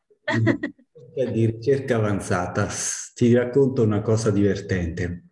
Ricerca umanistica, non avanzata poi magari è avanzato anche. Sì, umanistica, pure mia, mia, figlia fa lettere antiche, ma è sempre ricerca, no? Assolutamente. Ehm, e, eh, devi sapere che ha fatto dei corsi di project management all'Istituto Nazionale di Fisica Nucleare, dove ci sono dei cervelloni, no? E sai che nella fisica nucleare noi siamo all'avanguardia, tra l'altro abbiamo avuto recentemente un, premio Nobel che passava proprio per l'INPN. A un certo punto mi telefona uno di questi ex partecipanti al corso di Project Management e gli dice Senti Angelo, ci fai un corso sui CV, su come preparare i CV? Ho detto, eh, che stai dicendo? Cioè, come ti viene in mente un corso sui CV? Che, che, che, perché mi chiedi questo? Poi ci ho riflettuto e lui mi ha detto questo. Sai perché te lo chiedo? Perché io ho fatto l'esame per fare il secondo livello di ricercatore e, eh, e non ho passato l'esame, ma l'hanno passato persone che sono molto più eh, indietro di me dal punto di vista mio parere. Allora io mi sono appassionato, mi sono appassionato e sono andato a scoprire tutto il mondo della valutazione dei ricercatori in Italia e nel Nambur. mondo. È una, cioè, è una, per me è stata una... Tra l'altro, facendo questa ricerca mi sono accorto che appunto il concorso che mh, loro facevano all'Istituto Nazionale di Fisica Nucleare per il passaggio di carriera dalla seconda alla prima fase. Io l'ho un po' criticato perché ho detto ma come voi che, fa, che calibrate, calibrate gli strumenti per andare su Mercurio, per cui se vi sbagliate di un millesimo di millimetro, dico adesso con termini poco, invece che andare su Mercurio andate a finire su Marte, Poi quando fate i concorsi interni per poter far avanzare le persone, alias valutate 20 anni o 30 anni di studio e di lavoro di persone che hanno dedicato la loro vita allo studio, usate la sciabola. Perché se andavi a vedere i criteri, ti accorgevi che i criteri erano proprio a sciabolata, proprio a parte che ti accorgevi che la valutazione proprio temporalmente, matematicamente, avveniva in 10 minuti su, su CV che erano senza template, per cui ognuno raccontava il suo CV, uno diceva la, eh, io sono nato nell'anno 1927 o quell'altro che faceva invece il, il CV all'americana. Quindi comparare 180 curriculum per selezionarne 25 senza un template, così era veramente una sciabolata. Allora, divertente, ho fatto questo, mi sono buttato a capofitto e mi sono messo a guardare come selezionavano gli, negli istituti di ricerca di mezzo mondo i ricercatori. Per me è stata una cosa interessantissima. Alla fine abbiamo fatto sto corso, abbiamo fatto sto corso, ti, ti racconto la fine, quello che mi ha chiamato qualche giorno fa, mi ha telefonato e mi ha detto, ah, ho passato l'esame, cioè ha, ha fatto il, il, concorso, che, l'ennesimo concorso che per due volte aveva perso e aveva passato l'esame. Cioè io sono stato talmente contento perché se solo minimamente ho contribuito per un millesimo di millimetro, per, e ti dico perché. Ti dico perché, e, e ti voglio, perché ti voglio umanizzare il project management.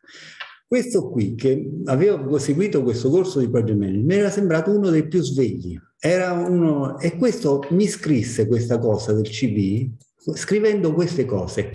Sai, è stato per me umiliante dover dire ai miei figli, dopo 13 anni che sono nell'istituto, che non ho passato neanche l'esame di sufficienza per poter accedere alla prova orale. Cioè io quando l'ho sentito, ho visto questa cosa, proprio ho detto no, questo va uh, in qualche misura aiutato perché cioè, che voglio dire? Che l'Italia dovrebbe diventare un po' più meritocratica, cioè eh, bisognerebbe un po' più valorizzare diciamo, i meriti piuttosto che l'appartenenza e quindi la classe dirigente dovrebbe essere un po' più attenta anche mh, a, ai meriti delle persone. Vabbè, questo ve lo dico perché Sapete che l'etica è una componente funzion- forte, forte, del project management. Noi per fare la certificazione dobbiamo passare un esame che comprende un esame sull'etica, perché l'etica non è le parole al vento. L'etica è mettere mh, le persone in condizioni di dimostrare che mh, con l'impegno, con uh, diciamo, uh, la, la, la, dedizione con anche una certa capacità personale si riesce a portare al successo, creare valore nell'organizzazione. Ma una volta che eh, l'ho creato, non mi posso far vedere qualcuno che invece è stato al fianco del capetto di turno, il quale fa parte della generazione che ha fatto carriera per appartenenza, che fa invece avanzare un altro che tutti questi meriti non ce l'ha. Allora, eh, un altro piccolo incoraggiamento.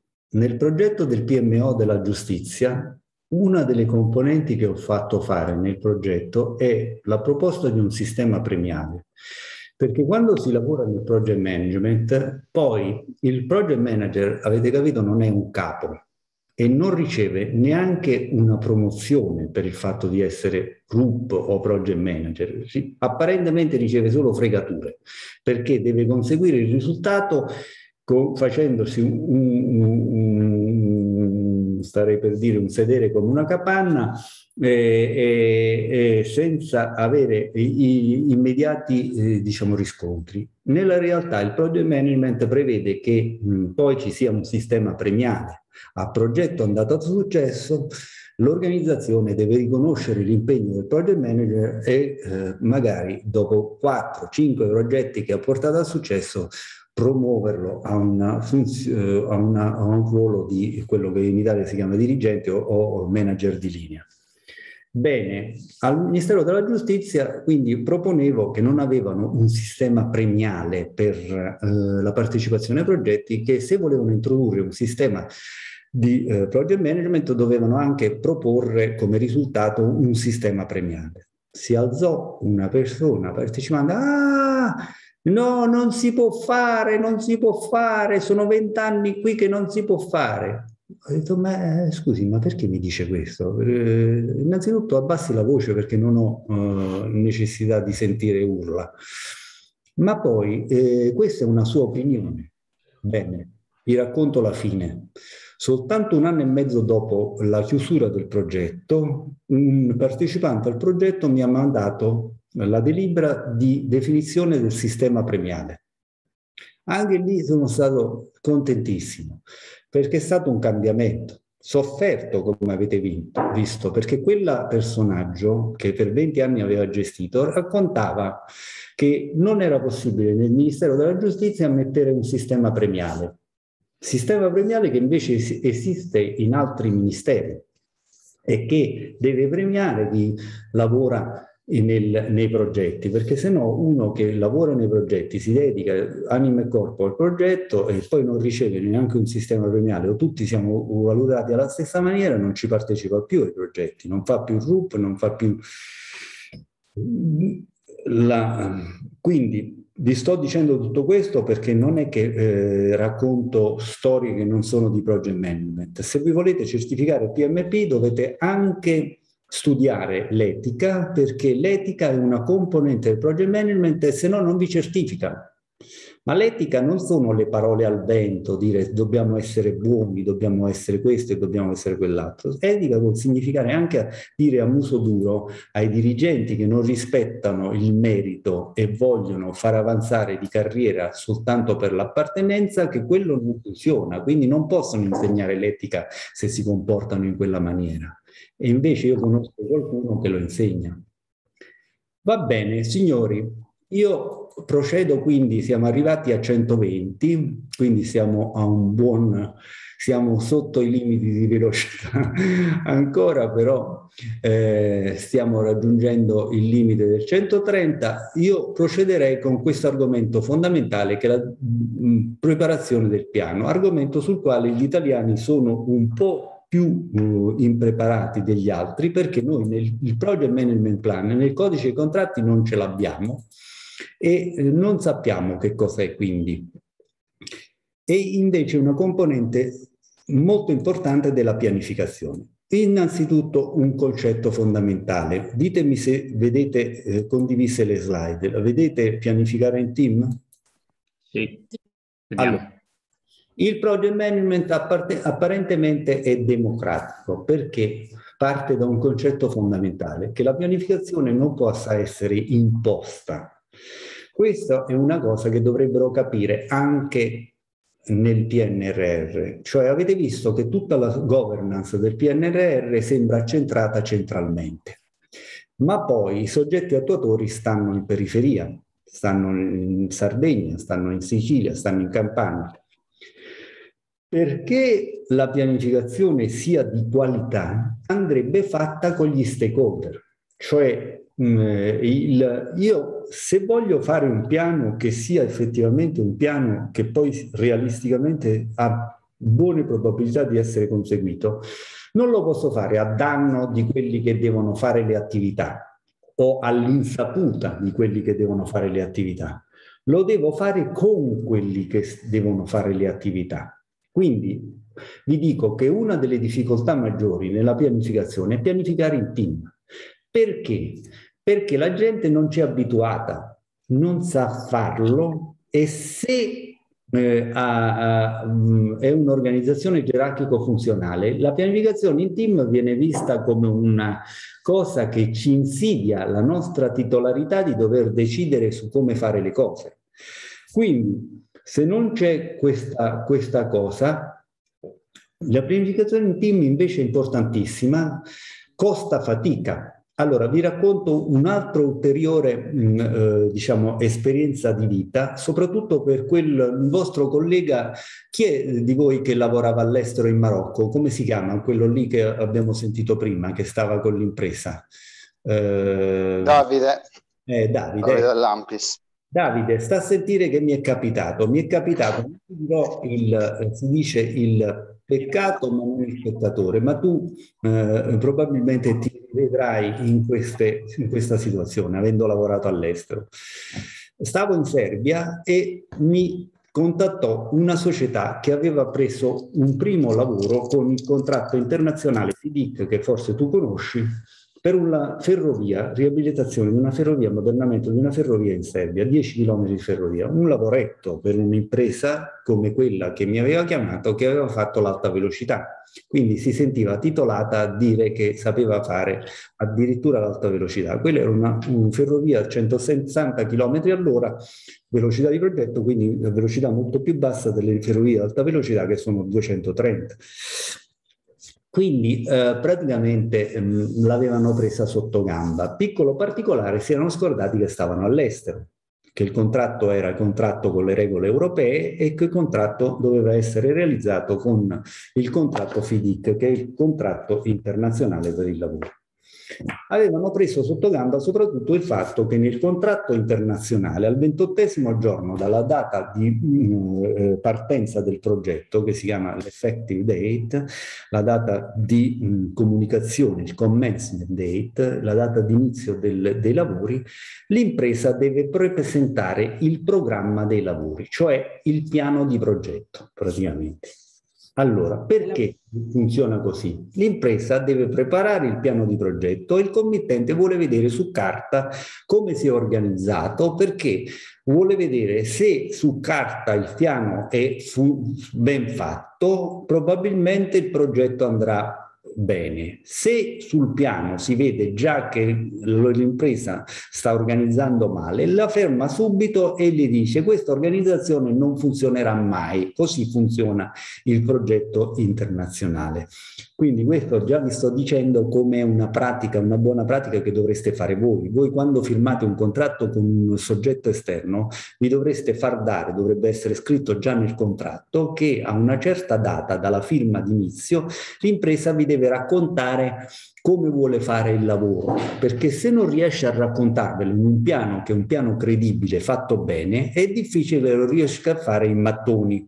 Cioè, se non ve lo riesce a... Eh, perché vi sto raccontando questo? Perché l'impresa, dovendo fare il piano, praticamente lo presentava al committente il committente sistematicamente glielo aveva bocciato. Eravamo arrivati alla nona notice to correct, che chi ha lavorato all'estero sa che è prossima la termination, cioè se tu hai la notice to correct è l'ammonimento internazionale del committente perché tu non stai lavorando bene. Se ricevi una sfilza di notice to correct devi stare attento perché è prossimo alla risoluzione in danno del progetto quella che si chiama internazionalmente la Ternice.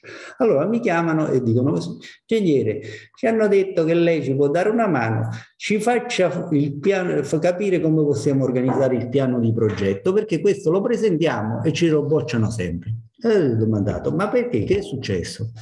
Che eh, no, noi presentiamo questo e ce lo bocciano. E perché ve lo bocciano? Vado a vedere come pianificavano e sapete che combinavano prendevano il computo metrico estimativo e per ogni linea del computo metrico estimativo mettevano un'attività.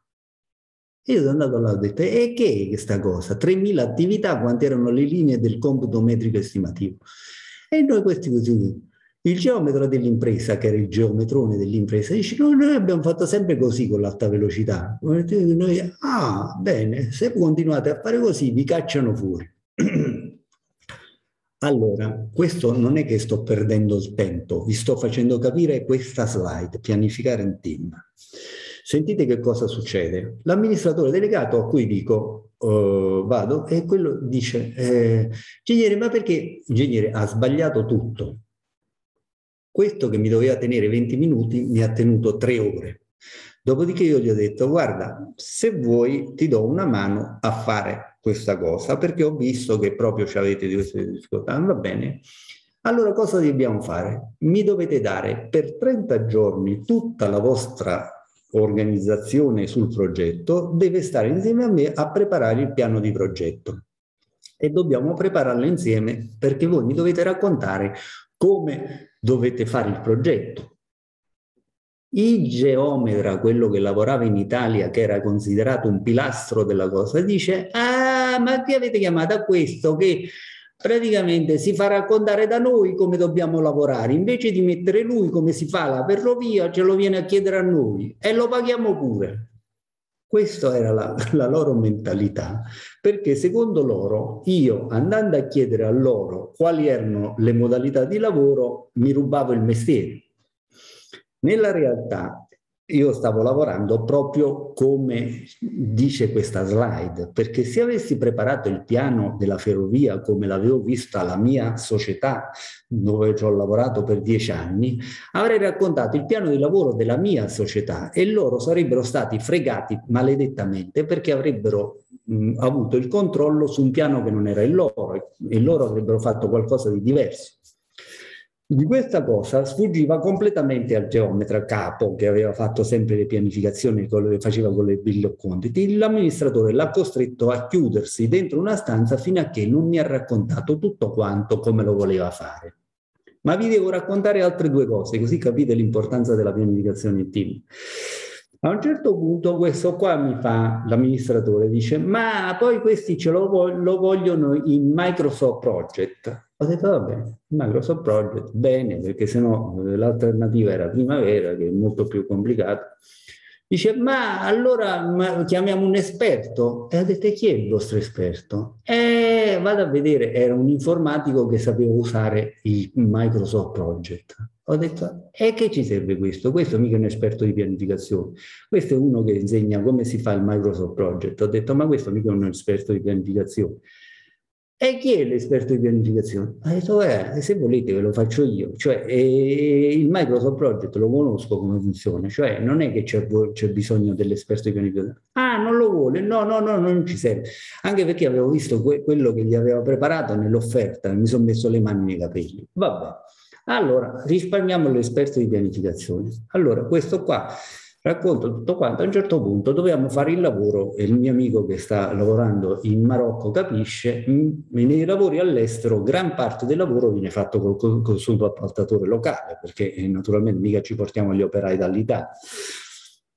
Allora ho detto dobbiamo andare a chiedere al subappaltatore locale quante risorse c'ha, perché noi dobbiamo verificare, dobbiamo scrivere nel piano che noi le attività le facciamo con le risorse che in gran parte sono fornite dalla, dal camion, e le attrezzature dal, dal, dal subappaltatore locale. E che andiamo a fare in Serbia?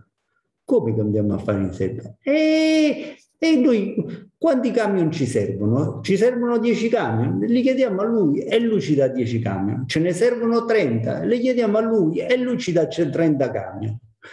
Ho detto, eh lo so che questa è la tua maniera di lavorare, perché lui così faceva con i subappaltatori italiani.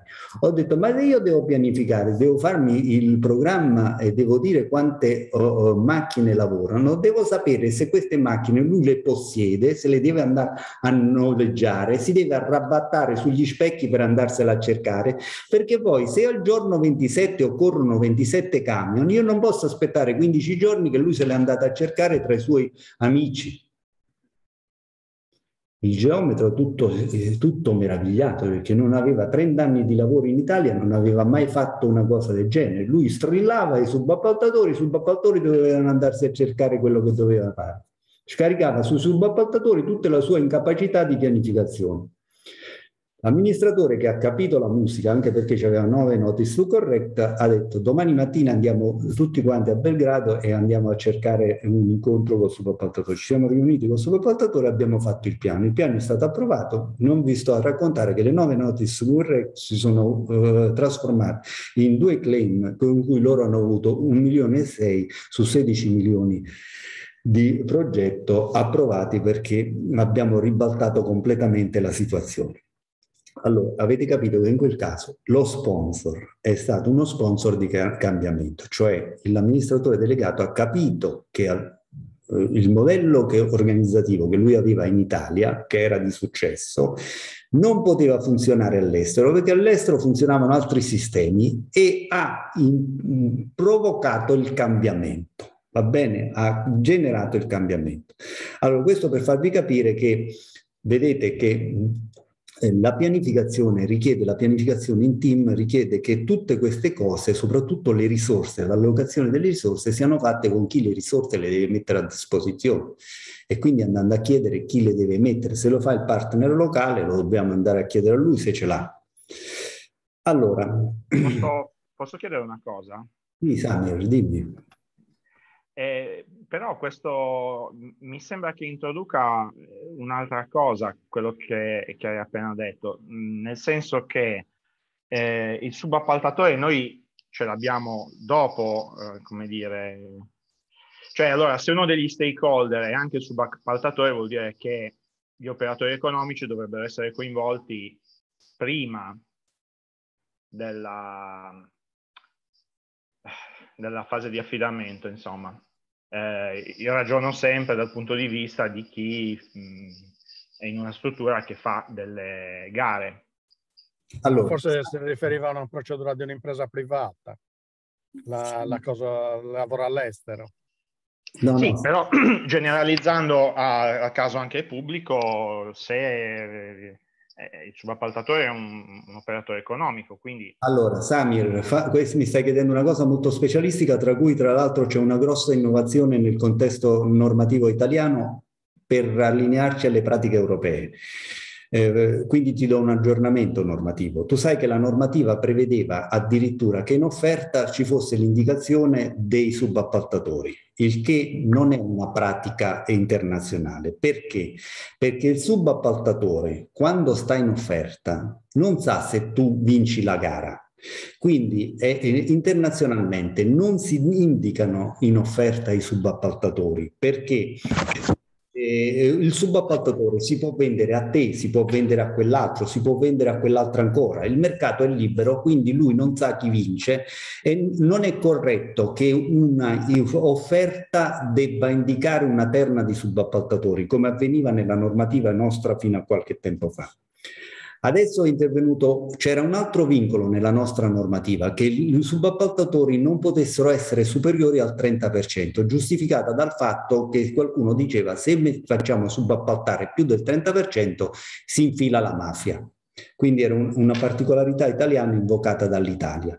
L'Unione Europea è stata chiarissima, ha detto anche questa è una corbelleria nel mondo moderno, perché si può arrivare a subappaltare il 100% dell'organizzazione ci aveva addirittura sanzionato la Commissione europea per la Corte di Giustizia. Non so se sai che il decreto semplificazioni bis ha tolto questo limite del subappalto che diventa il 50% fino al 31 dicembre del 2021 e poi lo dobbiamo proprio levare. L'ha già sancito il decreto semplificazione, altrimenti non ci davano i soldi del PNRR. Perché era una cretinaggine. Il problema della mafia non lo controlli andando a ridurre il numero dei subappaltatori, ma lo controlli andando a controllare chi lavora.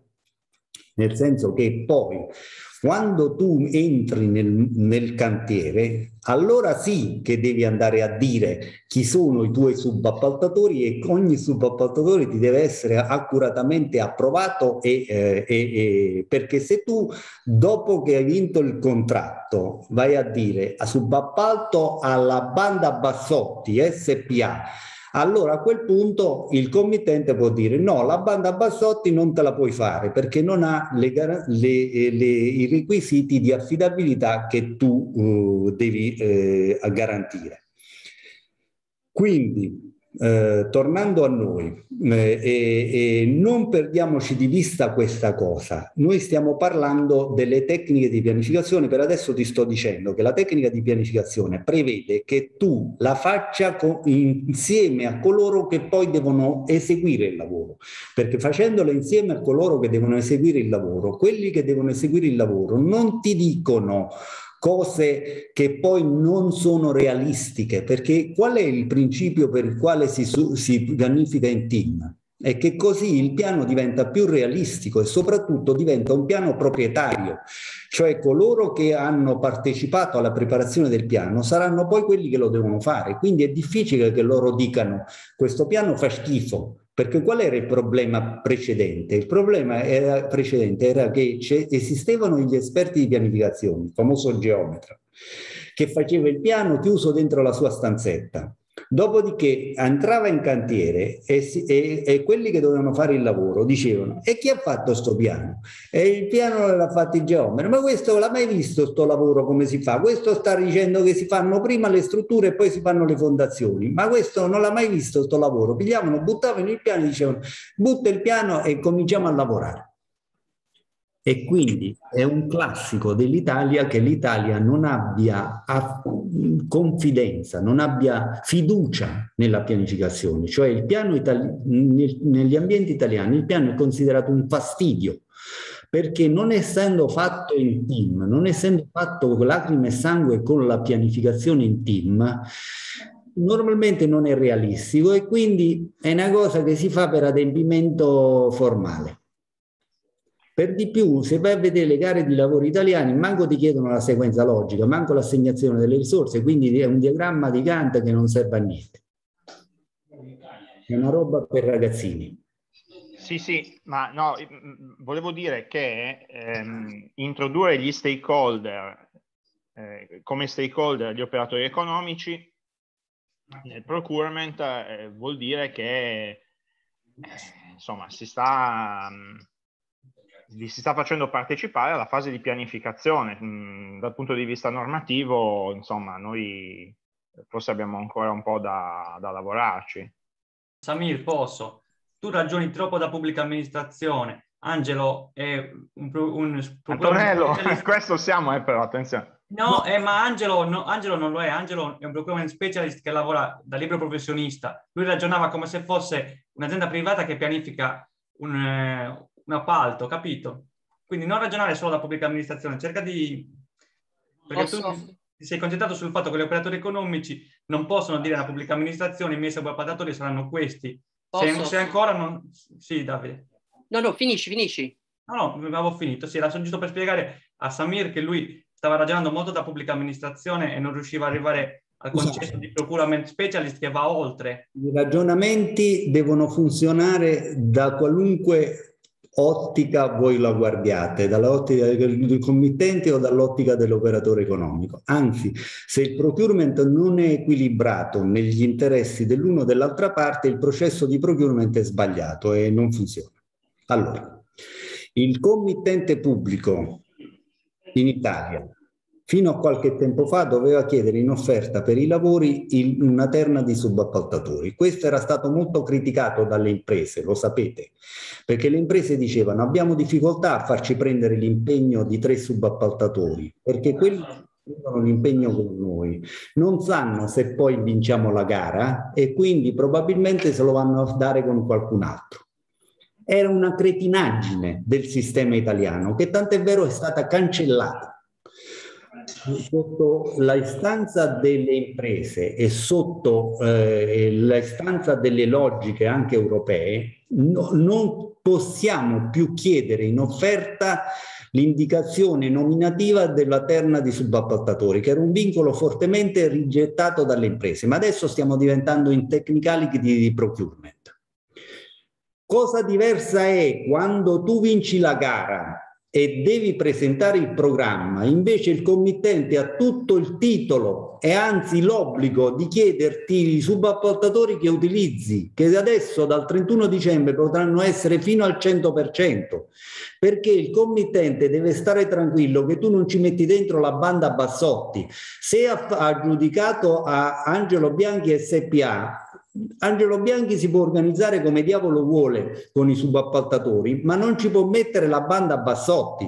Quindi una volta che tu hai firmato il contratto, i subappaltatori li devi andare tutti quanti a dichiarare e il committente ha tutto il titolo di dirti che qualcuno non, è, non ha i requisiti giusti. Quindi non confondiamo le idee, ci stiamo allineando alle pratiche europee e internazionali. Questo vale per il, per il privato, per il pubblico, per tutti. Eh, vabbè, ma per il pubblico avviene in fase di esecuzione, mentre per il privato già in fase di pianificazione di un progetto dovete sapere quale, quale percentuale vorrai, vorrai subappaltare. Vorresti sta dicendo un'altra cosa, scusate, Antonello sta dicendo, è ovvio che un'impresa che si rispetti, prima di fare l'offerta, non è che si fa l'offerta chiusa de, col geometra dentro la sua stanza senza sentire i subappaltatori. È ovvio che siccome si deve impegnare per 25 milioni di euro, va in Sardegna e dice ai subappaltatori locali, ma voi questa componente quando me la fate? Ci avete le risorse? Sì, no, va bene allora si pianifica con quello, però non significa che poi deve dare il lavoro a quello. Perché se noi lo vincoliamo a dichiarare i subappaltatori, distorciamo il mercato. Allora, comunque... c'è, c'è, c'è un nuovo aspetto, posso? Prego. Eh, dicevo, c'è un, c'è un, nuovo aspetto introdotto dal DL 77 che eh, tra l'altro è stato chiarito anche dall'Ispettorato Nazionale del Lavoro, che impone che nel subappalto il subappaltatore eh, utilizzi lo stesso contratto collettivo legato all'oggetto principale del contratto e non alla categoria della, dell'attività che andrà a svolgere e anche, e anche sulle retribuzioni che verranno oh, date ai lavoratori, interviene anche su questo, quindi si va a, a restringere ulteriormente que, quei rischi di utilizzare il subappalto per sviare ehm, delle normative e altro sul, legate alla, alla mafia e, e, quello che si pensava prima in Italia. Eh, oltre a quello che dicevi tu uh, sulle percentuali. Parlando non riesco a vedere chi è. Chi è che parla? Davide Azzei. Oh, benissimo. Davide, sta entrando in una technicality sui subappalti che non penso che possano interessare tutti, ma ti ringraziamo per il contributo. No, però volevo, volevo fare una domanda riguardo invece a questo aspetto di coinvolgimento degli stakeholder e degli operatori economici. Le consultazioni preliminari di mercato possono essere quindi considerate eh, un coinvolgimento degli stakeholder in fase pre-gara, ovviamente, visto che prima si dibatteva sul fatto che i subappaltatori li veniamo a conoscere dopo. Invece le consultazioni preliminari allora, guarda, tu stai entrando Posso in aggiungere una cosa? Di, di procurement che ancora una volta ti chiedo scusa se interrompo, ma io devo uniformare il livello della presentazione per l'interesse di tutti. È, è evidente che questa technicality spinta sui subappaltatori, sulle consultazioni preliminari di mercato è un argomento troppo specifico perché possa inter interessare una platea che in larga parte non utilizza i contratti di lavoro ma fa quelli di servizio di quindi la risposta te la rinvio al, quantomeno al, al, alla fase 3 perché un aspetto particolare. Comunque in linea di massima io ti dico, nel passato eh, il, eh, la, la normativa comunitaria era molto rigida nel senso che non si consentiva al committente pubblico di poter avere contatti con gli operatori economici.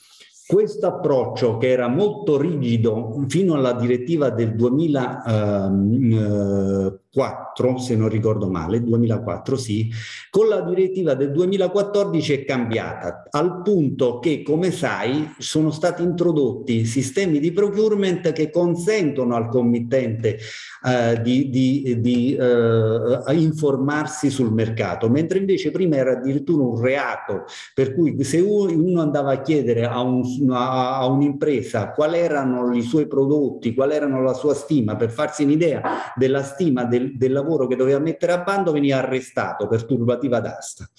Quindi quello che ti posso dire in linea generale, perché questo interessa a tutti, è che con la direttiva 2014 l'Unione Europea si è resa conto di questo e ha aperto lo spazio al dialogo tra il committente e il mercato. Tant'è vero che la pianificazione delle gare deve essere fatta con un'analisi di mercato, quindi se tu non fai il procure, nel procurement plan, non fai un'analisi di mercato, addirittura stai sbagliando a pianificare le gare. Quindi ti ho risposto in, in maniera abbastanza generale a quello che mi stai dicendo chiedendo. Andiamo avanti, se no ci perdiamo invece sul programma che invece deve interessare tutti. Guardate che la pianificazione al primo punto prevede la definizione... C'è una mano alzata, ah, no, l'ha abbassata l'autoressa Cannas, va bene. L'ho, l'ho abbassata, era, era solo, eh, volevo solo aggiungere l'esperienza di Sardegna Partecipa, che molti di voi conosceranno, nel senso che era stata fatta proprio per avviare una consultazione preliminare, che forse andava in quella direzione. Cioè, Sardegna Partecipa era un, una pagina aperta proprio per discutere insieme a, ai cittadini e, ai, e, agli eventuali stakeholder di, eh, di, avvisi o di prossima pubblicazione. Insomma. Va benissimo, grazie. Allora andiamo avanti e vediamo che cosa mh, ci tocca fare per partecipare. Innanzitutto è andare a individuare gli stakeholder e chiedergli che cosa vorrebbero, ma poi bisogna andare a identificare cosa va fatto nello scopo work. Lo scopo work è una difficile attività, andare a definire lo scopo work. Lo scopo work è l'oggetto contrattuale. Vedete che per esempio per un impianto di depurazione lo scopo work potrebbe essere gara di affidamento, progettazione esecutiva del sistema, opere civili ed impianti realizzati, definizione del sistema del primo anno con training e test finale. Vedete che lo scope work è, ve lo dico in inglese come si dice, un itemized description of the scope work, cioè che cosa significa? Devi, devi elencare uno dietro l'altro le cose che vanno fatte, ok? Mettendole così, tu non vedi la struttura logica delle cose che vanno fatte, vedi soltanto l'elenco delle cose che vanno fatte. Se sei un po' più esperto di project management, questo scope work te lo organizzi in una WBS, che è un'altra tecnica di project management molto utile per la pianificazione, che ha un eh, output grafico di questo tipo. Lo vedete questo albero rovescio? Tiziana, lo vedi? Tu lo conosci molto bene. WBS che non è niente altro che una rappresentazione logica di quello che dobbiamo fare, perché mentre qui abbiamo messo un elenco delle cose che dobbiamo fa- produrre, il quale è un, un itemized description. Se fatto bene già contiene nel numbering il, eh, il, la codifica e quindi il livello di WBS, ma nella WBS, nella VBS come si chiama in Italia, noi lo rappresentiamo così il, eh, la struttura logica del progetto e ve lo faccio capire. Se noi stiamo facendo, per esempio, come accade in questi giorni in Italia, il cablaggio delle città per l'Open Fiber sta cablando tutta la, la nazione, no? Loro devono fare il cablaggio di tutta l'Italia per darci la fibra ottica. Allora, è un progetto gigantesco, finanziato tra l'altro dal PNRR. Allora loro devono pianificare tutta questa cosa che sta già avvenendo. Io ho già nel mio palazzo, siamo stati con, collegati con, con, dentro con la colonna, dentro all'edificio. Allora, loro avranno dovuto pianificare il loro progetto. Loro la pianificazione avrebbero potuto farla così, state a sentire. Potrebbero dire, il nostro progetto è il cablaggio dell'Italia intera. Allora, lo dobbiamo pianificare. Facciamo un primo livello. Un primo livello sarà Italia del Nord, Italia del Centro, Sud e Isole, perché noi dobbiamo organizzare il nostro lavoro e ci conviene fare un'organizzazione territoriale con tre team che fanno Italia del Nord, Italia del Centro e Italia del Sud. Quindi il secondo livello, vedete, di scomposizione potrebbe essere una scomposizione territoriale. Va bene? Dopodiché qualcuno mi potrebbe dire, va bene, allora abbiamo fatto questo, però poi organizziamo tre squadre.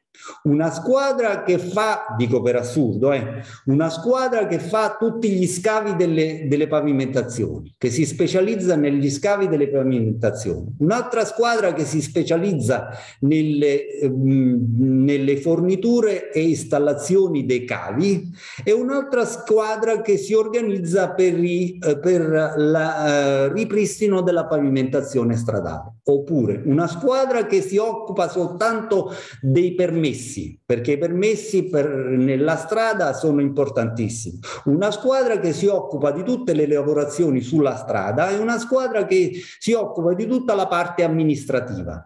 Cioè il terzo livello, come vedete, potrebbe essere uguale per tutte e tre le aree del paese, ma organizzato per fasi di lavoro. Vedete? E via dicendo. Come vedete, quindi la WBS è uno strumento che noi utilizziamo per facilitarci la pianificazione.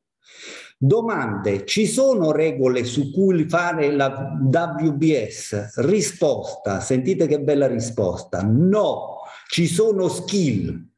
Cioè io non posso andare a dire a Samir, Samir, tu la WBS devi fare la prima volta sul territoriale, la seconda sulle fasi di lavoro, la terza per, eh, per componenti del prodotto, perché se gli dico questo gli sto dicendo una cretinaggine, quindi se lui ha fatto un corso di project management dove gli hanno detto questo, è un cretino quel, quel, quel, quello che gliel'ha fatto.